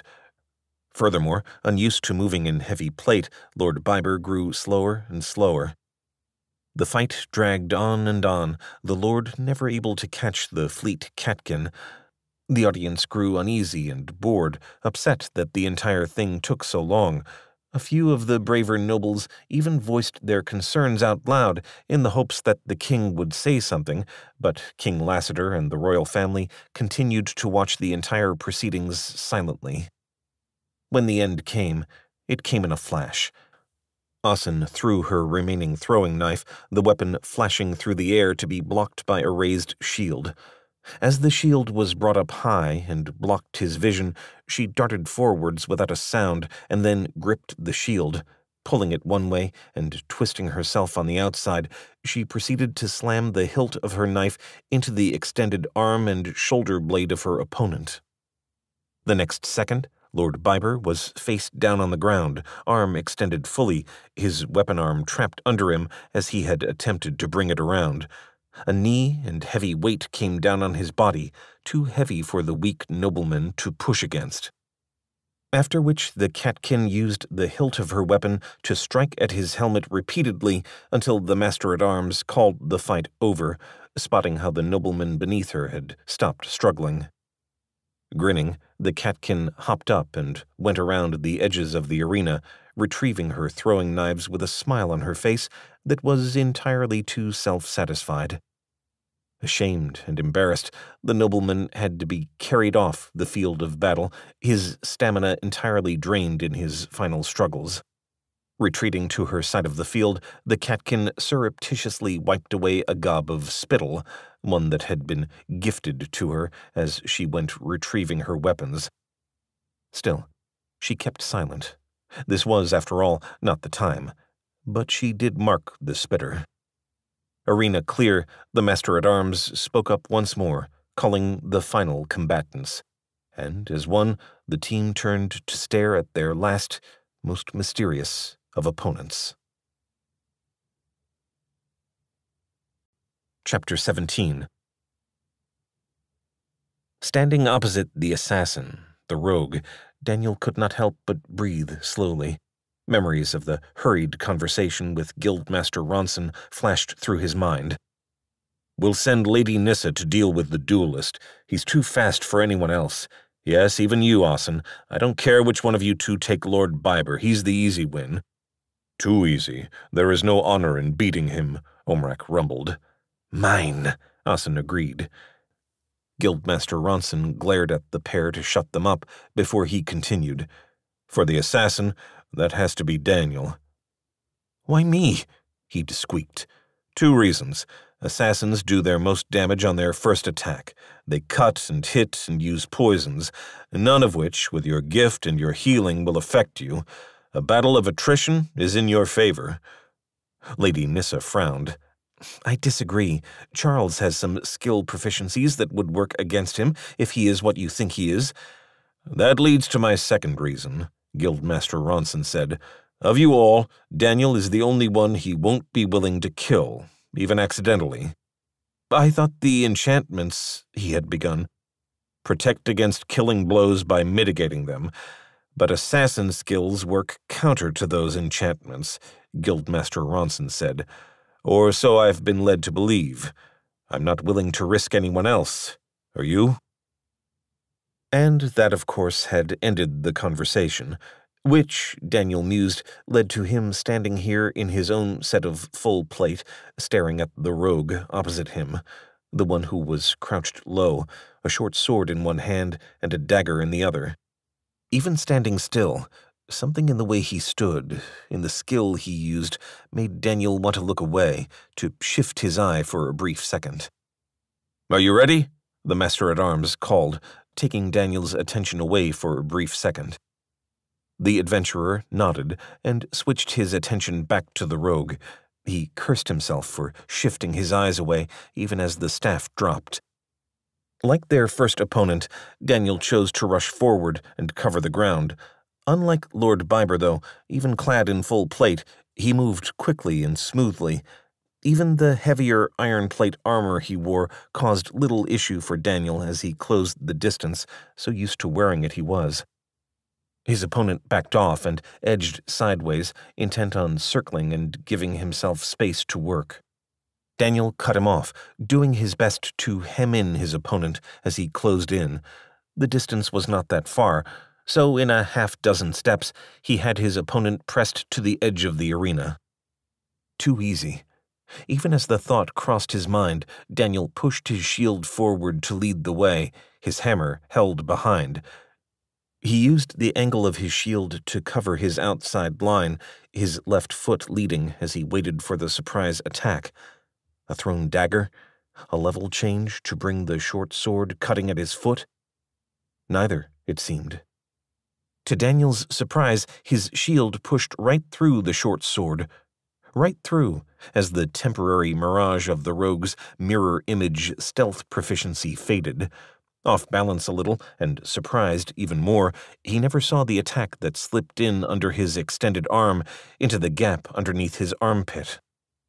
The dagger went upwards, cutting through reinforced cloth and padding into skin and flesh, severing tendons and ligaments. His entire arm dropped, the pain arriving moments later as the dagger slipped out, its job done. Pain, and then a wave of numbness as the poison in the blade took hold. Daniel staggered to the side, waving his hammer to deflect any follow up attacks. There were none, for the rogue had stepped back, a small smile on his face as he waited for his attack to take effect, only to be surprised when Daniel elected to throw his weapon, sending the hammer clipping off his hip as he hastily dodged. Daniel grinned, taking the brief moment to slip into his own body with his gift. With any other individual, he would need a few uninterrupted seconds to fix the issue. Every body, every individual was different, but Daniel knew his own intimately.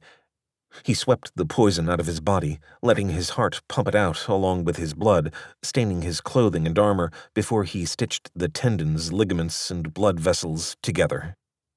His arm barely worked, but it was enough for now, even as he suppressed his own pain response pushing backwards as his opponent came for him. Hunkering in his armor, careful to not give his opponent a major opening, Daniel wove the spell form for Healer's Mark on himself. Do you think your gift is enough? The rogue taunted, his voice lowered so only the pair of them could hear. I have more poisons than you have memories. Give up now. I've killed higher leveled adventurers than you. Daniel said nothing feeling the first wash of the spell roll over him, helping patch together the injury. As a blade clanged off his helmet, throwing his vision off a little, he punched at the arm that attacked him, clipping it a little. Then again, as he took a cut with the sword with his injured arm, he stumped on a foot, catching the edges of their toes. All the while, trying to edge back towards his own hammer, to the weapon he had cast aside to injure and slow his opponent. He might not be as fast, he might not be as strong or subtle as his friends, but Daniel had two things they did not healing magic and a willingness to keep pushing, even through the pain he could not feel. It would just have to do to win this battle. Daniel staggered back, his chest heaving and feeling too tight under the breastplate with each too warm inhalation the stink of sweat and fear of spilled blood filled his nose with every hurried breath, warm blood dripping down one injured leg. His right hand hung limply by his side, the tendons in his elbow severed on the inside while he kept his shield arm high. A flush of warmth, a rumbling hunger ran through the healer again as healer's mark triggered again, stitching wounds together. This was the third cast, and a part of him knew it would end soon. All across the sandy training floor, splattered blood stained the earth. Deep gouge marks and a large depression where Daniel had unleashed Perrin's blow pitted the floor, while his hammer, once picked up and then taken from him, lay outside the circle. Still, he had his shield, he had his skill proficiencies, and he had still a portion of his mana left. When mana would take too long to heal, Daniel had his gift. Across from him, looking nearly as badly worn down as the healer, was the rogue. His right eye was puffed up, bloody and swollen, and impeding his vision out of it. Occasional blood dripped from the open scalp wound, forcing the assassin to blink away the attack. That injury had come from a surprise double strike when Daniel had attempted a shield bash, taking a cut across the hip with the first attack and following up with his skill the second time. That was not the only wound the rogue sported. His left hand barely held on to the dagger, the limb having been repeatedly struck by Daniel's armored and gauntleted arm, the nerves now afire and bruised. He limped around the healer slowly, toes on both feet crushed by repeated stamps. One side was favored. The glancing blow by Perrin's blow had cracked the assassin's ribs. The fight had slowed both parties' endurance having drained over the intervening period. Daniel had lost track of time, the entirety of the fight seeming to have taken hours now, subjectively, but he assumed it was only five or ten minutes. It felt a lot longer, but the constant pain and the application and purging of poisons he had been subjected to was leaving him light-headed. In truth, he should have dropped by now. Blood loss, if nothing else, should have brought him to his knees. Instead, his gift had even replaced that most precious of liquids, and all it had cost him was a soft hand on his face, a kiss, a conversation with his grandfather as they mined together, the faces of his childhood friends as they sorted the rocks searching for missed ore, a desperate battle as imps came flocking up from under a bridge, swarming the group and tearing at them, walking along the road as they journeyed to Warmount. Daniel brought his shield up, his other arm refusing to move properly. It jerked and twisted, but he ignored it as he caught the blade on the edge. It skipped off the top of his shield, striking the edge of his helmet, pushing him back a little. Instinct took over. Push instead of retreat, tucking head and shoulders behind the shield a pressure down near his hip, where the dagger that was coming to stick him glanced off armor, the rogue's own control having suffered as well. Impact, as Daniel pushed forward, caught fingers crushed against his opponent's own shoulder. He reeled back a little and then slammed the boss of his shield into his opponent's face. Once, then again, double strike triggering. The loud crunching sound of nose being smashed, of spitting and teeth, of gurgled cries. Head down. A foot was in sight. Crossing his leg behind it, Daniel hooked it towards himself as he stepped back, pulling his enemy's foot. A sudden loss of support turned into a smooth roll, and Daniel's stumbling pursuit caught up to the rogue as he attempted to stand and failed, broken toes impeding his movements for a second. Long enough for the edge of a shield to come down, cracking on collarbone. It shattered, forcing Dagger to drop and driving his opponent to the ground, face down. Still, the rogue managed to squirm around onto his back just in time to get his sword in the way as Daniel dropped to his knees. A strangled squawk from his opponent beneath him as Daniel's armored knee came onto the tender flesh of the inner thigh. The sword, without much space to swing, rang off his armor. Daniel struck with the edge of his shield again, driving the strike into the edge of his opponent's arm, catching it near the elbow. Fingers spasmed, and the sword fell aside, moments later followed by Daniel as he let his greater weight and his armored form collapse on his opponent, flattening him. Did they both die? The Queen's horrified voice rang out through the arena, cutting through the murmurs of disgust and admiration. Lying on top of his opponent, Daniel just let himself relax rather than attempt to hold his opponent down, his weight and that of the armor was more than sufficient, and beneath him, his opponent was letting out harsh whimpers even as the healer tapped into his own gift to properly fix his remaining arm. Then, knowing that the fight was nearly over, he used the last of his mana to cast Cure Medium Wounds on himself. I do not think so. I think the healer is just resting, and his opponent. The king's voice grew troubled might be unable to speak and give up. Master of Arms? Yes, Your Majesty. Footsteps approached Daniel, even as the Master of Arms spoke. Healer, please indicate you are still able to continue. If you do so, I shall rule this fight over in your favor. There were a few murmured protests from the nobles, but not many. Most understood the likely outcome, and none wanted to see a promising youth die even if the promising youth's skills were less than savory. I can fight, Daniel said, his breathing having calmed a little. Stamina returned.